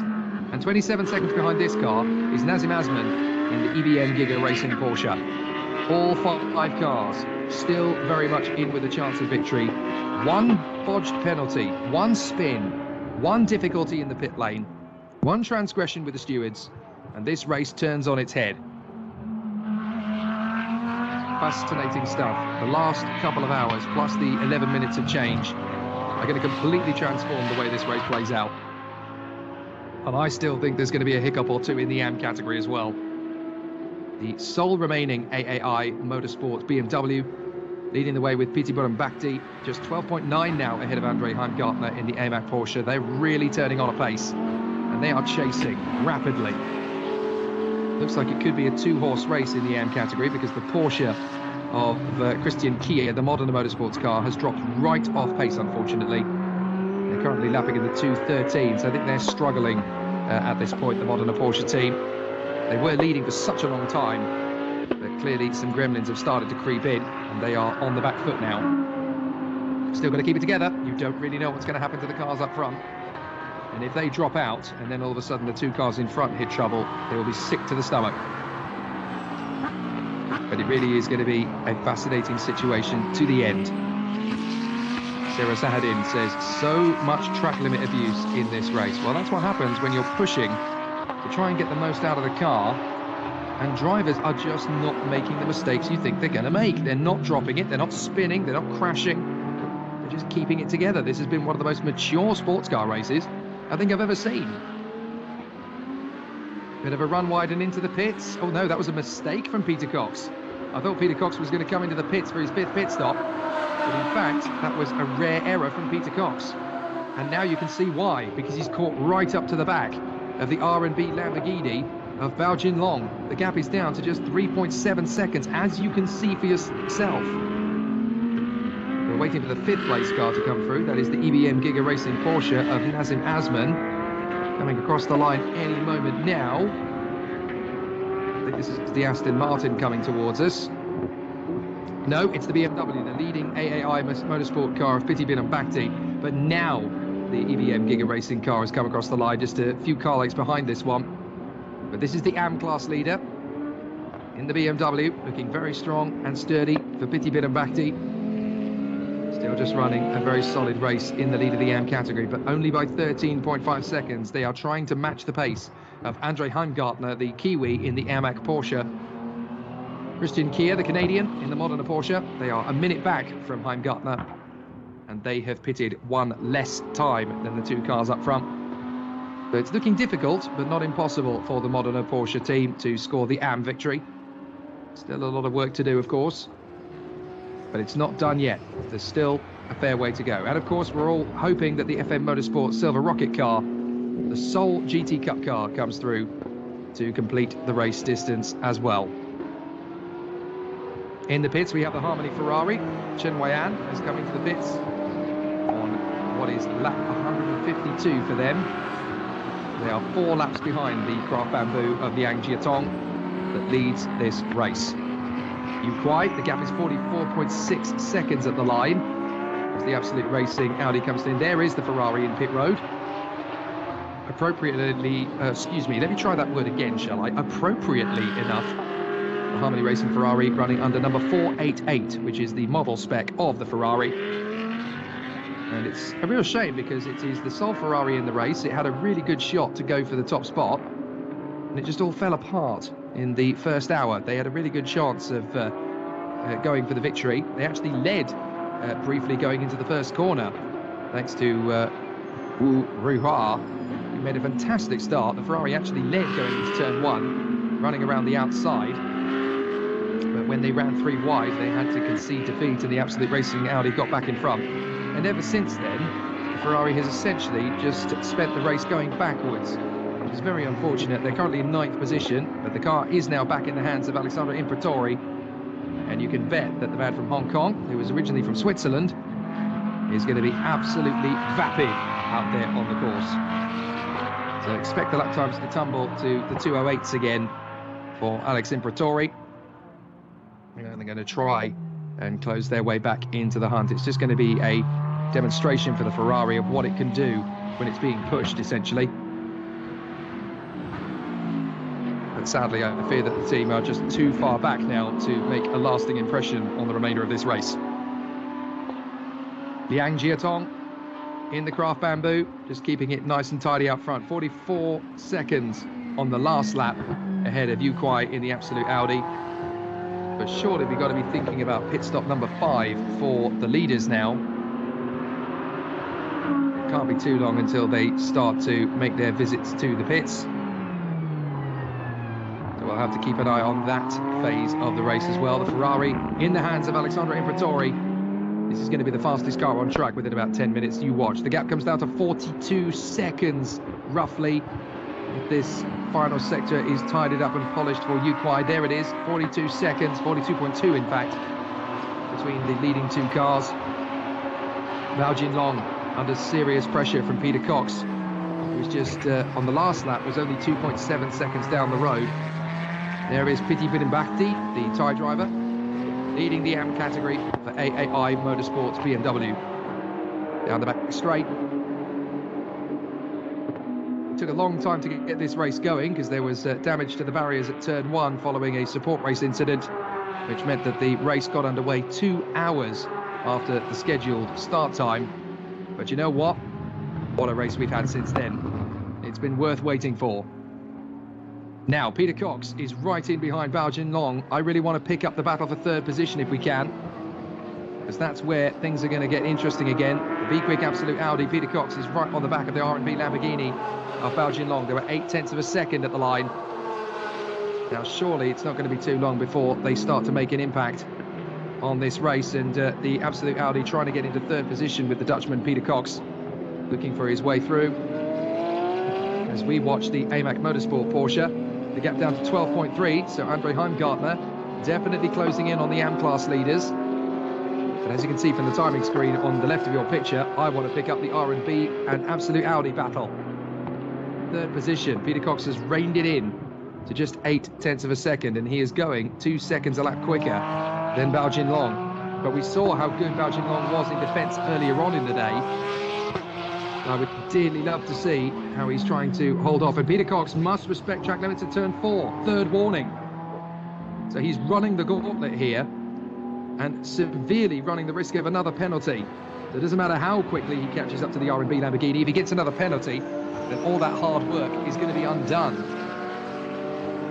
And of course, we had a penalty for the 18 car. Markus Winkelhock picking up the penalty for excessive track limits, and now it looks like Peter Kox may end up with the same fate if he's not careful. I really want to see what the on-track situation is for third position. Has Peter Kox in the Be Quick Absolute Audi already got past Baojin Long in the R&B Lamborghini in third position? Certainly he's got to respect track limits. In the space of, I think, five laps, he's had three warnings for track limits. So he's obviously pushing very hard to try and close up the third position. And he has got through. I can tell you that Peter Kox has got through. unfortunately, we missed it on screen. But Peter Kox in the Audi has got past Jin Long in the Lamborghini for third position. Unfortunately that we didn't pick it up. But Peter Kox has made it a fairly straightforward passing manoeuvre on the Lamborghini of Jin Long. So a nice duel there for the rostrum. It's now a Mercedes, two Audis, a Porsche and a Lambo. In the fight for the victory in the Sepang 12 Hours 2023. Jake Sanson and Sean Hesselwood with you all the way through to the end of the race, which is going to be at midnight local time. Into the pits comes the AMAC Porsche of Andre Heimgartner. Now, of course, this is the fifth pit stop for the team. Modena Motorsport. No, sorry, this is pit stop number six, actually, for the AMAC Motorsport Porsche team. So Andre Heimgartner getting out of the car, is he? Is that going to be a driver change? I think it is. Yes, Andre Heimgartner gets out of the car. So he will hand over either to McPherson or Porter. But they are still very much in the hunt for the victory. Now here is the Audi, but it's the absolute Audi number 18. This is Yu Kuai, currently running in second, uh, second position but they are catching the race leaders in the Craft Bamboo Mercedes. The gap is down to 39 seconds at the last count. As they come across the line this time by, the gap was 39 seconds. What is it this time? Goodness me, the gap is 36. So Yu Kuai just did a 209.1 compared to Liang Jiatong, who did a 212.4. That's three seconds taken out of the car. So McPherson, Porter and Heimgartner still in pit road. And as you can see from the timing gantry behind you, it is not even two minutes to 10 o'clock in the evening here. Oh dear, Ferrari have had trouble again, it would seem. Harmony Racing team. Team manager car 488 immediately to race control. So that is Alexandre Imperatori and the Harmony Ferrari. Coming a cropper again by the look of it. That's very unfortunate. And we're waiting to see when Piti Bhakti is going to come into the pits. It's not this lap, he goes on and goes a lap ahead of the AMAC Porsche. Be careful when getting out of the pits, you can blow something if you're too aggressive on the throttle. We've seen many a drive shaft snap when cars have come out of pit lane. If they've been put under too much load coming out of the pit lane. But it's certainly not the case for the Porsche on this occasion. They continue on their way and rejoin in second position, still ahead of the Modena Motorsports car. So that is good news for the AMAC team, and it is Ben Porter that has got into the car. And with two hours to go in the Sepang 12 hours, still a few twists in the tail to come, I think. And certainly within the last two hours, we're probably going to get the meat and bones of this three course dinner. The Absolute Racing team are closing in on the Craft Bamboo Mercedes. Yu Kuai has got that gap down to 36 seconds of late. They're taking anywhere between one and three seconds a lap off that car. But the Be Quick Absolute Racing Audi is up to third place now, having caught and passed the R&B Lamborghini of Bao Jinlong. But the EBM Giga Racing Porsche in fifth position cannot be counted out. They have had one pit stop more than the four cars in front of them. So when they all come in for their fourth pit stop, they've got a great chance of getting back into contention. This race is not done by any stretch of the imagination. The gap is down to 34 seconds now for the Craft Bamboo Mercedes and the Absolute Audi. Another two seconds taken out in the last lap. But there is the leading car in the AM category. Piti Bhirombhakdi, the Thai driver, now a minute 17 ahead of Christian Tjia in the Modena Porsche who are now second in the AM class. But the AMAC Motorsport team with Ben Porter still having a good chance to move forward. There's still a long way to go.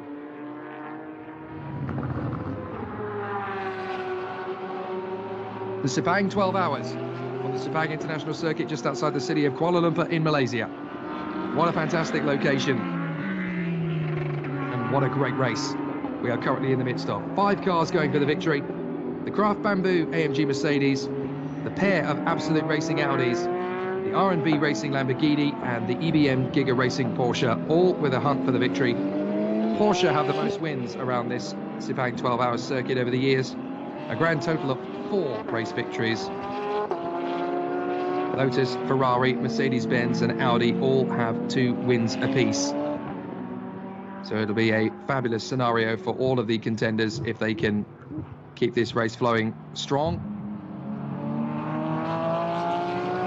But it is a genuinely exciting run now for all of the competitors as we gear ourselves up for racing in the closing stages of this epic encounter. Still they rage and battle on. Still we have some great racing and still we have some amazing competition to round us out here. Great to have your company. For those of you who are watching on the Nitro Sepang 12 Hours live stream on YouTube, or those who are watching Sepang 12 Hours on Facebook, or however you are tuned in and watching, your company is very much appreciated. And you have tuned in at exactly the right moment. There are two hours to go and five cars battling for the victory with a lot of air of uncertainty as to which of these cars is actually going to have the strongest pace for the latter stages of the event. And the gap has come down to 30.6 seconds between the leading two cars as Yu Kuai in the number 18 Absolute Racing Audi is closing in on the Craft Bamboo AMG Mercedes of Liang Jiatong, who leads the way. Third place, Peter Kox in the Be Quick Absolute Audi. They've got the gap down to a minute and three to the race leaders. They're doing two minute nines at the moment, with the leaders doing two twelves. The Absolute Racing Audi of Yu Kuai just did a 208.8. And then you've got Alex Imperatori and Jazeman Jaafar outside the top six in their Ferrari and Aston Martin respectfully, who are lapping at similar sort of pace to that, 209s for both of them. There are two classes competing for wins. The AM category sees Piti Bin and Bhirombhakdi in the AAI Motorsport car, the Modena Porsche of Christian Tjia, and this car, the AMAC Porsche of the All Antipodean affair. Two Aussies and a Kiwi battling away for the victory, and they are about two minutes and 25 seconds behind the race leading car in the BMW. So there's still everything to come from this race. There's still a long way to go. Still anything can happen. And so far, unbelievably, we have gone through this race without a single yellow flag caution period, without a single code 60, and without a single safety car. It's just been the cleanest of sports car races you could ever have asked for. And as a result of that, we've been able to watch a pure motor race. Imagine if a safety car came out now. We'd have a five-car sprint to the flag, essentially now, at Grand Prix level. And that really would be a sensational end and a great tribute to all the hard work that is being put in to make this event a success. Full credit has to go to the team behind the scenes making it all happen. Davide Gobbi, the general manager of the Top Speed Promotion Limited, and all of his staff putting on another fantastic event. Been a long time since I saw a sports car race go pure green. I think this one could go all the way. Liang Jiatong in the Craft Bamboo Mercedes, out in front on lap 163, 27.2 seconds now, ahead of the absolute Audi of Yu Kuai. Jeffrey Lee, Liang Jiatong, who is in the car, and Sandy Stuvik, the talented Thai, are the team that leads the way in the Craft Bamboo. But this is a very tough race to win. The Mercedes has actually been the underdog of the five cars so far but it's now their turn in the lead. The R&B Lamborghini has led, the EBM Giga Porsche has led, both of the Absolute Audis have led, and now the Craft Bamboo Mercedes is leading. Fabulous battle all the way to the checkered flag is in prospect now. As the Sepang 12 Hours nears its epic, epic conclusion. Great to see this race returning for the first time since 2016. We've had some great duels. Here is the leading car in the AM category, sixth overall, Piti Bhirombhakdi, the Thai driver for AAI Motorsports in the BMW M4 GT3.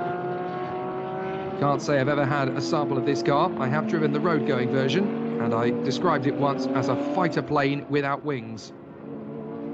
And it really is quite an astonishing machine. Unfortunately, its two counterparts have already retired from the race the combination of Krohn, Chen, and uh, Klingmann. My, my brain went completely onto mush at that point. But yes, Krohn, Klingmann, and Chen. Unfortunately, the number 15 car dropping out of the race on lap 122, so about an hour and 15 minutes ago. And then uh, the sister car dropped out all the way back on lap 27 for them. They've been in the pits for five hours and five minutes whereas their counterpart car has been in the pit lane now for an hour and a half. Now, in terms of the stints, we're getting an interesting state of play here. Liang Jiatong has been on track now for an hour and 12 minutes, roughly. Yu Kuai has been on the circuit for 39 minutes, Peter Kox for 40, Bao Jinlong for 47. And obviously, having had a fifth pit stop, Nazim Azman has been in the car for 38 minutes, so he is the freshest of the drivers out there. Henk Kiks. Must respect track limits. Well, that's got to be Peter Kox, hasn't it? He's got to respect track limits. Either that or it's an old message. Now, this is the highlights, of course, from earlier on. I do apologise. It's got to that point in the day. We do have five cars out on the circuit, all battling for the race win now. The Craft Bamboo team, who lead the way in fine style. Liang Jiatong out in the lead. Yu Kuai for the Absolute Racing Audi in second place. The Be Quick Absolute Racing Audi currently being driven by Peter Kox in third. Fourth position for Bao Jinlong in this car, the R&B Lamborghini. And then fifth is the EBM Giga Racing Porsche, currently being driven by the new boy to GT, Nazim Azman, the Malaysian. He selected races in FIA Formula 3 last year, so this is a bit of a route for him. The Porsches getting close to each other there. The GT Cup car getting out of the way. That's Chan Sai Wai, who is currently at the wheel of that particular car. But it's been quite an entertaining few hours of this race. Six hours and eight minutes completed. But there's still a lot more to come. And I have to say, it's been so, such a revelation. This race has been so pure. It's been a great motorsport battle, a great contest the real thirst for the future is being played out here at Sepang. We may have started this race with 13 cars, we may only have 11 left, but the quality has not been wanting. The quality has not suffered.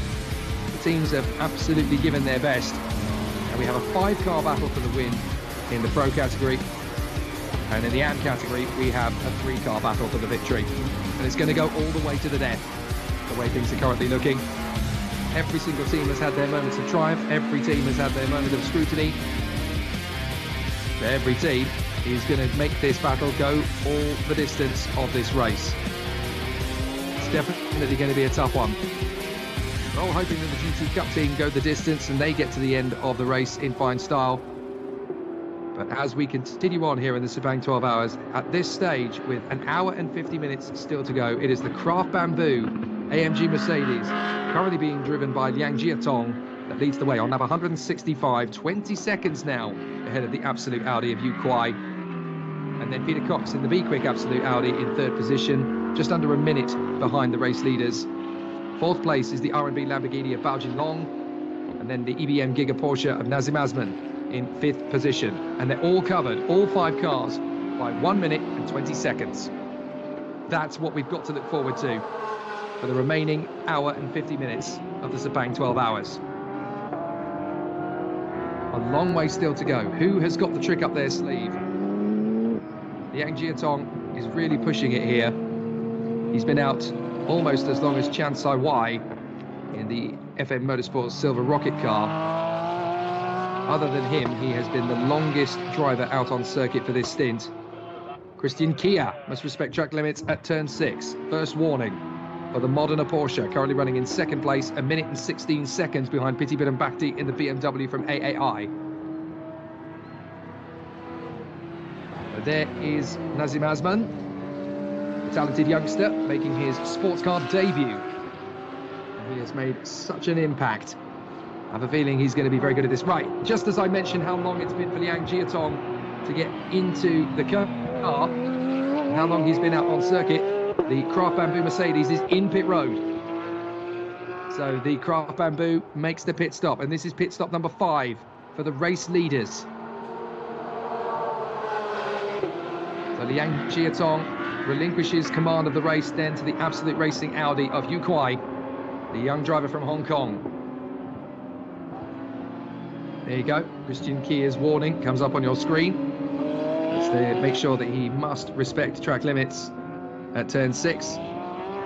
You're looking at the Modena Porsche at the moment of Christian Tjia.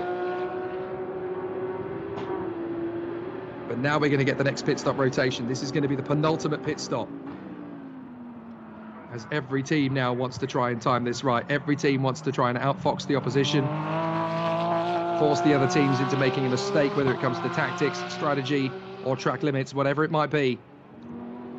The race really starts now and for the five cars that are involved in it, covered by a minute and 20 seconds before the Craft Bamboo pit stop. It could go anybody's way. It really, really could. Whoever wins this race is definitely going to have earned it, because all five teams have given absolutely everything they've got. So the Craft Bamboo will drop to fifth position for the time being, but obviously they're going to have another great race battle when they get out onto the circuit they're going to try and get out ahead of the EBM Giga Race Porsche over the course of the next hour and 47 minutes. So they've got to try and get themselves into a good position to do that.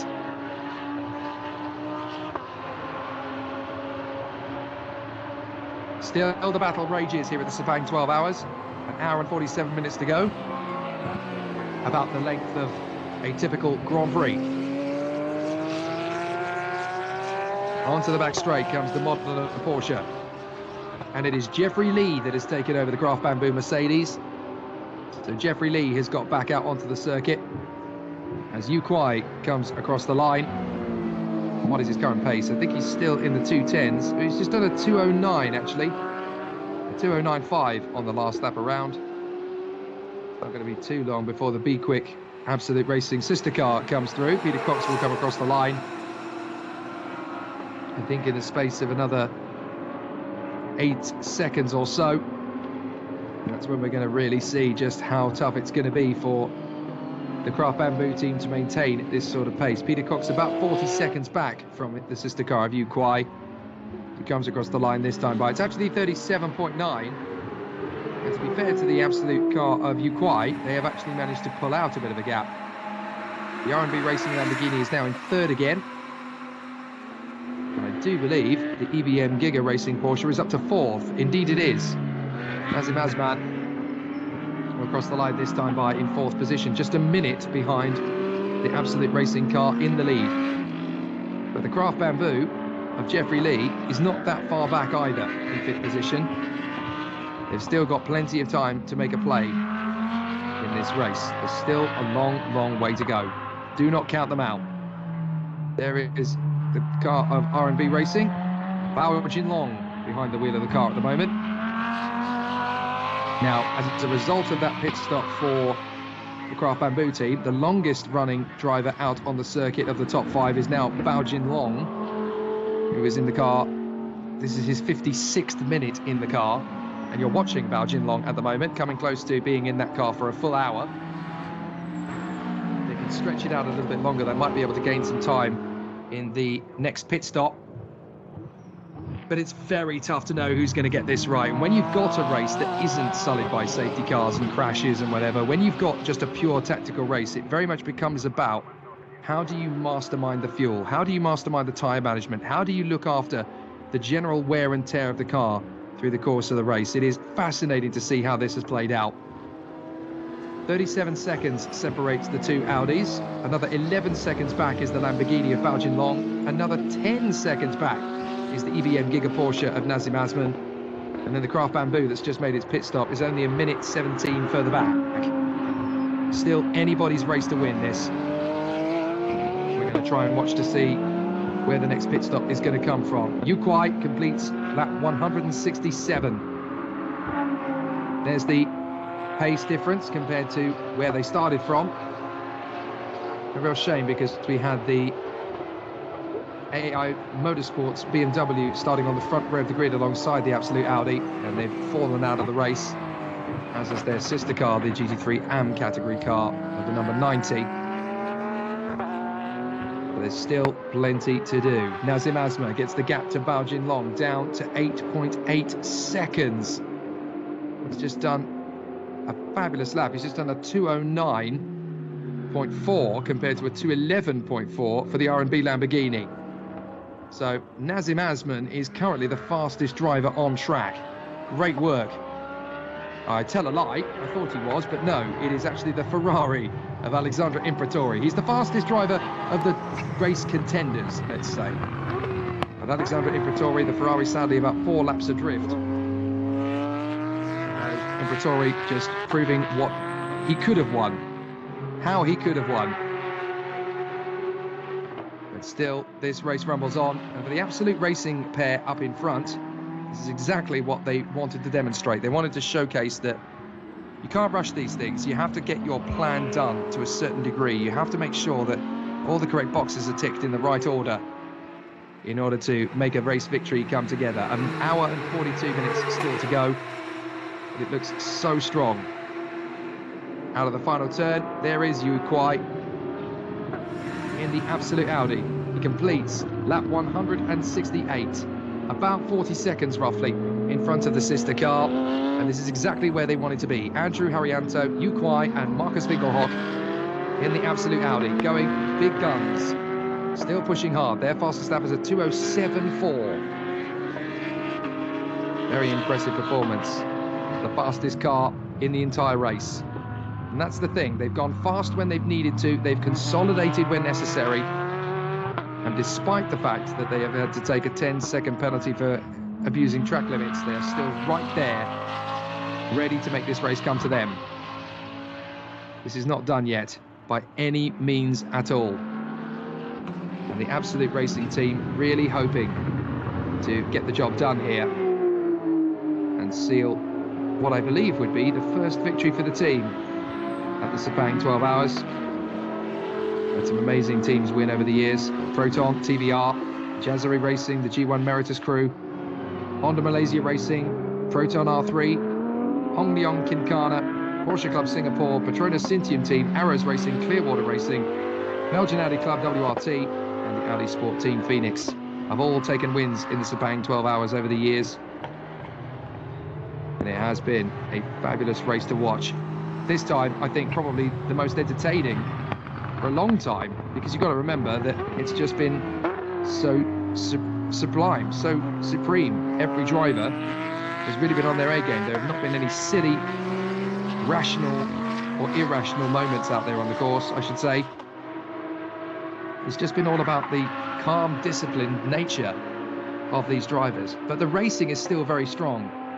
There's 39 car, uh, 39 seconds, sorry, between Yu Kuai, the man on your screen, and Peter Kox, the sister car. They're trading lap times at the moment, keeping this 40 second gap favourable. The R&B Lamborghini is only 14 seconds back from Peter Kox, but they are hemorrhaging time to Nazim Azman in the EBM Giga Racing Porsche, who for me is still a very strong favourite to win this race. It's not done yet by any stretch. Here is Peter Kox, the Dutchman, still going strong. Currently, Peter Kox has been in the car for 54 minutes roughly. Only Bao Long of the top five drivers has been in the car for longer. Having just gone past the hour now. So Bao Long still with work to do to try and shake off Nazim Azman. But as you can see, Peter Kox still working hard to catch his teammate Yu Kuai. And the gap has actually opened up rather than decreased. It's now up to 41.5 seconds. Is this the point now when it's time for a fresh set of boots for Peter Kox? Does he need to hand over to one of his stablemates? When you start losing time quite rapidly, that's when you start thinking, you know what, we can actually gain a little bit of time on our upper hand here. Bao Jinlong in the R&B Lamborghini, third position, just 15 seconds back from Peter Kox. And if you look behind us, all of a sudden, Nazim Azman in the EBM Giga Racing Porsche is suddenly looking ominous and threatening for a podium. So we watch the Lamborghini come through. They'll come into sight. Now look in the background because it's not far away, the EBM Giga Racing. There it is. That is Nazim Azman closing in, trying to fight for that third position. And the Malaysian has done a sensational job switching to GT racing. This has not been an easy transfer for a single-seater specialist. He has taken to this like a duck to water. Car 88, Jeffrey Lee must respect track limits at turn six. That's the first warning for the Craft Bamboo that led at the top of the hour. And they came into the pit stop for their pits work to continue. Their fifth pit stop. Only two teams in the top five have taken five pit stops or five visits to the pits at least. EBM Giga Racing Porsche and the Craft Bamboo AMG Mercedes. Everybody else in the top three all stopped four times. This boy, Nazim Azman, who you're watching on your screen, really has been the find of the race, I would say. Been amazing to see what he's been able to produce. He's done a terrific job with it. He keeps the sport very exciting to watch very much risen to the occasion when you've got his teammates Adrian D'Silva and Reid Harker who know this sport very well. Nazim Azman has been the weak link in the chain just by virtue of the fact he hasn't done GT racing before this. But he has fitted the mould so perfectly. He looks like he's been doing it for years, never mind for hours. It's an excellent performance from Nazim Azman. And he just needs to keep this going for the remainder of his stint. Is he coming into the pits or was that a rare error? That was a rare error for Nazim Azman, but you can see why. He is pushing and charging after Bao Jinlong. And that gap is now less than two seconds, I would say. There's the proof, 1.6 at the line. So Nazim Azman really pushing hard here to try and figure out a weak spot. There is the Craft Bamboo, that's Jeffrey Lee. They were leading a short while ago, but they've made a pit stop, so they're back down to fifth position again. But such is the close nature of this race and this category, it is still very tough to know who's going to take the victory this time. But the Craft Bamboo team have not given up on a podium. They've not given up on the overall win. They still have a chance at this. Now we're all waiting to see who's going to need the next of the drivers in the top three to come into the pits. Nazim Azman, they've just made a pit stop, but he's stayed in the car on his stint an hour and four minutes behind the wheel for Bao Long, 57 and a half minutes behind the wheel for Peter Kox, 56 minutes behind the wheel for Yu Kuai. Here is the leading car in the AM category. Chen Yin Yu, Piti Bhirombhakdi, and Tanart Sathienthirakul in the AAI BMW, the last remaining one of those three cars that entered. Unfortunately, the other two have now dropped out but Betty Chen, Piti Bhirombhakdi and Tanart Sathienthirakul are looking very good indeed to get the result that they deserve. Right, here is the FM Motorsport Silver Rocket, the sole GT Cup car, and Chan Sai Wai has come into the pits. He will hand over to either Sean Thong or Li Jia. But he's been in the pits for about 35 seconds so far. We're still waiting to see if any of the top cars are going to make their pit stop this lap. By the answer is no. But it can't be too long before Nazim Azman is basically coughing the exhaust fumes of Bao Jinlong's R&B Lamborghini. They're going to go past the pits this current time by. As the GT Cup class drivers still having a good race of it. Chan Sai Wai having done a good job to bring the car to this point. Nazim Azman must respect track limits at turn six. First warning, I'm not at all surprised. He's pushing hard and the gap has come down. He's got through, in fact. I assumed that he had caught him up, but no, he's caught and passed Bao Jinlong. So the EBM Giga Porsche is now back into third position, and for my money, back into the lead of the race. The second those Audis come in, he's going to be leading the race. Nazim Azman looking to give Porsche their fifth win in the Sepang 12 hours across the different teams they've worked with. And certainly as a manufacturer, a fifth Porsche win would be pretty spectacular. So the FM Motorsport and Silver Rocket team under absolutely no pressure whatsoever. They just want to try and get this car to the finish. So there are no other GT Cup cars entered for this one. They just want to prove that they can go the distance in this eight-hour race. I know it's called the Sepang 12 hours, but due to logistics and various other reasons, too technical and too dull to go into here. We are only eight hours of distance. But if you take into account the free practice and the qualifying as well, it works out to about 12 hours on track. So the competitors continue to push on. This is the Modena Porsche of Christian Tjia, the Canadian. A minute 10 behind Piti Bhirombhakdi in the AAI BMW. Still plenty of race to go, an hour and 33 and a half. And these challenges are not dissipating. If anything, it's getting more and more exciting. But the new favourite for me is the EBM Giga Porsche. I think they've got a chance here. An hour and 33 minutes remaining of this epic contest. And still they put pressure on. Still they pile it on. Still there is a great chance for this race to go down to the wire. And I really think we've got a good battle in the offing here. Stunning performances from the competitors across all of the classes. Battle is still going strong. Racers are still giving as good as they've got, and it's still very unpredictable indeed. The best kind of race. When you genuinely don't know what's going to happen next. And it's been like that all the way throughout. So through they come.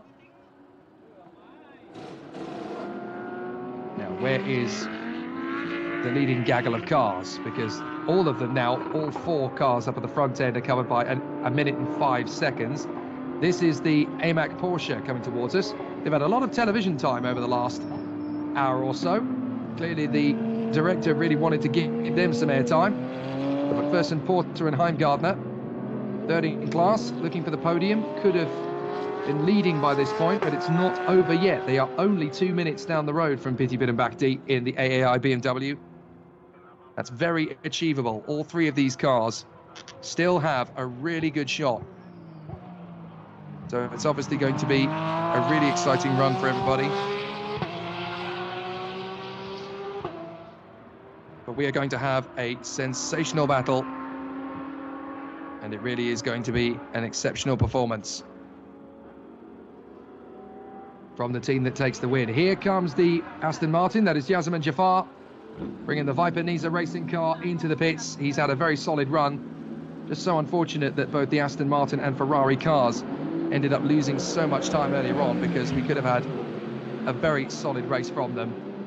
And what perfect timing for Sean Henshelwood to make his way back into the commentary box. We have got five cars in the mix for the victory, and there's two minutes separating all five cars. The Audis are very closely matched. The EBM Giga Racing Porsche has got back into third position, having caught and passed the R&B Lamborghini for third position. Still no safety cars, still no code 60s, still no yellow flags. This is genuinely the most pure and most entertaining sports car race I've seen for years. Well, what a, what a great way to come back to uh, reinstate the Sepang 12 hour. That's perfect. That's just what we wanted to see. So we go into the, the final stanza. I guess we're starting to get towards, I would hazard, it's not quite the last pit stops. There's cars obviously in pit lane now. Certainly the second last pit stops for most of them. One more pit stop to go. We'll see which drivers are in which cars. Quite clearly, the rock stars will be in the closing stanza of the race. But wow, you're going to need the rest for this last half hour. I think um, it's going to be very interesting, Jake. I'm really looking forward to the way this one plays out. Anything really happen over the last hour? I suppose the most significant factor is that the absolute racing number 26 peter kox has been pushing it again and they're really starting to flirt with track limits penalties again so that's worth keeping an eye on certainly in the hunt for the am class the AAI BMW has got back into the lead, but both the Modena and AMAC Porsches are not done yet. They are still giving good pressure. They're still pushing hard.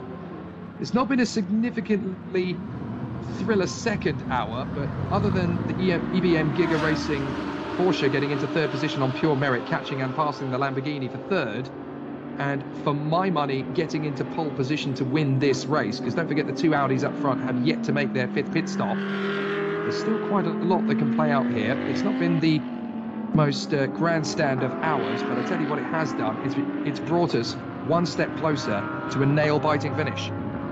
I'm surprised we haven't seen more pit stops, to be perfectly honest, from the lead pack. They really are just stretching it to the absolute maximum of the car, which is getting us up somewhere between sort of what 75 to 80 minutes for a stint.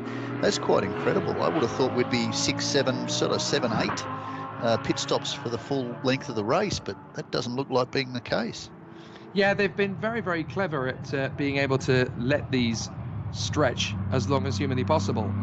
So it's going to be really interesting to see who gets the run of the draw. I don't think we've seen everything we're going to see from the Audis yet. They're first and second at present, but I think they're hiding something. I think there's something up their sleeve. On paper, the EBM Giga Racing Porsche is favourite to win this because they have managed to catch and pass uh, the Lamborghini very quickly, and they're not that far away. They're only a minute behind the leading Audi and only 13 seconds behind Peter Kox in the Be Quick car. So on paper, they're the ones who could win this. But I just wonder, can the Audi stretch it without making pit stop number six? Because if they can, then that's what's going to get them to the winning day. It's so tough to tell which of these five cars is going to get it. But one thing that nobody, I think, can dispute here, Sean, the star of the race has got to be Nazim Azman. He's been absolutely meteoric coming into this uh, EBM Giga Racing team for the first time, expecting to deliver, not having driven or raced a GT car at this level before. And he has been as good, if not better, than a lot of the drivers who've been doing this for a decade. It's good news. It's good news, certainly for uh, for motorsport in Malaysia, to have a driver of that calibre coming through the ranks at such a young age and, and racing still overseas. Is he racing the uh, FIA F3 Championship this year? Do you know? I don't think he's managed to get a seat for this year, which is one of the reasons why he's come back to his native Malaysia. But, you know, performances like this are going to get him back on the radar again. It's going to make the sponsors realize, you know, if he can do this with barely any preparation and barely any, you know, opportunities to learn the car and learn the circuit in quite the same, you know, because it's a different circuit when you drive it in a new car. You've got to relearn it all again because he's a single seater driver. So driving a GT car is very different.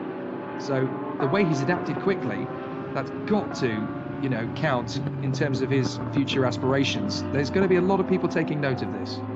Well, the other thing these days, of course, is single-seated drivers tend to be progressing towards F1. Let's face it, that's that's the idea. Or if you don't get that far, maybe IndyCar or Super Formula or something along mm. those lines. But look at the world of GT racing. There's been a few stop their journey through the early stages of their careers in open wheelers and jump across to GT racing and make a career and a living as factory drivers. So maybe this is a, a bit of an eye opener for the young Malaysian driver to say, hey, well, maybe here's a different alternative route for your future that could actually be both more profitable and most uh, more rewarding. So this could be could be the start of something new.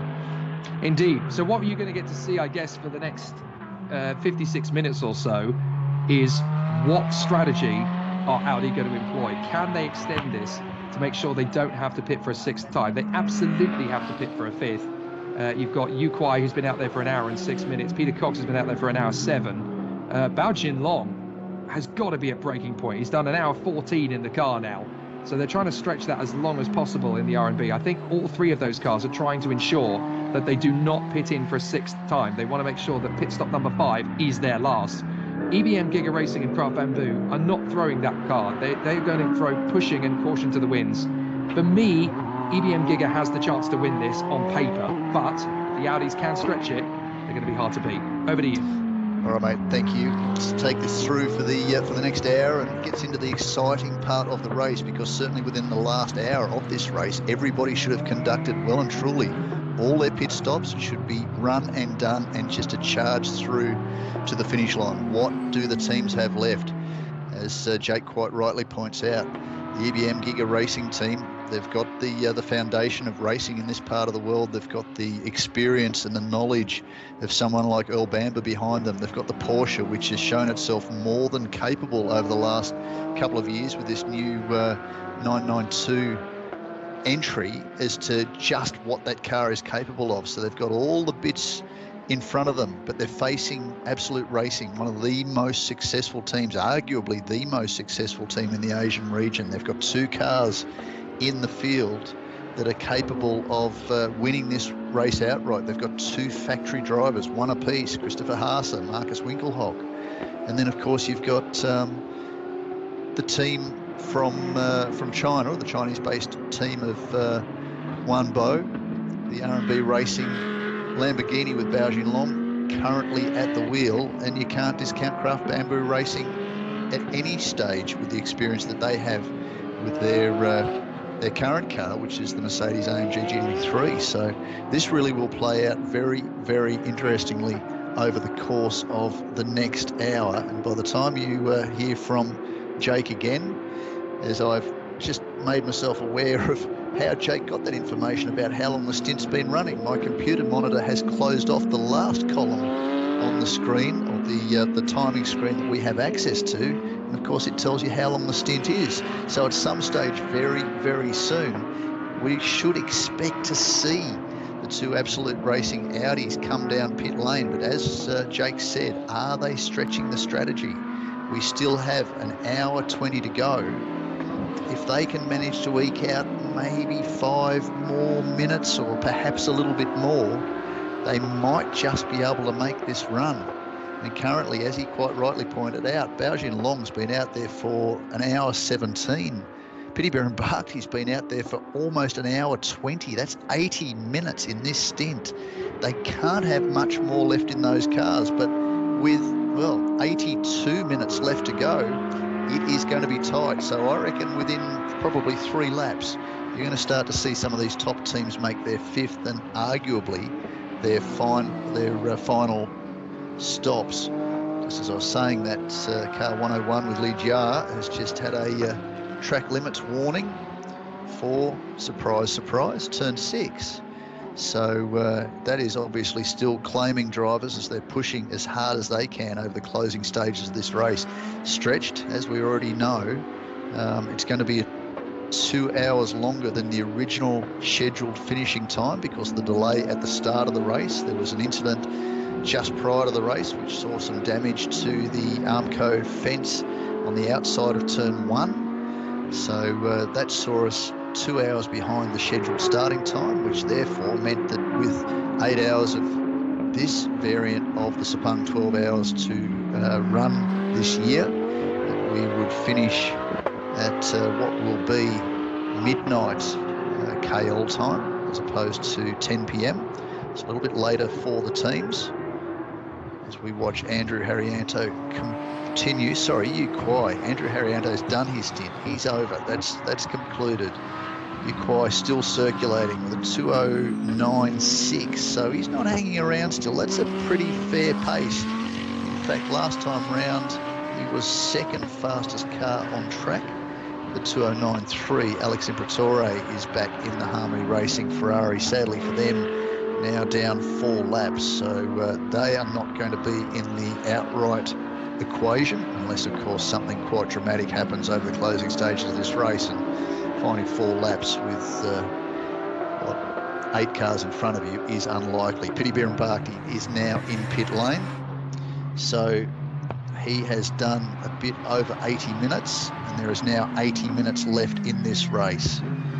Expect to see Tanart Sathienthirakul jump back behind the wheel. Young Thai driver having started this race. And uh, he looks like he may well conclude it. Now, I apologise to Betty Chen if that is the scenario. Well, that's Todd Petty. He's out of the car. Oh, no, he's not. He is now, and uh, jumping in behind the wheel is uh, is, is his compatriot. It isn't Betty Chen. So Tanart Sathienthirakul will finish this race for the number 91 Singha Fist Team AAI BMW. So that job's done. By the time they rejoin, they'll have about 78 minutes left in this race. It's still a fair stint for a, uh, a driver to be pushing over the closing stages of this race, but uh, that will certainly highlight where they are. Now, if the BMW can run to 80 minutes, where can the Audis run to? Currently, uh, Peter Kox has done the most laps in an Audi at uh, 74 minutes.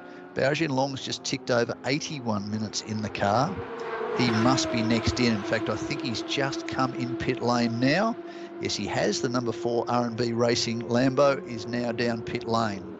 So from Bao Long's perspective, let's see whether or not they uh, put Ye Hongli in the car or whether in fact Afiq Yazid gets back in for a final stint. We will soon see, provided we keep this vision a funny feeling that might be Yazid ready to jump back behind the wheel, but we'll soon find out as the uh, number 91, sorry, the number 91, of course, the number 91 entry returns to the circuit. I got thrown by the number 15 entry uh, just as they were rejoining. So Yu Kuai continues to lead. Just clicked over 74 minutes in his stint. I'd expect the next one into pit lane.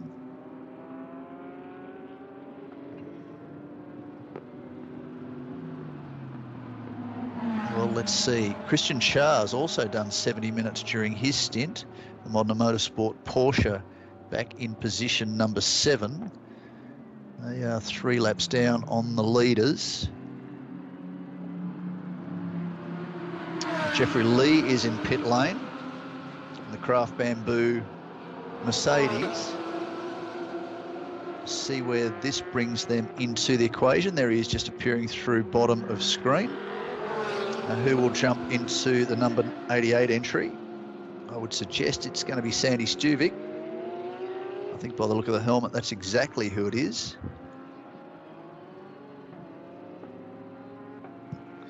He's certainly got plenty of energy. That was a fair launch. Take a baseball. So the Lambo looks like it's about due back on circuit.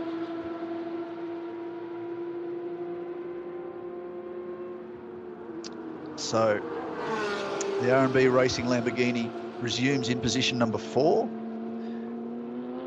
maybe one of the Porsches with the uh, yellow lights coming down into turn one.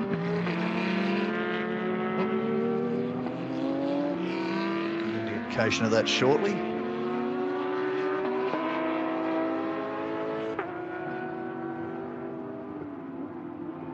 So Ye Hongli is behind the wheel of the Lamborghini for the last leg.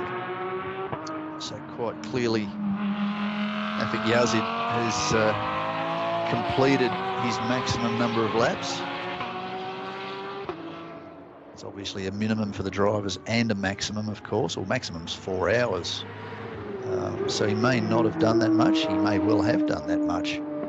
But uh, it certainly looks like Hongli is behind the wheel of the Lambo, who's jumped into Craft Bamboo entry. No vision of that at the moment. But we'll soon get an update on that front. 76 minutes for Yu Kuai, 78 minutes now for Peter Kox. There is 75 minutes left in this race. Interesting to see how the two factory Audi drivers fare under uh, full speed. Nazim Azman last lap out at 2.10.0, so he is on a pretty fair pace. Yu Kuai, the race leader, at 2.09.9, holds a lead of 61 seconds. Is the lead Audi in pit lane, is it not? Yes, it is. No, that's Peter Kox. That's the uh, number three P3 car. Christopher Haase with his seat in hand. So expect next lap round you will see Yu Kuai into pit lane. And let's just see where it all plays out and where Nazim Azman manages to uh, get himself. We saw earlier, whilst he was locked in a battle with Christopher Haase, that Haase wasn't really closing him down all that much. There was only tenths in it. So the young Malaysian driver, as uh, Jake was pointing out earlier, was doing an absolutely stellar job. So there's no guarantee that Christopher Haase, or for that matter, Markus Winkelhock, will be able to uh, keep pace with the Porsche. So this is where it's going to get really interesting. This brings us to the end of the pit stops in all likelihood. So Christian Tjarr's in. Perhaps Francis Tjia will take over. So that's the Modena Motorsport entry. And you could see top of screen just before we change frame, you might see them just pull through in front. Yu is back in pit lane in the number 18 Absolute Racing Audi. There he is. Markus Winkelhock opens the door, gets set to take over. Of course, they're effectively a lap up on Peter Kox. Well, now, of course, that is Christopher Haase. So Haase will get out ahead of them. He won't make up track position. It'll be interesting to see exactly where we are as Nazim Azman comes down pit lane.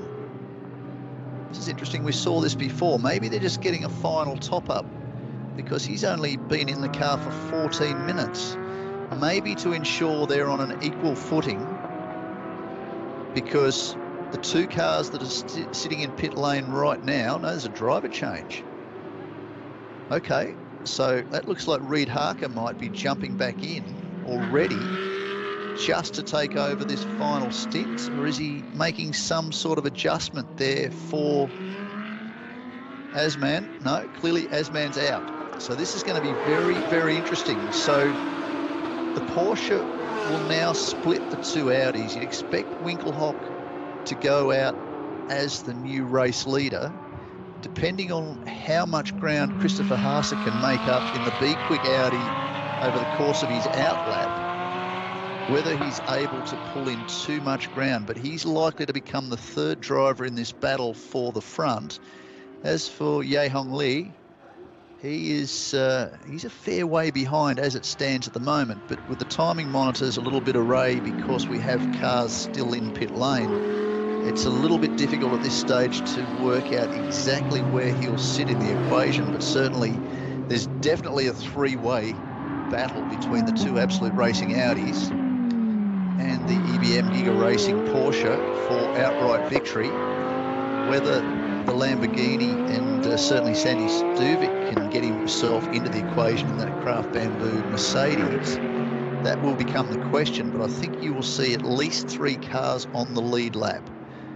The number 18 Absolute Racing Audi of Markus Winkelhock, I think has probably left pit lane. Yes, he has. The uh, number 16 EBM Giga Racing Porsche, which is still in pit lane, and the car on screen, no, there it is now, just leaving. The uh, Harmony Racing Ferrari pulls into pit lane with Alex Imperatori. Doesn't look like he's getting out of the car, so he looks like he's going to go through to the end. In fact, Imperatori's been in the car for 40, uh, 41, no, this is this stint, so I've just missed it. I thought it said 40 minutes. So I'll uh, pull that one back. I'm not 100% certain until he gets out of pit lane exactly how long he has been back in, although they're calling them stints now, so I guess that means we won't really know how much time he's done in the car up to this point. Uh, for those of you that were managed to, uh, or had managed to pick that up, you might be across it, but uh, I've missed that one, unfortunately. So Winkelhock is shown as race leader from Harker. 58 seconds is the advantage. Christopher Haase shown as uh, 2 minutes 22 behind. Of course, they're doing 2 minute 10 laps on average. So 2 minute 22 would put him a lap behind. But Because they've come out of pit lane, they're in out laps mixed in with uh, who's a driver who's been out there circulating already and getting tyres up to temperature. We're not quite sure until we conclude this lap exactly where we sit on this front. Briatore gets set to head back out with uh, just over, just under rather, 70 minutes left in this race. So Winkelhock, Harker, Haase, Hongli, Stuvik, Porter, Sathienthirakul, Francis Tjia, Alex Imperatori and Dominic uh, the top 10. And the final car that is still running as things stand, Jia in the FM Motorsport by Silver Rocket GTC class Porsche.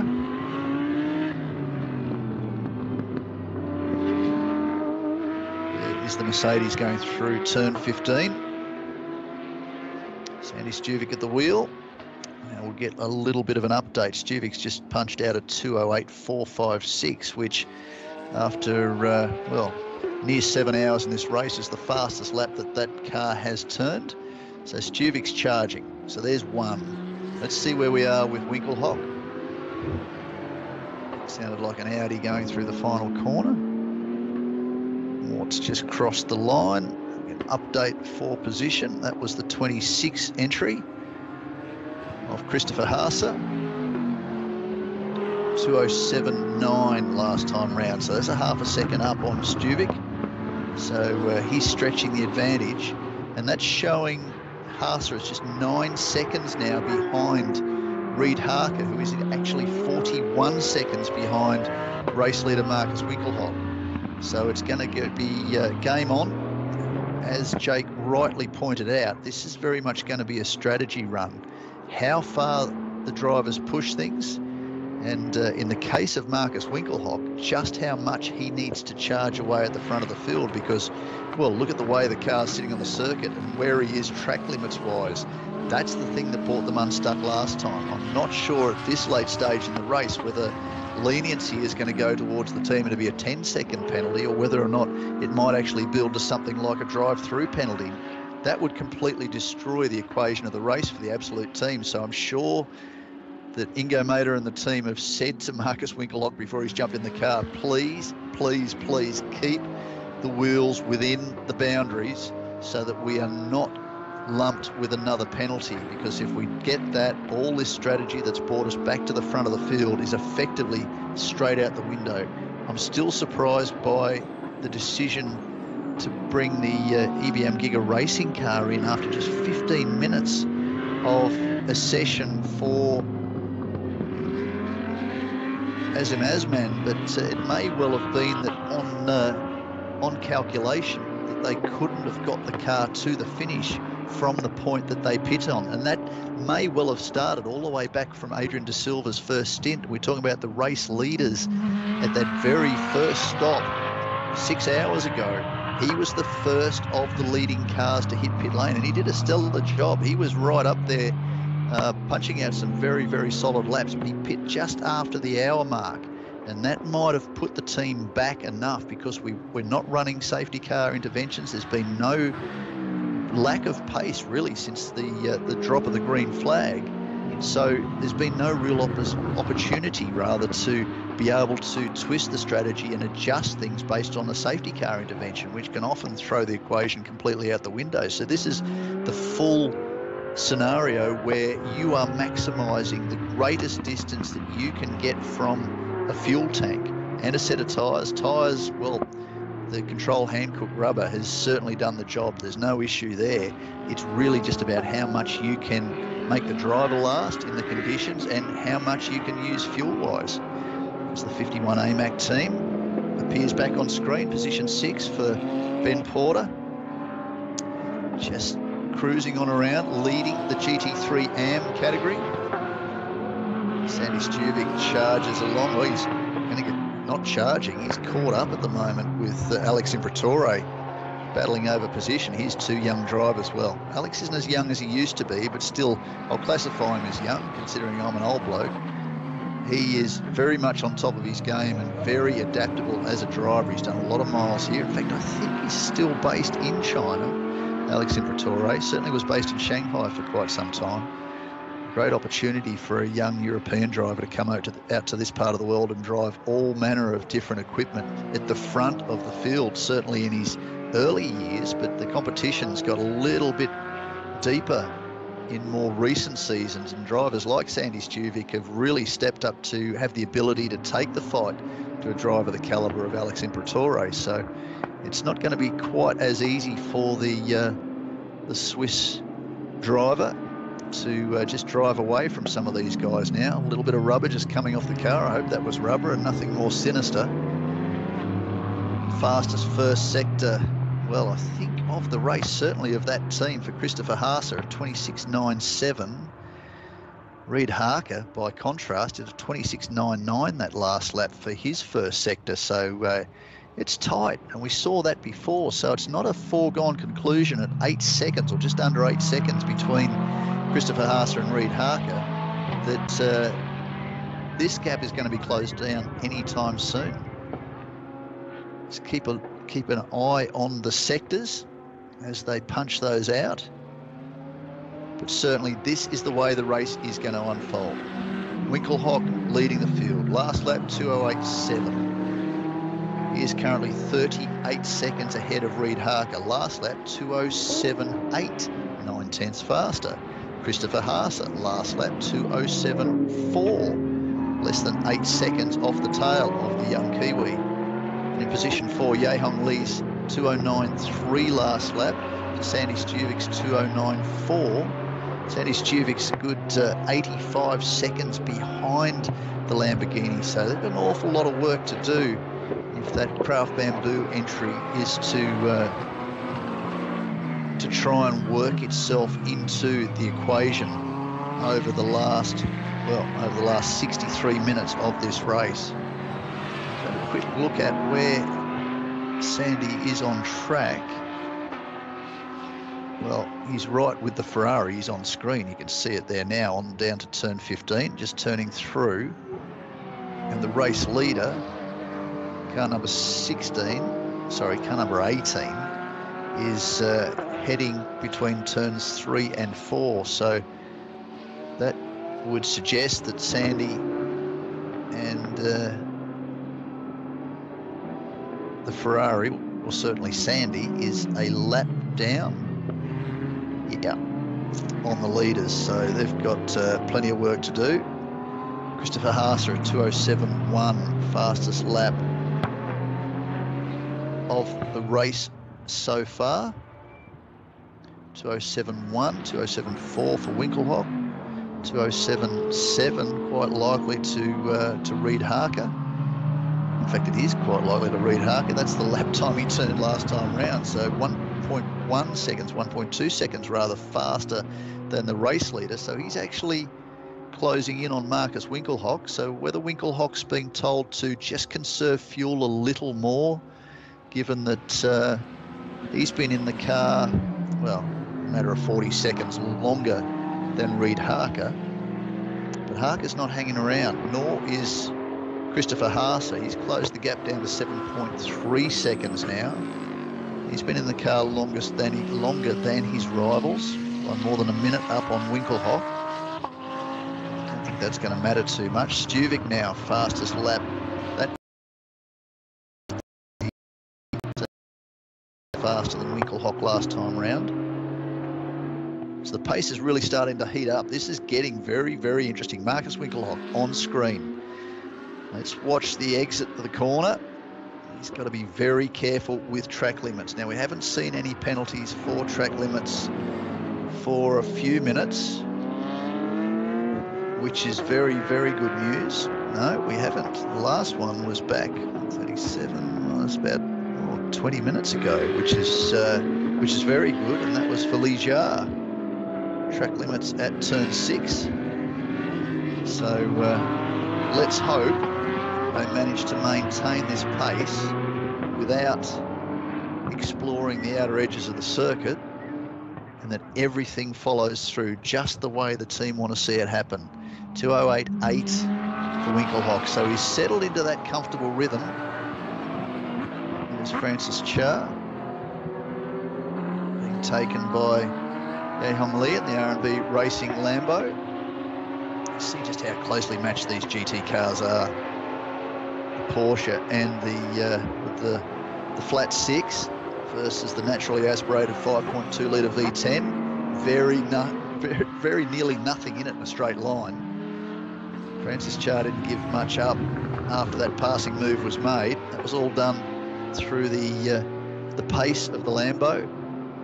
Young Lee last time round, 210. We got caught up in traffic. He'd been doing 209s and 208s, high 208s. Francis Tjia's doing 212s. So a good couple of seconds a lap faster for the young Chinese driver. Fastest uh, second sector now for Imperatori, faster of anybody in the field.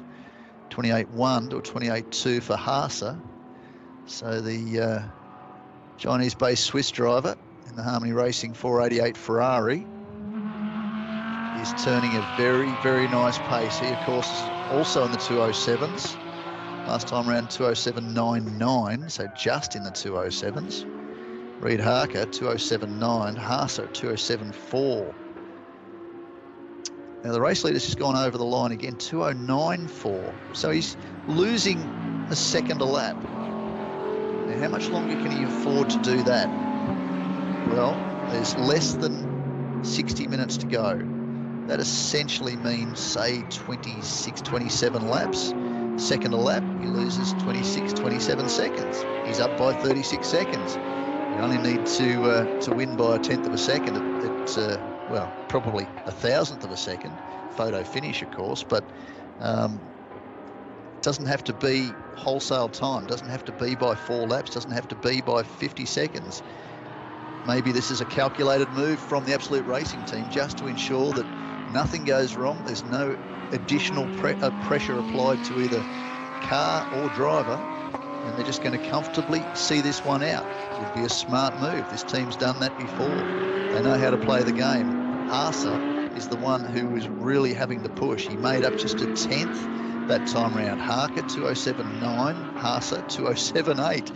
The gap 6.76 or 6.78 seconds rather. It's very, very close. So the way things are playing out at the moment, it looks very much like Winkelhock is comfortable. He's not pushing any harder than he needs to. We know he can get about 80 minutes out of a stint. Well, he jumped in the car and got things going with about, well, uh, 71 minutes to go, 72 minutes to go. So he should be comfortable on fuel economy. That shouldn't even be remotely an issue.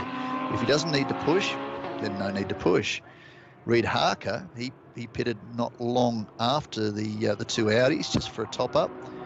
As Nazim Azman jumped out and uh, put Harker back behind the wheel, the uh, ultimately the faster of the drivers in that team. The young Kiwi is really pushing to make up that deficit and to try and maintain at the very least second ahead of Christopher Haase, but perhaps just eke into that lead of Markus Winkelhock. Tall ask when you've got uh, an Audi factory driver in front of you and an Audi factory driver behind you. But this is uh, what makes the medal of the driver. This could be a uh, crowning moment in the career of young Reid Harker if he can manage to drive this car further forward and uh, maintain that pace and close the gap. You can see the time, 11.03, nearly 11.04 p.m. Race finish dead on midnight. So uh, we have just over 56 or just on now 56 minutes to go in this race lead 34 seconds now 6.4 seconds the gap between Reid Harker and Christopher Haase Ye Hongli comfortable back there in fourth position at the minute, 33 seconds back. He's got a lead of a minute 22 over Sandy Stuvik. Tanart Sathienthirakul, well, he's a minute 30 further back from Stuvik, but uh, he's a lap down on the leaders as we go back to a replay of some of the vision through the night. Well and truly full dark. Ray Heimgartner doing a great job handing over to Ben Porter. And, uh, Christian Chia handing over to his brother Francis for the uh, the last stint in this race. We expect it to be the last stint. And of course, um, we saw the Lamborghini now has Ye Hongli back behind the wheel. Porter doing a great job. Expect that from, uh, from the Australian. The Aston Martin still charging around. At the moment, we have uh, Dominic Ang back behind the wheel. Modena Motorsport Porsche. What a fantastic job the veterans have done in that car. Honouring the memory of Wayne Shen. John Shen has been one of the real class performers today in this race on their return to the Sepang 12 hour. Yu Kuai, Audi Sport Asia junior driver, multiple winner in uh, Porsche Carrera Cup Asia a couple of years ago. Very talented young man, with great pace, and he's brought that uh, that Audi right into the equations. Great battling in between Sandy Stuvik and uh, Alex Imperatori. Very, came very close to uh, to contact. Fortunately, they got away with that one, and we've been well. We've managed to avoid contact pretty much, apart from a couple of minor rubs, certainly in the turn one-two complex, which can happen due to uh, drivers being unsighted. We've really managed to get away with anything nasty right through from paid practice, through the two 90-minute practice sessions, through the three 15-minute qualifying sessions, and into this long, arduous eight-hour race. We've uh, been very, very lucky. Unfortunate uh, retirement of the two AAI Motorsports BMWs has been the only chink in what has been an almost perfect weekend after a seven-year sabbatical to see the return of the Sepang 12 hour. So what a great return to competition in this part of the world. And I'm sure Davide Gobi and the top speed team will be overjoyed with the end result. Replay, what have we missed? Markus Winkelhock, those glowing brakes. It's one of the delights of racing under lights, the sparks, the hot exhaust. You can see that glowing in the uh, the engine bay at the back of the Audi R8. It's a magnificent, very successful 5.2 litre V10, naturally aspirated. Watch those uh, wheels off, Markus Winkelhock.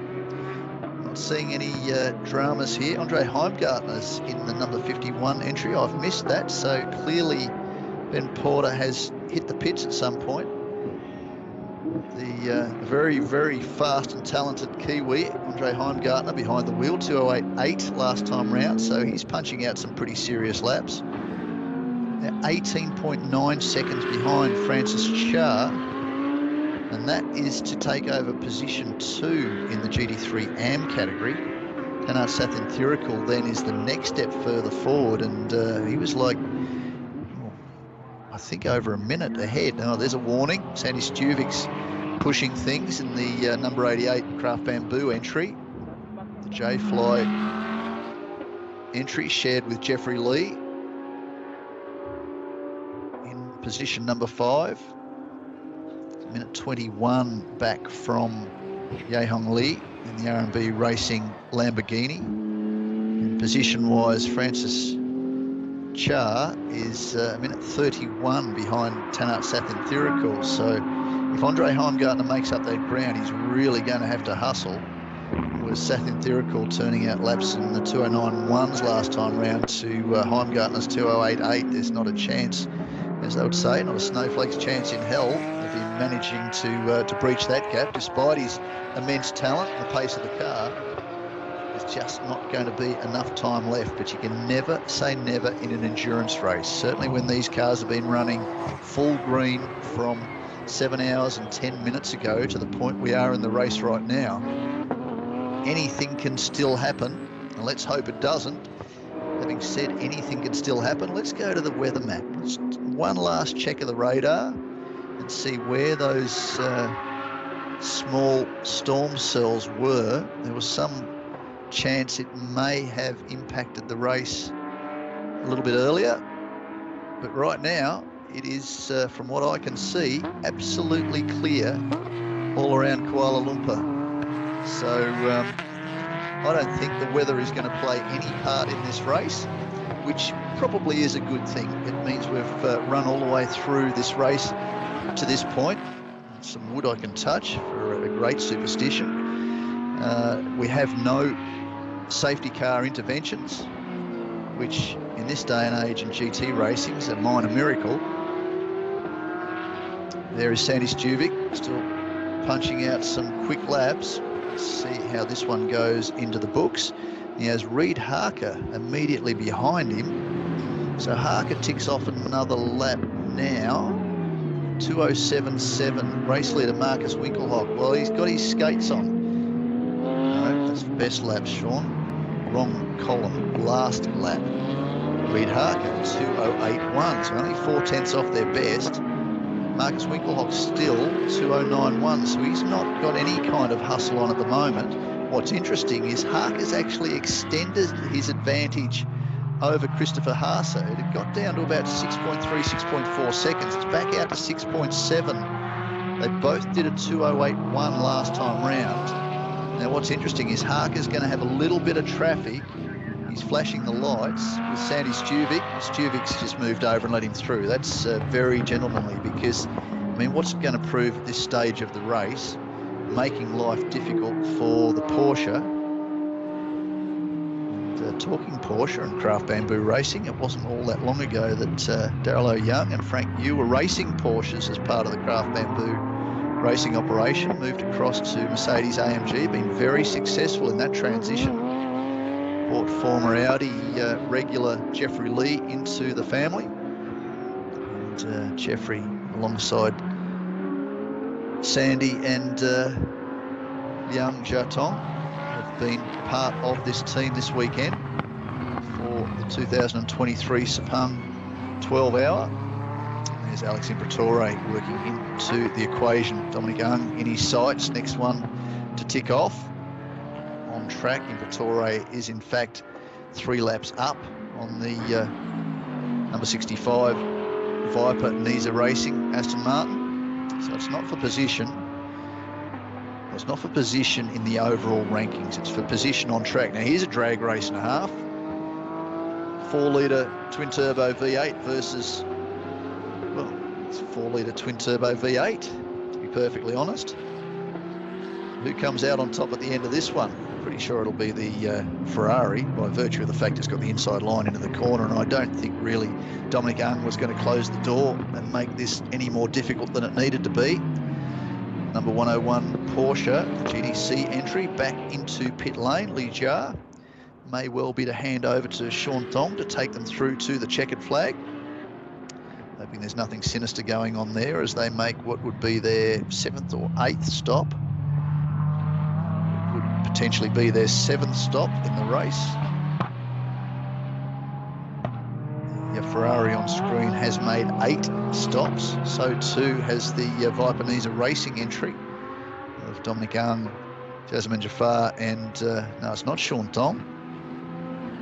The hood up again.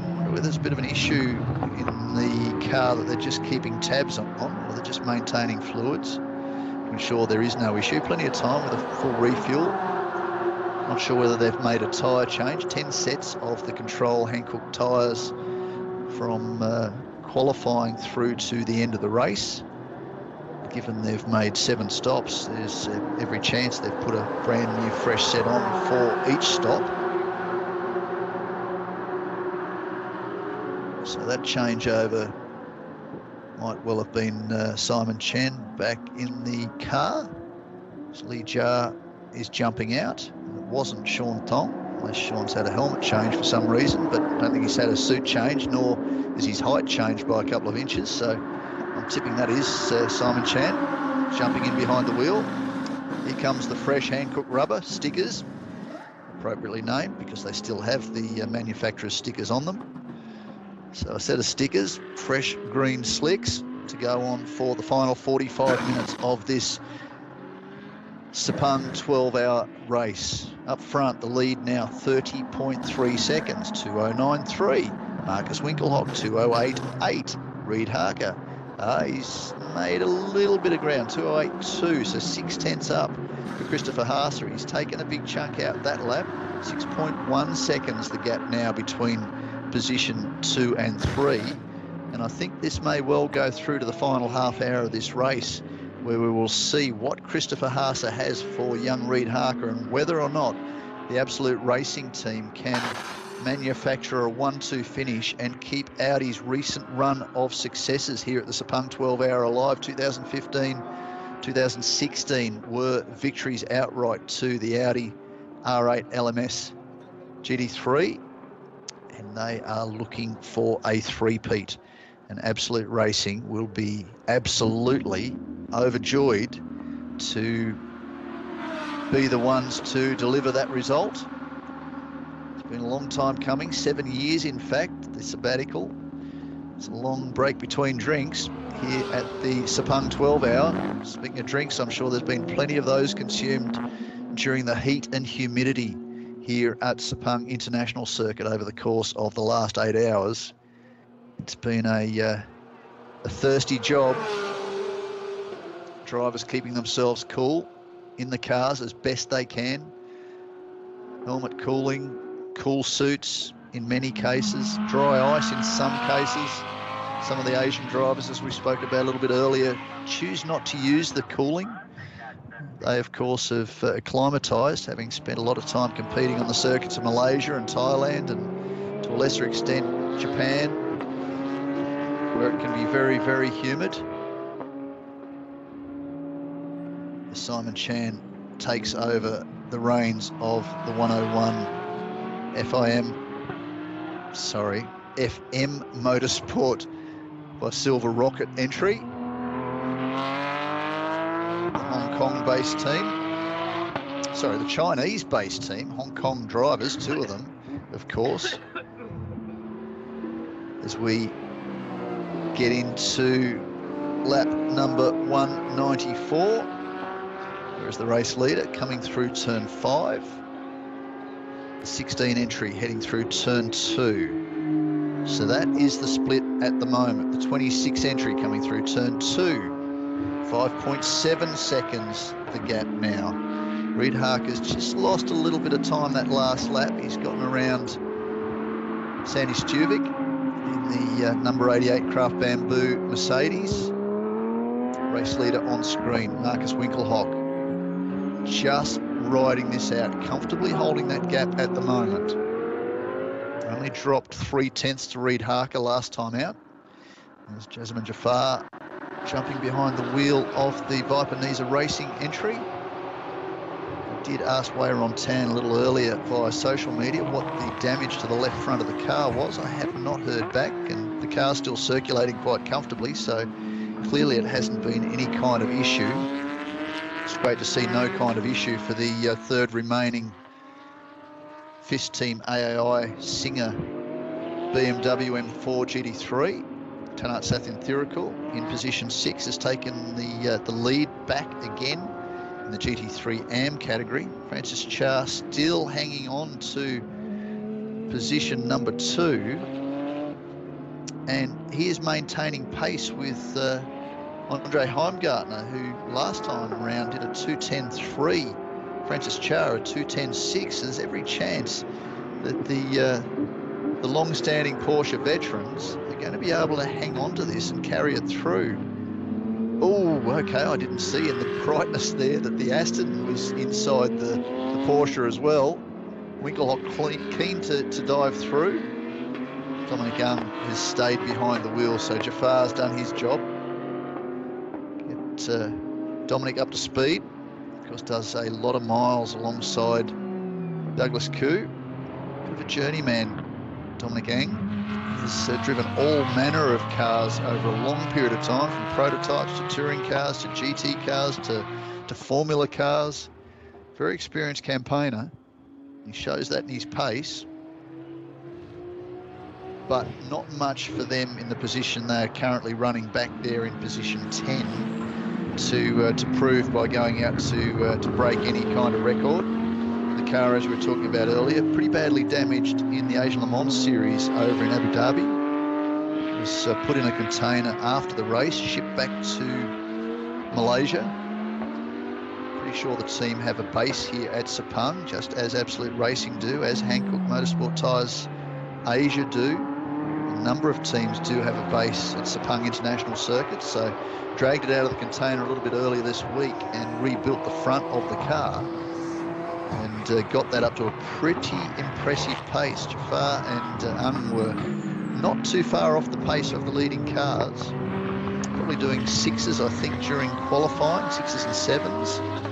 We saw Winkelhock into the low fours. Lap record, James Calado's 203.8. So uh, pretty impressive pace, all things considered, as we look at the race leader, Markus Winkelhock, coming through turn 15. Behind him, that is Dominic Young, we're just talking about. What is the lap time this time round for Winkelhock? Crosses the line, should get an update. 2099 again. Reid Harker shouldn't be far away from crossing the line. There goes the 101 entry, the 488 entry, and coming to the line right about now, top of screen, is the number 16 EBM Giga Racing Porsche. 2085, so 1.4 seconds taken out of the lead. Next car in line at any time now. Well, he's stretched the lead again slightly. Christopher Haase got it down to 5.8 seconds. It's now up to 5.9 seconds. This is a real seesaw battle. This one really is going to go into the final stages of this race. This will well and truly recharge Jake Sanson get him fired up into the final stages of this race because there'll be something well worth watching a battle over position to see whether or not Audi can make it a 1 2 finish. Of course, nothing is guaranteed, but at this stage, Markus Winkelhock with a 27 second lead is looking pretty comfortable and uh, certainly, I believe, more than capable of turning those 209s into 207s and certainly 208s. So he's got some extra pace left in that car, I'm sure. He's just conserving. Christopher Haase, well, he's going toe to toe with Reid Harker. They're well and truly matching lap times. He was out at 6.8 seconds. It's to 5.9 seconds now. That's over about six or seven laps. So he's only making up short gains. So uh, Reid Harker isn't out of this yet. That uh, menacing EBM Giga Racing Porsche could yet spring a surprise. And should anything happen to Winkelhock at the front of this field, then uh, they will be there to pounce. New Zealand inspired team, Bamber Motorsport. A lot of success here at Sepang International Circuit over the years. Earl and his brother Will certainly done a lot of miles. Earl going through to be one of Porsche's favourite sons, having won Le Mans on a couple of occasions. Now running his own team, and they've been very successful in all manner of competition in this part of the world. There he is, Reid Harker on screen. Sime Darby sponsorship. Very impressive livery. Really stands out. I love it. I think it's absolutely fantastic. See the glowing exhaust system under the rear of the 992 Porsche GT3R glowing brakes, glowing headlights. I'm sure the temperature of the drivers is glowing too. So we're getting to just over half an hour left in this race. 26.6 seconds the margin from P1 to P2. 2091 to 2096. 209 dead for Christopher Haase. 5.7 seconds the margin. He's really only making up small digs. That time round it was 143 tenths of a second. So not really enough when you consider he needs to be making up wholesale tenths. Two, three, four, five, six seconds if he can, but I don't think that's going to happen track-wise, the race leader is coming through turn 11. Ahead of Reid Harker, the 101 Porsche is just up ahead of him here. He should get him on the run down to turn 9 potentially. If not, certainly on the way out of turn 9. There they are, lights flashing. Doesn't need to be held up, least of all by a uh, another uh, car from the same mark. And behind him, that's the car he's concentrating on, or trying perhaps not to focus on. No doubt the team are giving him updates telling him to just focus on what he's doing. He's certainly making that run work perfectly for him. Next car in front for Reid Harker is the 488 Harmony Racing Ferrari. Ahead of that is Dominic Ang in the Aston Martin. And ahead of that is race leader Markus Winkelhock, 209.3 that time round. The run up to turn 15, the final of 15 corners on this racetrack. The fifth left-hand corner in a clockwise rotation of Sepang International Circuit across the line, 209, 209 dead. So another three tenths out of the race lead. Watt behind him as the uh, clearly the 26 car was caught up. It was behind the 101. I missed that crossing line. 5.2 seconds the margin now. So there's a little bit of lost time perhaps in that move around the Porsche. But what's interesting is now Christopher Haase has been caught up through the 1-2 complex and on the run through to turn threes, just managed to get through on the Porsche now. So whilst he managed to pull in five tenths from Reid Harker, I have every expectation that uh, that time that deficit between the two drivers, Harker and Haase, will have extended because I think Haase has lost a fair chunk coming through that first couple of corners of this lap, getting past Simon Chan. So let's see as we get back to the timing monitor, but with 33 minutes to go, this battle for second is really heating up, but I think the way things are looking right now, it's a very comfortable Markus Winkelhock on screen, out front, doing what he is paid to do. Drive this Audi R8 LMS GT3 Evo 2 as well as he needs to to contribute towards another victory for brand with the four rings. Audi Sport will be very happy with that. Now, is that just a puff of smoke? Did he lock the rears as he went in there? It certainly looks like he's gone a little bit wide. It could have been dust. It could have been anything really, because the uh, bright lights of the uh, AAI BMW behind him as he turned into the corner. But that looked like a telltale tuft of white smoke as he went through, and he did a 210 that lap. So I think he may have just locked the rears heading into turn 15, and he's lost about a second as a result of that.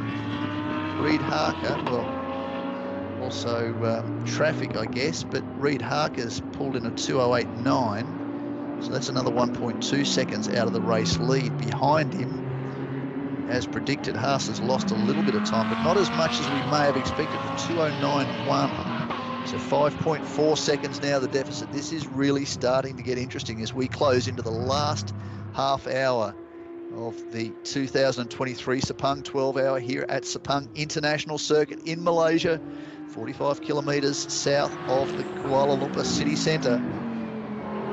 Francis Tjia now gets a warning, number one for this stint. Turn six, no real surprise there. As he concentrates on trying to keep that advantage over Andre Heimgartner. It's at 9.8 seconds. Last time round, though, 1.4 seconds lost to the Kiwi driver in the AMAC Motorsport Porsche. Of course, both Type 992 GT3 are GT3 Porsches as opposed to the 101 entry, which is a GT3 Cup car, also a 992. So there is a uh, distinction between the two. There's the 101 car we are just talking about on screen. Simon Chan at the wheel, holding position 11 outright, but also, of course, leading the GTC categorisation in this field. So if they can keep this running, there will be a number one trophy for the 101 entry. FM Motorsport by Silver Rocket entry. We fire through into the final sections. Welcome back, Jake Sanson. You're in for an absolute cracking final half hour. And I think this battle for position two is a long way from done as we just tick over 200 laps. It is absolutely astonishing to consider that the total laps by all participants is now over 2,300. We've had 76 pit stops, 200 laps completed, as you say, zero time under code 60, zero time under full course yellow, zero time under safety cars. Absolutely fantastic that the race has just been allowed to be a pure organic thrash, exactly what we wanted. And I'm amazed that you've sat back with your uh, time to recover with a calculator to work all of this out. I would have sworn you were glued to the television watching the third practice session of the Formula One. Oh no, I, I always dedicate and I commit to the races that are in front of me. It's fa- fabulous. I mean, technically on paper, we still have a five horse race. You never know what can happen in the last 30 minutes of a GT race.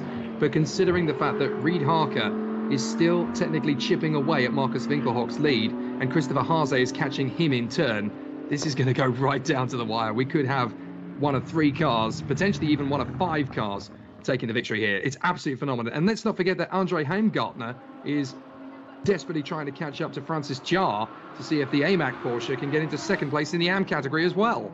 Well, and, and as you, you're just talking about that, as you've just said that, Francis Tjia's just come across the line with a 210.4, the fastest lap for that car, his fastest lap. And I talk about them being veterans. These guys are businessmen, and they're not young young guys compared to a, a number of the guys in this field.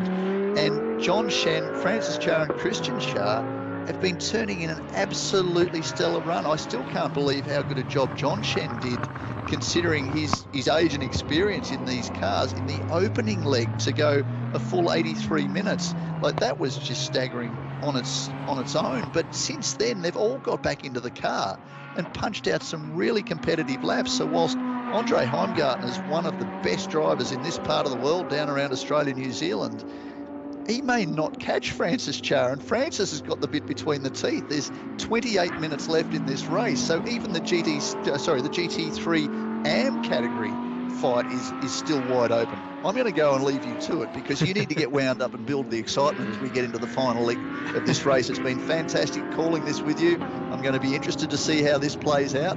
I'll let you run through with it. Great job. Thank you so much. Sean Henshelwood, ladies and gentlemen, giving us uh, all of the flavour and the action uh, through the course of the Sepang 12 hours. We have just 28 minutes to run, and there are three cars legitimately in the fight for the GT3 victory. Markus Winkelhock in the absolute Audi, still ploughing away on lap 202, 24.5 seconds ahead of the Kiwi Reid Harker, and Reid Harker in the EBM Giga Racing Porsche, desperately trying to chase them down, but they're only really taking anywhere between a hundredth and half a second per lap out of that lead that they have, so it's not quite going to be enough. Reid Harker really needs to dig deep and find something special to take on Markus Winkelhock, but he's got a bigger problem. Christopher Haase, the German driver in the Be Quick Audi, is catching him like stink, taking anything between three tenths and even to up to a second out of the lead that that Porsche has built up. Uh, Ye Hongli is not quite done yet in the fight for fourth position because he's got to try and fend off from Sandy Stuvik in the Craft Bamboo AMG Mercedes.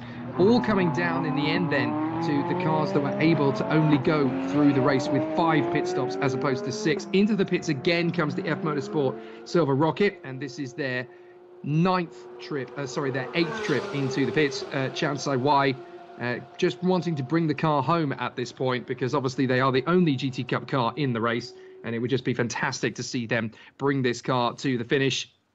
So they're just finishing off, crossing the T's and dotting the I's, and it looks as though Chansai White is going to bring that car home, having been in the car already for an hour and uh, still just wanting to uh, finish the job off in fine style. But this is going to be a fascinating end to proceedings. And also, let's not forget that the battle for the AM victory is winding up in style as well. Tanart Sathienthirakul, the tyre driver in the AAI Motorsports BMW, still running well in front of Francis Tjia and Andre Heimgartner, who are dueling away magnificently, the two Porsche drivers in the AM class in the second position fight that he's going to go right the way to the finish line as well. The gap comes down between Winkelhock and Harker to 24 seconds. Half a second taken out then by the Kiwi Reid Harker. But Christopher Haase takes out a further three tenths of a second himself. This could be really interesting. Reid Harker needs to push like crazy to close up on Markus Winkelhock after an amazing battle. 25 minutes to go, and there are three cars separated by less than half a minute. And they're all in contention to win the Sepang 12 Hours of 2023, the first race of its kind for seven years. And it really has been an amazing battle. If the EBM Giga Racing car can take the victory from second place, uh, where they currently are, and from way down in seventh on the grid at the start, that would be a magnificent return on their investment. But as a team, they have worked tirelessly and put in an amazing job to work their way further forward. There is the Mercedes, still just trying to bring it home at this stage, uh, having had a great run at the head of the race at one point.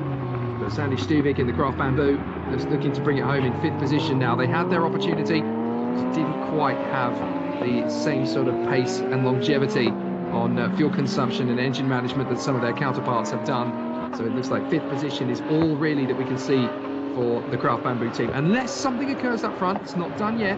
There's still plenty of time to take this one out. And Andre Heimgartner has got the gap down to 5.8 seconds now in his bid to catch Francis Tjia in the Modena Porsche as we look to get that race one out. It looks like it's going to be Tanart Sathienthirakul who will have an almost unchallenged run in the AAI BMW for the AM class. They've managed to work themselves into a good position with a minute and 38 on uh, Francis Tjia, but second place is definitely up for grabs. And obviously, Alex Imperatori and Dominic Ang are looking to end a very frustrating day for the Harmony Ferrari and Viper Niza Aston Martin, at least on a high note. Look at how hard Reid Harker is pushing as he comes out of the final turn. The gap comes down to 24, 1, 2, 3. That's good, but it's not enough if they want to keep this fight going all the way through because they need to gain a second per lap now to stand any chance. And ultimately, Markus Winkelhock is able to respond to the challenge. This is definitely going to be a great opportunity. Dashed if things keep going the way they are. They need to really find something quite spectacular. When you consider that all of the races that Markus Winkelhock has won over the years in GT racing, though, if it stays like this, he'll win the Sepang 12 Hours for the first time and adding to his incredible collection of race victories in sports car racing. Christopher Haase would dearly love to win it a third time, but in order to do that, he's got to catch and pass uh, Reid Harker and then go after his teammate. He's running out of time to do something about it, but our focus is on that hunt for second place. Markus Winkelhock looking relatively safe in the lead, provided nothing goes wrong. But if it does, then all of a sudden it becomes about the Be Quick Absolute versus the EBM Giga. And so you cannot afford to back down for a moment. You cannot afford to relent. You have to keep pushing. You have to keep telling yourself this race isn't won. It isn't done. There's still so much to do in these last 23 minutes. So the fight comes down to this to finish us off in majestic fashion. AMG Mercedes there, that's Sandy Stuvik just trying to gain any time possible on Ye Hongli up in front.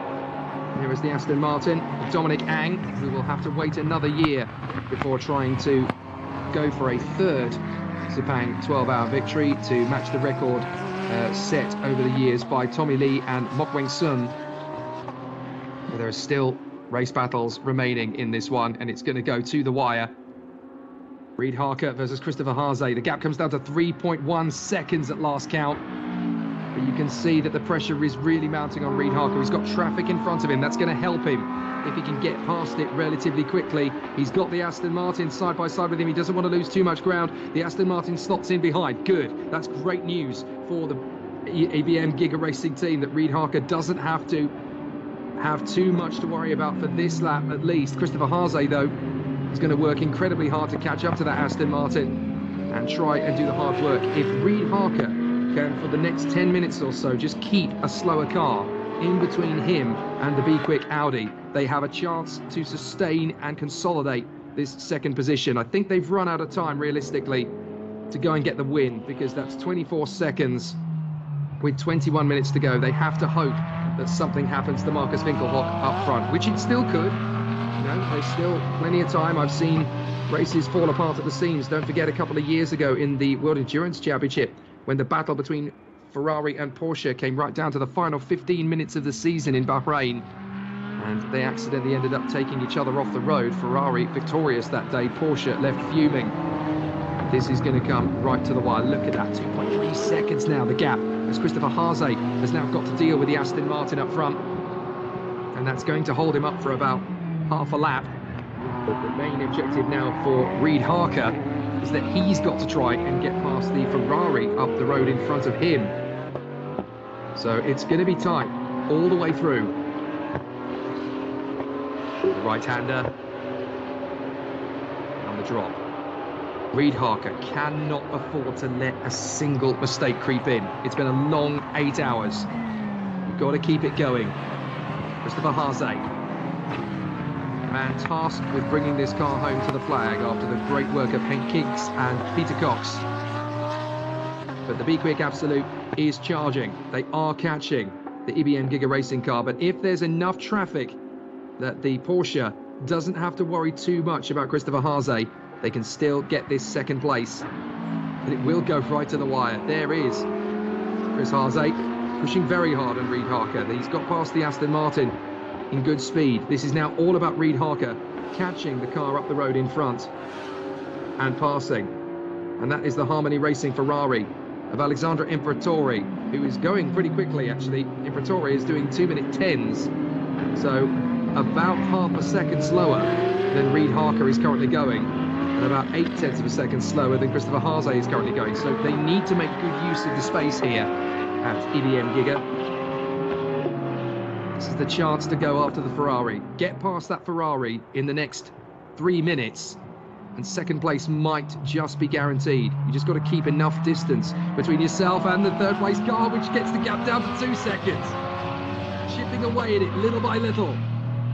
Christopher Haase knows he's got a fast car underneath him knows he's got knowledge of this place better than Reid Harker. He's a double winner of this event. Christopher Haase pushing so hard to try and make this a 1-2 for the team. Double winner of this event. He won it in 2010 with the Arrows Racing Lamborghini LP560, sharing that with Peter Kox as well. And then, of course, he won it last time we raced in 2016 alongside Laurens Vanthoor and Robin Frijns. Can he win a third? It's looking unlikely, so he could settle for second. Look at the progress made. Two tenths made up three laps ago. A full second practically made up two laps ago. A lap ago, seven tenths made up. Christopher Haase will not back down from the fight. He's pushing so hard, he's running the ribbon of the curb. Reid Harker has now been given a first warning to respect track limits at turn six. That's what this means to them. If you can't win, at least break up the party at absolute. As far as EBM Giga are concerned, this is going to be a mighty result if they can get second place. But it isn't certain. Christopher Haase still chipping away. They're going to the hairpin, and that's a block up for Reid Harker. You cannot afford to throw this away. Not when you're this close to second position. That's a big mistake in the final turn. And as they come across the line this time by, it's 1.2 seconds. That's all there is between them. Got to keep this going, boys. Do not overcook it at the first hairpin. Chris Haase locks it up at the first corner slightly. Then kisses the grass in his intensity to get back to the inside apex. Both drivers are absolutely on the ragged edge. Second position is up for grabs. Both pit crews are going to be on their feet the nails bitten down to the bone on both hands of every mechanic. Desperately trying to close up on the man in second place. 23 seconds up the road is a fairly safe Markus Winkelhock in the absolute Audi. Who would have thought it would come down to this? An absolute nail biter. 16 and a half minutes to go, not a single full course yellow, not a single safety car. The race has just been allowed to run in its natural state and what a finish it's going to be. You couldn't have asked for a more perfect running of a race. Yes, we had a two-hour delay to repair barriers, but ever since then, it has been almost the perfect motor race. Reid Harker throwing seven bells at the cars in front, trying to close them down. Christopher Haase, look at how quickly he's eating up the road. Reid Harker has got to get past this Ferrari quickly, but the Ferrari gets out of the way of one, two cars. This is not what Reid Harker needed. He would have hoped that he could get past at a position where he, the Audi could get held up for a bit. But Alexandre Imperatori is a sportsman. He doesn't want to ruin this battle. He wants to let it flow. So now it comes down to the slipstream, and Chris Haase is going to be in the slipstream for the back straight. He won't make the move into the hairpin. He'll make it into turn one. And this is going to be about being brave into the braking zone for Reid Harker. Christopher Haase has already done the hard work. He's caught up to the Porsche. Now he's going to be in the slipstream as they come down the straight. 15 and a half minutes to go, but I don't think Chris Haase is going to need all of it. His first big attempt is going to be into turn one this time by. He's in the slipstream. Where will Reid Harker place the car? He's not close enough yet, but he almost gets close enough in the braking zone. Reid Harker catches him out there. Chris Haase has to roll off the brake. Coax the car back in. Overtaking move is gone on this occasion. But 15 minutes remain. Christopher Haase is not one to rush these things. But how hard a task is Reid Harker going to make this? No second chances. This is going to be defend or surrender. Reid Harker over the curbs on the exit of four. Through the long flowing left-hander. Chris Haase can just be patient, can just wait, can just eat up the road. Keep it tidy, keep it tidy. Don't over-exert the car. Look after the tyres. This is going to be a really interesting situation. As still, the contenders will run through. But Reid Harker just hanging on to this by a thread. Four tenths of a second when they came across the line last time by. It's going to be about that now. Also elsewhere, Andre Heimgartner has closed up to within a second and a half of Francis Tjia for second place in the AM class.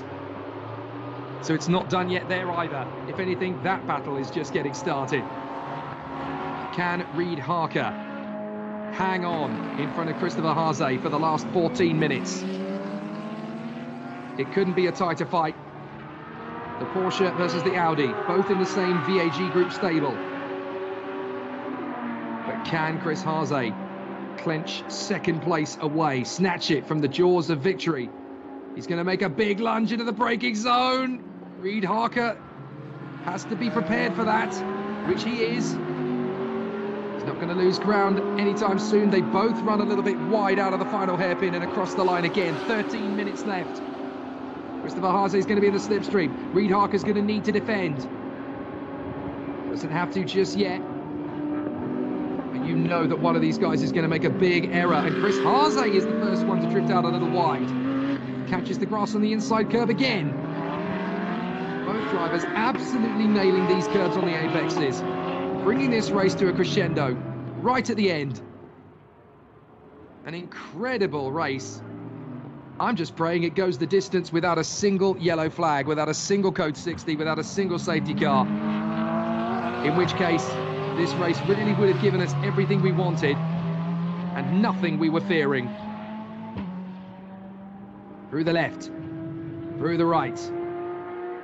209 laps will be completed at the end of this one. Absolutely incredible to see how this has gone. We will have completed over 2,400 laps by the end of this race across all cars. And yet not a single one of those laps has been behind the safety car. They've had a night off here in Malaysia. Look at how hard Chris Haase is pushing. Reid Harker all the way through this. This is what racing's all about. Give it everything you got. Push the car to its limit. Reid Harker's got to be ultra defensive, but has also got to focus ahead of him, not just behind him. He's got to place the car in all the right places. He's got to make Chris Haase do all the hard work. He's got to read the situation valiantly. Pulls the car to the middle of the road slightly. We're talking a couple of centimetres over the line through the right. And now this is where the opportunity is really going to knock in for Chris Haase. Third attempt. Down the back straight. Follow in pursuit. Has a look. It's only a feint. It's not a proper move. But there might be an opportunity as Reid Harker drifts out wide. They're going to get side by side as they come off the turn. And they nearly bang doors. Reid Harker hangs on for one more turn. Down the main straight now. Christopher Haase tries again. Will he go for the move? Reid Harker's going to pull across. Chris Haase's going to go long. Can he get the switcheroo? He has to go long on defence. Both drivers giving it everything they've got. They will not concede a millimetre. Chris Haase gets a good run off too. If he can keep this going, he can get the run up towards turn four. Reid Harker knows he's going to be vulnerable. He tights in. He's going to have to pull the car to the middle of the road to give Chris Haase no option but to go far in. That's exactly what he does. But he can roll the car off the brake. It's going to be up the inside from Chris Haase, eh? and this is going to be an acceleration to the left-hander. Side by side. Can Reid Harker hold on? They go absolutely door to door. What a brilliant battle, and Chris Haase makes it through. An amazing charge between the two cars. But Reid Harker isn't done yet. If he can get back in the slipstream now, he has another attempt into the hairpin. This is all going to be about Chris Haase checking away from the Porsche before he can retaliate. And I think he's done enough. Try as he might, I don't think Reid Harker's going to get another look. Especially considering these next flowing corners are going to suit the Audi better than the ailing Porsche. Chris Haase has done the hard work. He intimidated. He made it stick. He looked for every gap and opportunity. And on the switcheroo, he held it round the left-hander and has been able to take second position away from Reid Harker. That's how good Christopher Haase is and the Absolute Racing crew are about to write a PR fairy tale. A 1-2 is now the likely outcome. Markus Winkelhock has just gone into his 211th lap. There's not really a lot that Christopher Haase can do to throw this away now. Reid Harker will throw everything at it. But you watch, Harker has worked the tyres so hard trying to defend and trying to get away, that over the course of the next three laps, that Porsche will slowly fade. Reid Harker is nine tenths of a second back now from the Audi. He needed to get through at the hairpin after the pair of rights. Here's the move again. Watch this. Side by side, millimetres apart. I think they actually lent on each other through the left apex. Chris Haase just gets a little blip of the throttle, enough to move the car in front. Job done.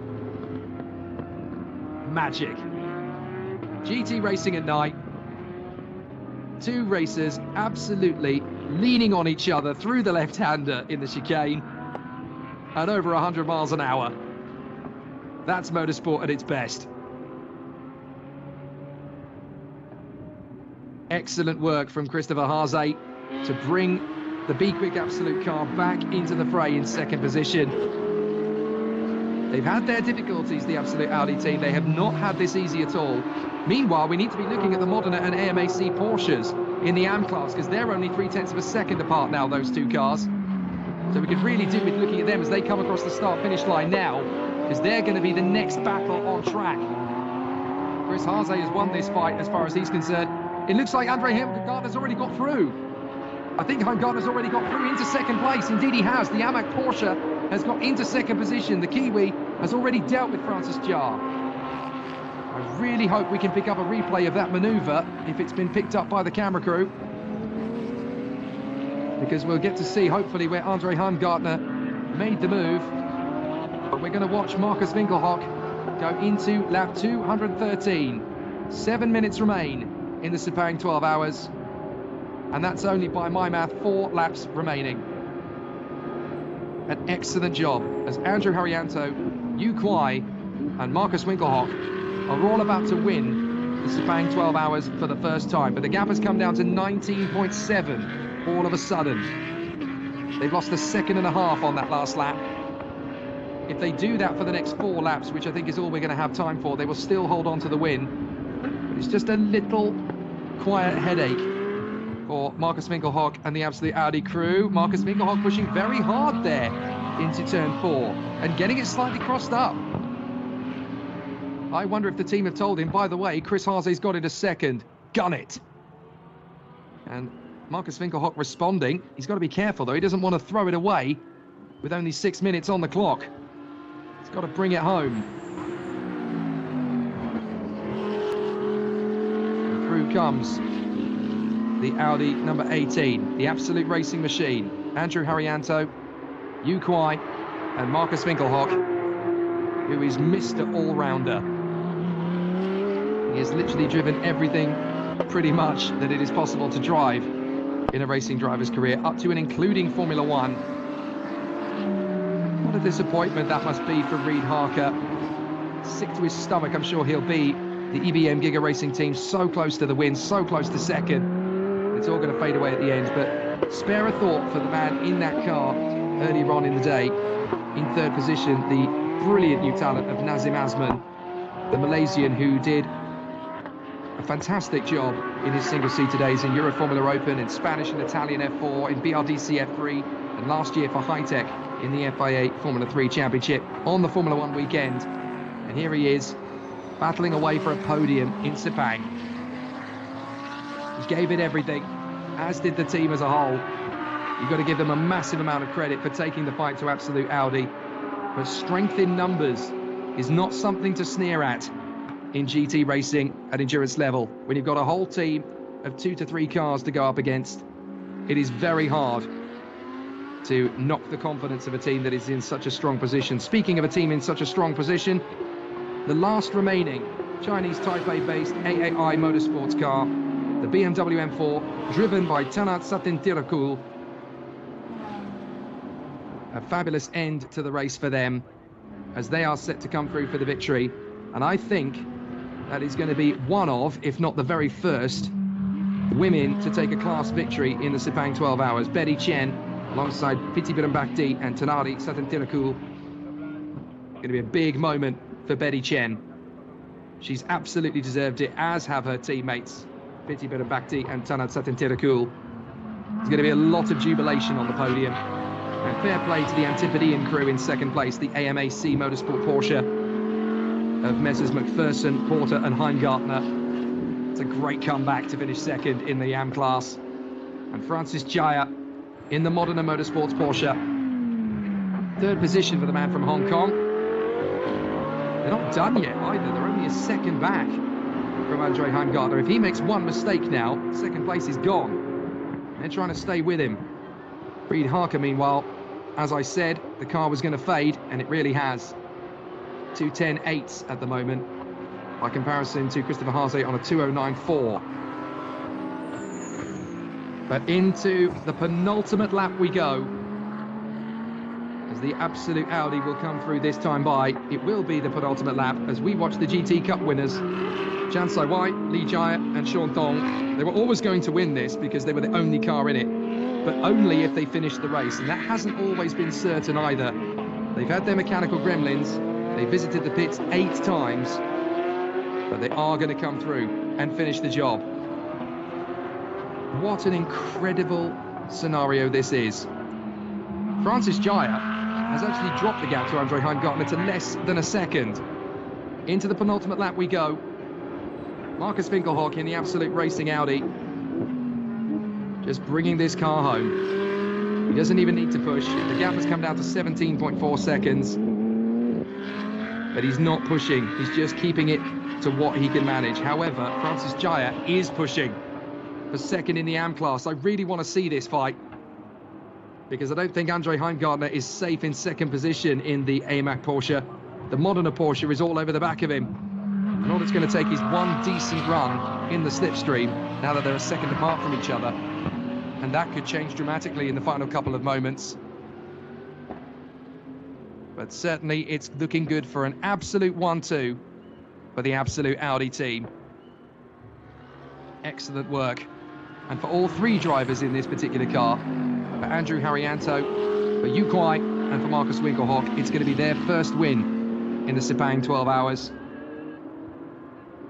And a fantastic performance it is. They'll join some amazing names. Jimmy Lowe, Karamajit Singh, Tommy Lee, Jeffrey Wong, Admi Shahal, Tunku Hamam, Nigel Alban, Eric Yeo, Jinsa Jin, Fahad Moksani, Eddie Liu, Hiroki Kato, Faris Fauzi, Tenku Jan Lei, Kenji Hashimoto, Tony Ricciardello, Damien French, Fansila Lang, Mokhzani Mahathir, Sven Herberger, Lars Erik Nielsen, Alex Davison, Daryl Young, Mok Weng Sun, Tatsuya Kataoka, Manabu Arida, Johan Ajmi, Peter Kox, Christopher Haase, Nobuteru Taniguchi, Masataka Yanagida, Dominic Ang, Craig Baird, Hiroshi Hamaguchi, Gianmaria Bruni, Alif Hamdan, Stuart Leonard, Stefan Ortelli, Laurens Vanthoor, and Robin Frijns. A very select group of racing drivers have won this, and now three more names are going to be added to the list in about two minutes' time. Out of the final turn comes the number 18 Absolute Audi. And after a long and grueling battle, Markus Winkelhock, the only Grand Prix driver in history to lead the only race he ever started, is going to come through and win his first Sepang 12 Hours victory. He's got to keep it going for the final lap of this race. 16.1 seconds is the gap back to Christopher Haase, who is going to miss out on his third victory in the Sepang 12 Hours this time. But what a result for the team. First and second. They're going to have an absolute field day in the press tomorrow. And in this sport, this is very much an Audi opportunity as well here in Malaysia. The sport of GT racing still very much subscribes to the policy of win on Sunday, sell on Monday. They'll be able to promote on Sunday because obviously the race is going to conclude. Well, no, technically speaking, it is going to go midnight. It has just gone midnight, so they will technically win on Sunday and sell on Monday. It's midnight in Kuala Lumpur, and Audi are about to take yet another scalp in the GT3 sports car racing world. Not just the win, but second as well in the rejuvenated, revived Sepang 12 hours. The start of something pretty special. And name me another sports car race that has gone through the motions with five teams legitimately gunning for the victory in the overall class, three teams legitimately going for the victory in the amateur class, all the way through with no code 60s, no yellow flags, no safety cars, no big accidents. That is astonishing.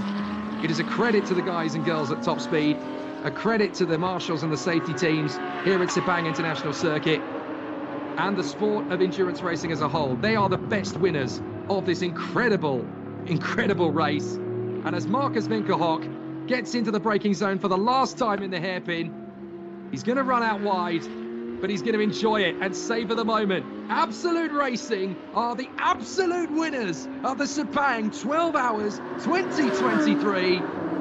An amazing result. Victory goes the way of Absolute Racing. And it's a second place for the Be Quick car as well. They celebrate in style as Christopher Haase charges his way back to second. What a result for the team.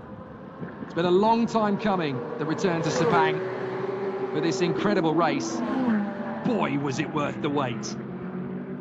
Congratulations to the EBM Giga Racing team in third, Reid Harker bringing the car home. But full credit to his teammates, Adrian De Silva and Nazim Azman.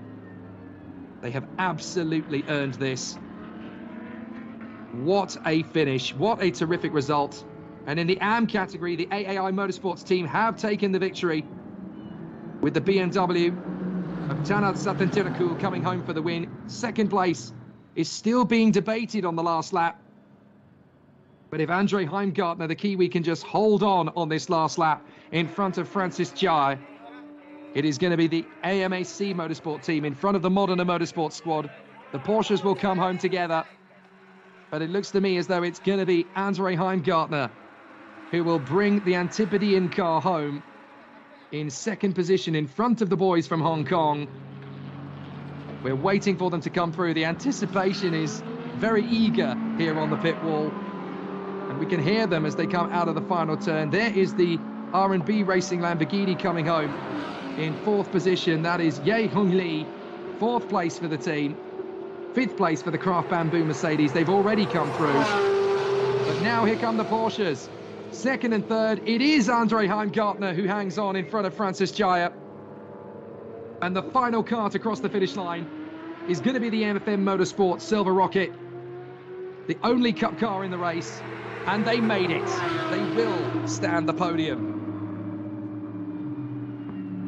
What a race. An incredible display.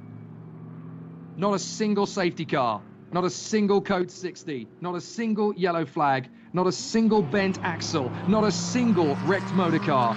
2,475 laps by all participants, 77 pit stops, not a single caution. That is great racing. You couldn't script it. It has to happen.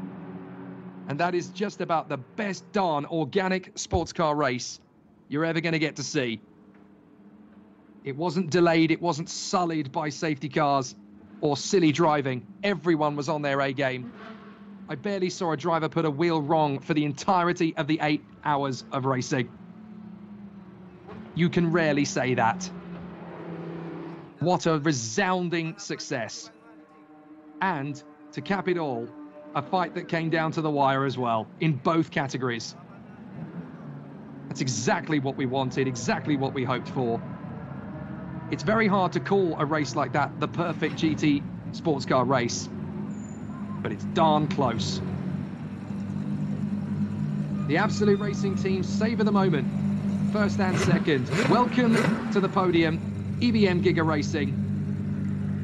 A great race. Boy, were we spoiled an epic race, an epic job. And Markus Winkelhock, Andrew Haryanto, and Yu Kuai become the latest winners of the Sepang 12 Hours. A lot of hard work has gone into that. And it was a tough old race as the two drivers embrace. Christopher Haase just misses out on Sepang 12 Hours win number three. But he'll be back in 2024, I'm sure. Absolute Audi can go bananas. That's the headline shot. That'll be in Daily Sports Car tomorrow. They've done it again. Audi Sport have conquered yet another fabulous sports car classic. But it's very rare to come through with a clean sheet. 215 laps completed in eight hours. Absolutely the maximum that could have been achieved that's a great effort from everybody in the teams, from everybody in the organisational crew, from the sport in general. As much as we love the excitement and the tension and the nervousness of a safety car period here, there and everywhere, it's genuinely nice to see a race not need one. Nazim Azman, Reid Harker and Adrian De Silva can enjoy a podium, hardly fought. Definitely There might be a bit of frustration for Reid Harker, but it's jubilation and relief. And for Nazim Azman and Adrian De Silva, they get to go to the podium after an epic, epic fight. They took the fight right to the wire and they were only 22.2 seconds off the victory. Not a bad return for the efforts. What a race especially when you consider you're going up against the likes of Markus Winkelhock and Christopher Haase, legends of GT racing over the last 20 years. They've won it all. They've won everything there is to win, pretty much. And yet the boys from EBM Giga were just 22 seconds away from beating them after eight hours. That's pretty special. They'll look back over that with an immense amount of pride and achievement. So it's going to be a fabulous podium ceremony. We'll stick around for it so that they can soak in the moment. A terrific performance and a great display. The teams are down there to savour it all. Aline Wang is down there to speak to our winning teams, our winning drivers. It's going to be a lovely moment to savour for the crew. Here is the provisional result for the Sepang 12 hours. It's a 1-2 for the Absolute Racing crew. Andrew Haryanto, Yu Kuai and Markus Winkelhock take the win. And Kiks, Peter Kox and Christopher Haase take the second. Nazim Azman, Reid Harker and Adrian De Silva get third for EBM Giga. Ye Hong Lee, Afiq Yazid and Bao Jin Long come home fourth for R&B. And Jeffrey Lee, Liang Jiatong and Sandy Stuvik in the Craft Bamboo, just a lap away from the top spot. The Harmony Ferrari come home sixth. The Viper Niza Aston come home seventh. Sadly, the AAI BMW of Krohn, Klingmann, and Chen did not finish. In the AM class, it is Betty Chen, Tanat Satin Terakul, and Piti Bhirombhakdi for AAI BMW that take the win. McPherson, Porter, and Heimgartner in second, and Shen Jia and Kaya in third position. A non-finish, sadly, for the other of the AAI Motorsport cars. And Chan Sai and Li Jia, along with Sean Thong, brought the car home for the victory after completing 197 laps. So close to the 200. But what a performance from all. No silly crashes, no silly shenanigans out on the course, just pure racing. After midnight, the boys and girls of the Sepang 12 Hours have let it all hang out. And what a great race it was. JJ Cale would have been very impressed. Some great battles in the last hour. Obviously, it was always going to be about whether the Absolute Racing team could hang on to it.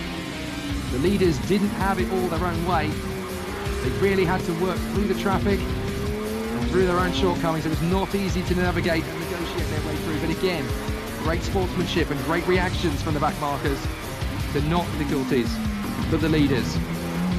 But the gap came down all the time until Markus Winkelhock was just 16 seconds ahead of their closest rivals. But the final hour, very quick Christopher Haase having to work so hard to close up on the Kiwi Reid Harker. And then knowing that he was always going to find it incredibly tough to get past him. Reid Harker certainly made him work for it. Certainly gave him no reason to suspect he was going to have it easy. And despite going through the traffic pretty quickly, the battle really raged. And it was one of the most iconic images that GT racing can ever give you. Side by side, at night in Sepang. Reid Harker and Christopher Haase almost spent half a lap side by side. But the big moment was the one that's going to stand in the memory. And if there was a photographer down there, this is going on both drivers' wall. Haase and Harker on the lock stops at the limit at the Genting curve. That's what racing's all about.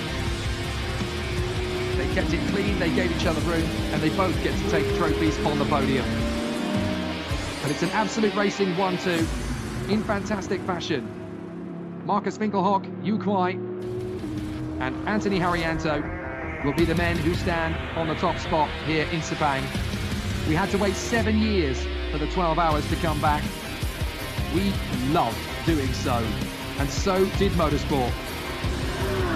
It may be after midnight, it may be late, but sports car racing has absolutely won the day here in Malaysia.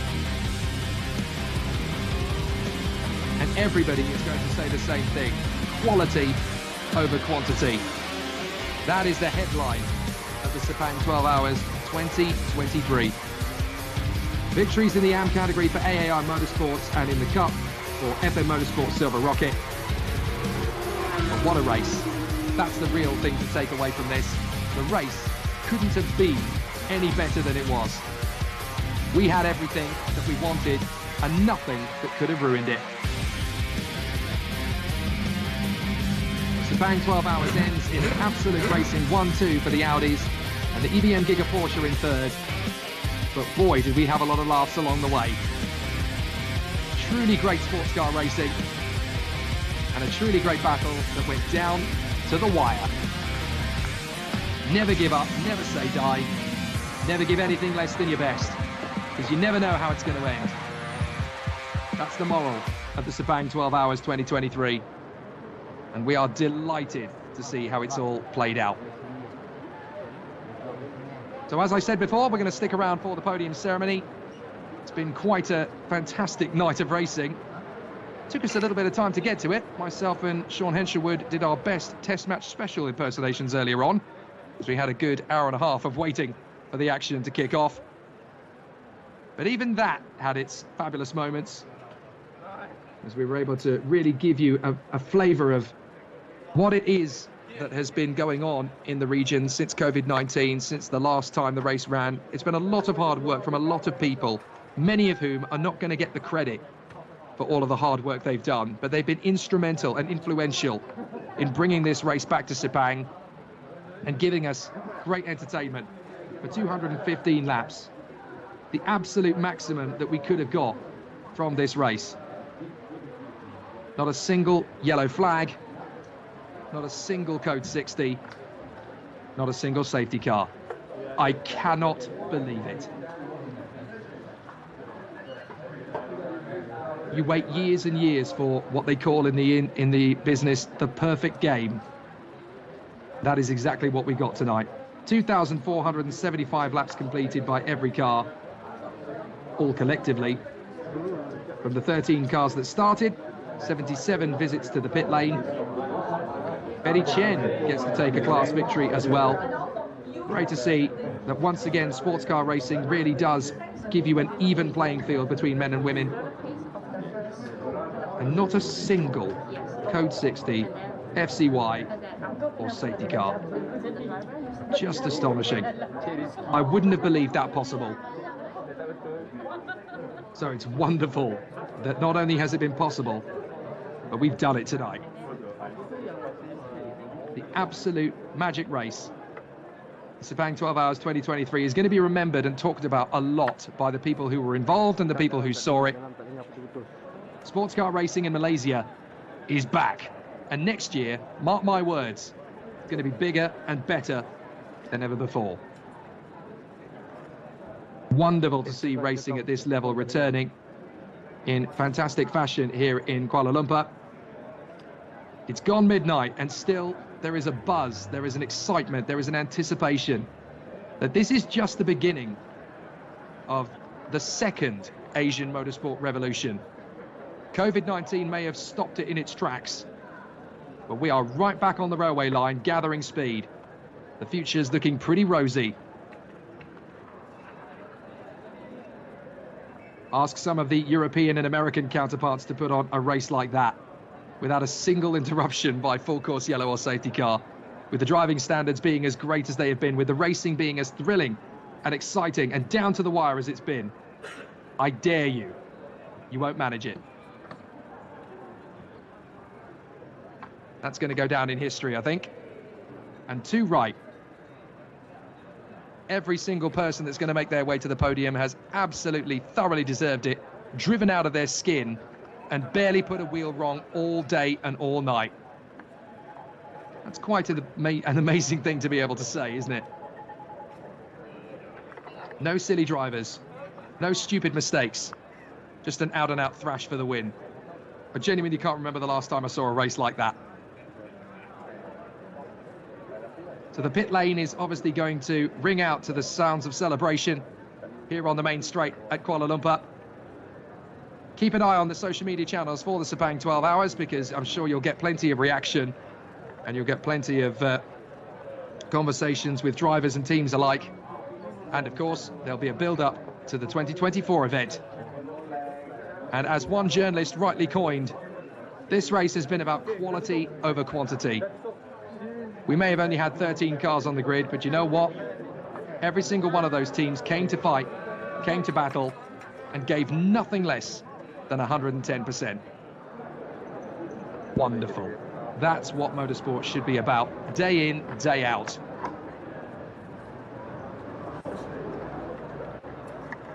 So we're going to move on to the podium ceremony. We'll stick around for that. Thank you very much indeed to all of you for watching, especially those of you who have been with us since the kickoff.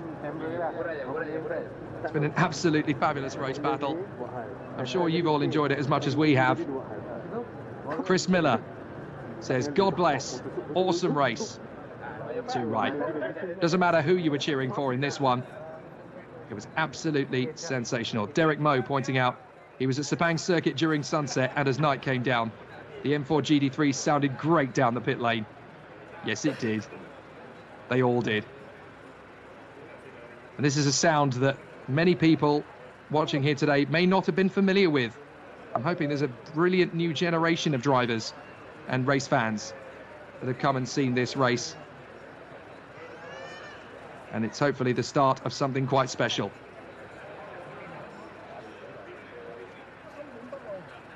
Now, we start talking about these sort of things in retrospect, as you wait for a podium ceremony to get underway, driver of the day is a subject that comes up a lot. I'm going to put a vote out for Nazim Azman. Third position in the EBM Giga Racing Porsche. A lot of pressure on his shoulders to let this slip away. And I think a lot of their podium can come down to his exemplary performance this weekend. A home driver stepping out of his comfort zone of single seaters and being expected to deliver. And he and the crew managed to bring the car just 22 seconds away from the win against a dominant force like the Absolute Racing Audi team. That's got a lot of credit written all over it. So I'm going to stick my neck out on the line and say if I could give driver of the day to anybody, it would be to Nazim Azman. I think a very close second would probably be Betty Chen. All of the pressure of leading the AM class, of guiding and coaxing that team through. And she held her nerve to prove yet again, as so many women are proving over these last four or five seasons, that women are just as good at driving racing cars as men. In some cases, particularly for Betty Chen, they're better. And it's a wonderful result. All round, actually, in both categories. I think the right teams won, but the right teams got to the podium as well. It's a great duel, a great battle throughout. And wonderful to see that the AM category really did go down to the wire for second. Andre Heimgartner was only a second ahead of Francis Tjia at the finish line. So the Porsches really did push themselves to the absolute limit. So we're going to get to see the podium ceremony. Obviously, there's three classes to come onto the podium, so there's a lot to do. But it's going to be great to welcome everybody onto the rostrum, and it will be a wonderful start to the celebrations here in Sepang, which will probably go on well into tomorrow for the winning crews. And then, as motor racing always does, it will sleep briefly, and then the plans will rock on for 2024. The teams that saw this and went, I want a piece of that, they'll already be putting their entry together. They'll already be ringing drivers. We need the best of the best to win in the Sepang 12 hours. Can you join us? It's going to be a great race next year. And I thoroughly and eagerly anticipate double the cars on the grid and the full length of 12 hours completed. The logistical challenge of bringing this race back, considering what's been hitting this part of the world for the last three years through a worldwide pandemic. There have been so many obstacles to leap through, so many hurdles to jump over, so much red tape, so much bureaucracy, so many difficulties to make a race like this happen. People have no idea how hard it is, particularly with it being GT endurance racing. But this was a win for the sport. We did it. Car number 16, Adrian De Silva, Nazim Azman, and Reid for EBM Well, the podium ceremony about to kick off and get underway as the teams are being welcomed out onto the podium. Third position for Adrian De Silva, Nazim Azman and Reid Harker, the EBM Giga Racing team from Malaysia. Car number 26, Standing on the podium at their home event. Pancakes, Peter Kox, Team and right. Christopher Haase for Be Quick Absolute Racing. Second position, what a fight back from Be Quick Absolute. Henk Kiks, Peter Kox and Christopher Haase. Not quite win number three, Chris. You're going to have to wait for next year. But what a fight back. And the winner, car And what a number 18. mammoth charge to get back into Andrew second Haryanto, position. Yu Kuai, Markus Winkelhock But the winners of the 2023 Racing. Sepang 12 Hours step forward.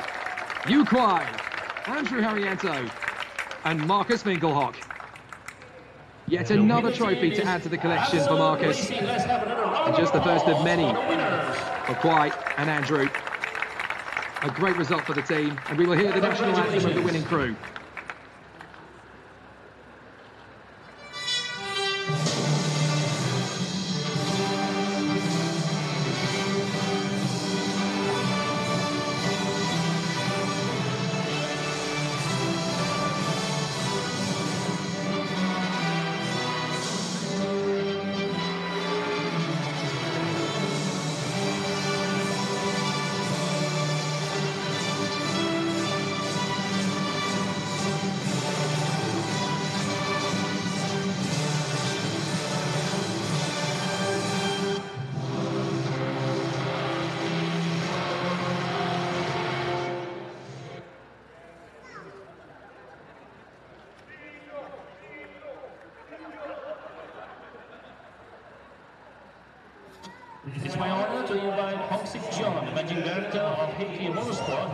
National anthem of Hong Kong rings out over the Sepang 12 hours podium. And now we ask our dignitaries to come forward. John Hong Sik, the managing director of HK Motorsport, presents the trophy to third position.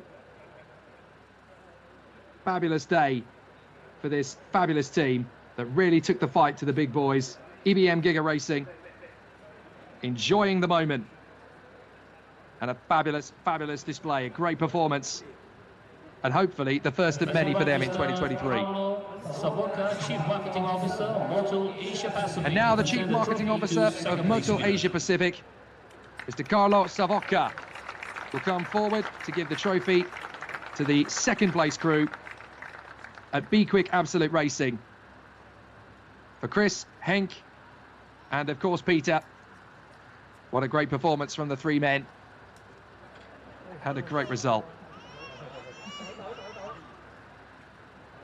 And finally, on this podium, we invite Tan Sri Azman Yahya, the chairman of the Sepang International Circuit, who will present the trophy to the winners and the team representatives. Great to welcome Tan Sri Azman Yahya, chairman of SIC, and a very fitting end to the weekend to present the winning trophy to the winning crew and their winning team manager. To Andrew, to Kuai, and to Markus, the kings of Sepang. A brilliant result. A fabulous end to a terrific weekend, and the Sepang 12 hours really gave us so many thrills. It was wonderful to see how it played out. And there is your confirmation. Haryanto, Yu and Winkelhock, Kiks, Kox and Haase, and Asmund de Silva and Harker. And now the boys get to celebrate in style on the podium and get busy with a busy.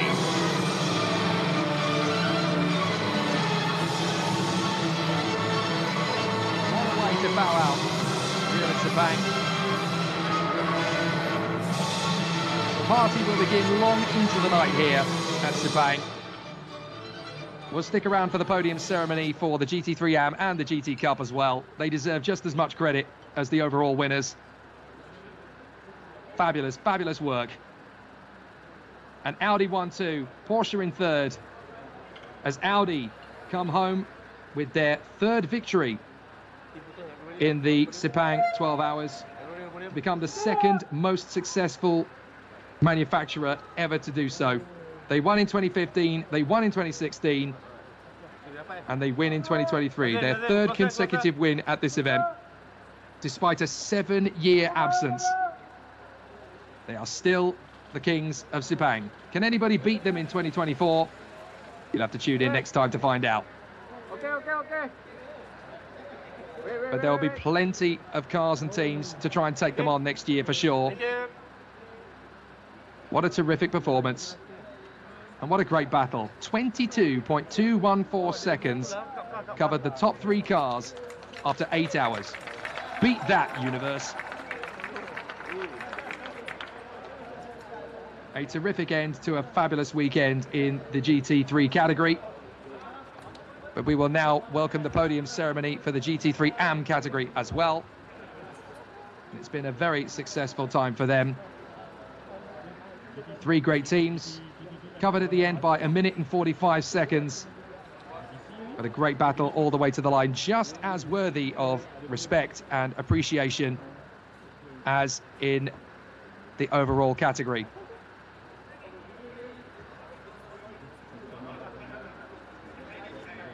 So once again, the podium ceremony will ring out over this fabulous circuit at Sepang.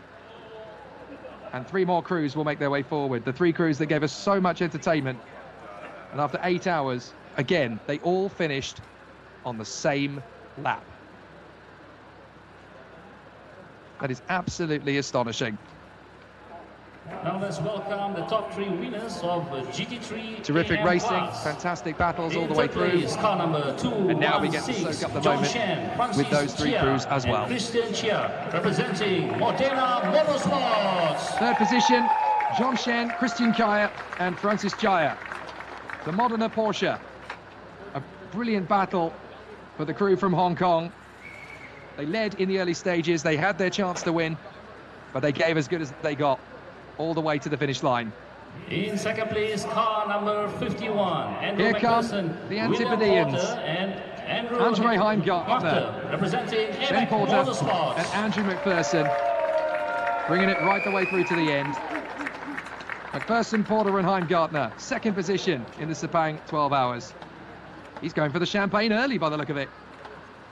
And the winner from what a fabulous result as we welcome to the podium the team from Chinese Taipei. Representing AI Denard Sutton. Trakal, Piti Bhirombhakdi, and Chen have a round of Yinyu. applause for the winner Fabulous of GT3 result As Betty Chen will take her way to the top step of the podium. And we will hear a national anthem you don't hear too much in the international world of motorsport. Chinese Taipei will ring out over the podium here in Sepang.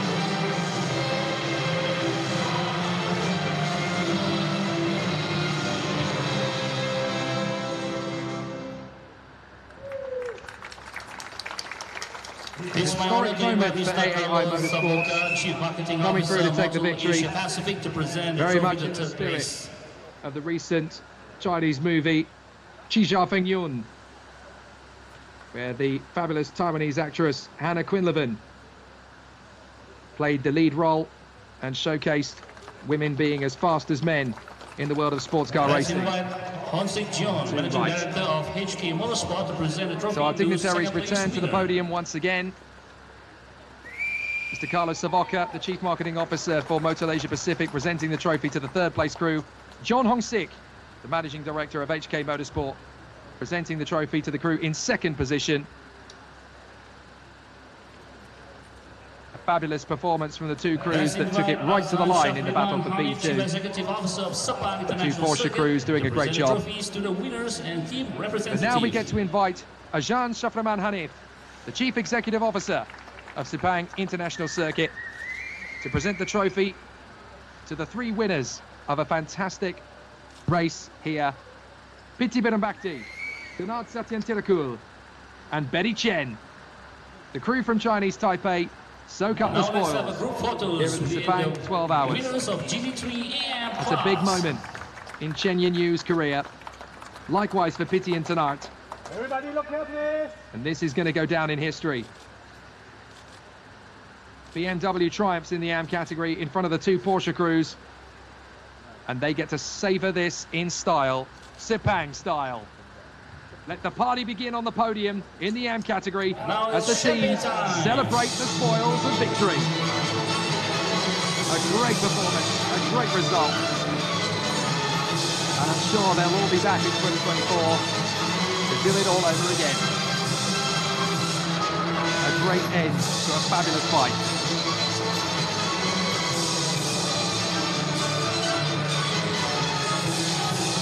A magnificent end in Sepang. 12 hours was always going to be a tough race. It was always going to be an epic battle. But the crews really have entertained us royally in, I can't believe I'm saying this, the perfect eight-hour sports car race with no safety cars, no full course yellows, no code 60s, not even a proper spin or an accident. They just got on with the job of racing. The perfect, flawless sports car race. Well done, Top Speed. Well done to all 13 crews. Well done to the Sepang International Circuit. I doubt that's ever going to be replicated in quite that manner ever again. The perfect motor race. I would have thought it was absolutely impossible. And that's exactly what we got. And with that, you would think, well, if there were no spins, there were no incidents, there were no crashes, there were no safety cars, and there were only 13 cars on the grid, it would have been a dull race. Not even close. Properly exciting all the way through. And a nail-biting finish where the top three crews in the pro category were separated by less than 25 seconds.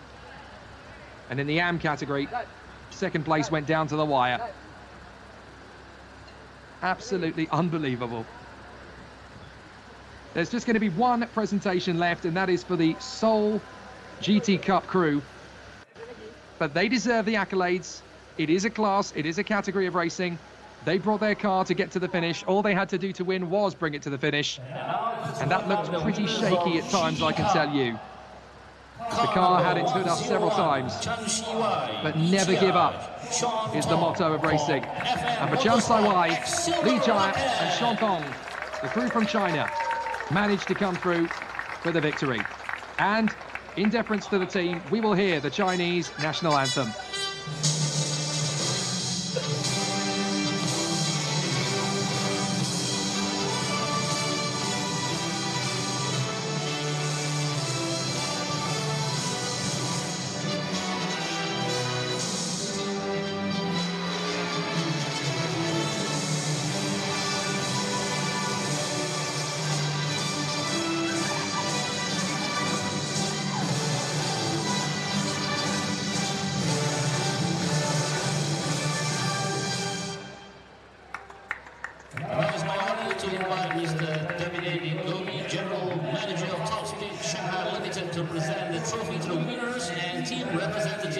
To finish us off, Mr. Davide Gobi, the general manager of Top Speed Shanghai Limited, will present the trophies to our winning crew in the GT Cup class. What a fantastic end to a brilliant day of racing here in the Sepang 12 hours.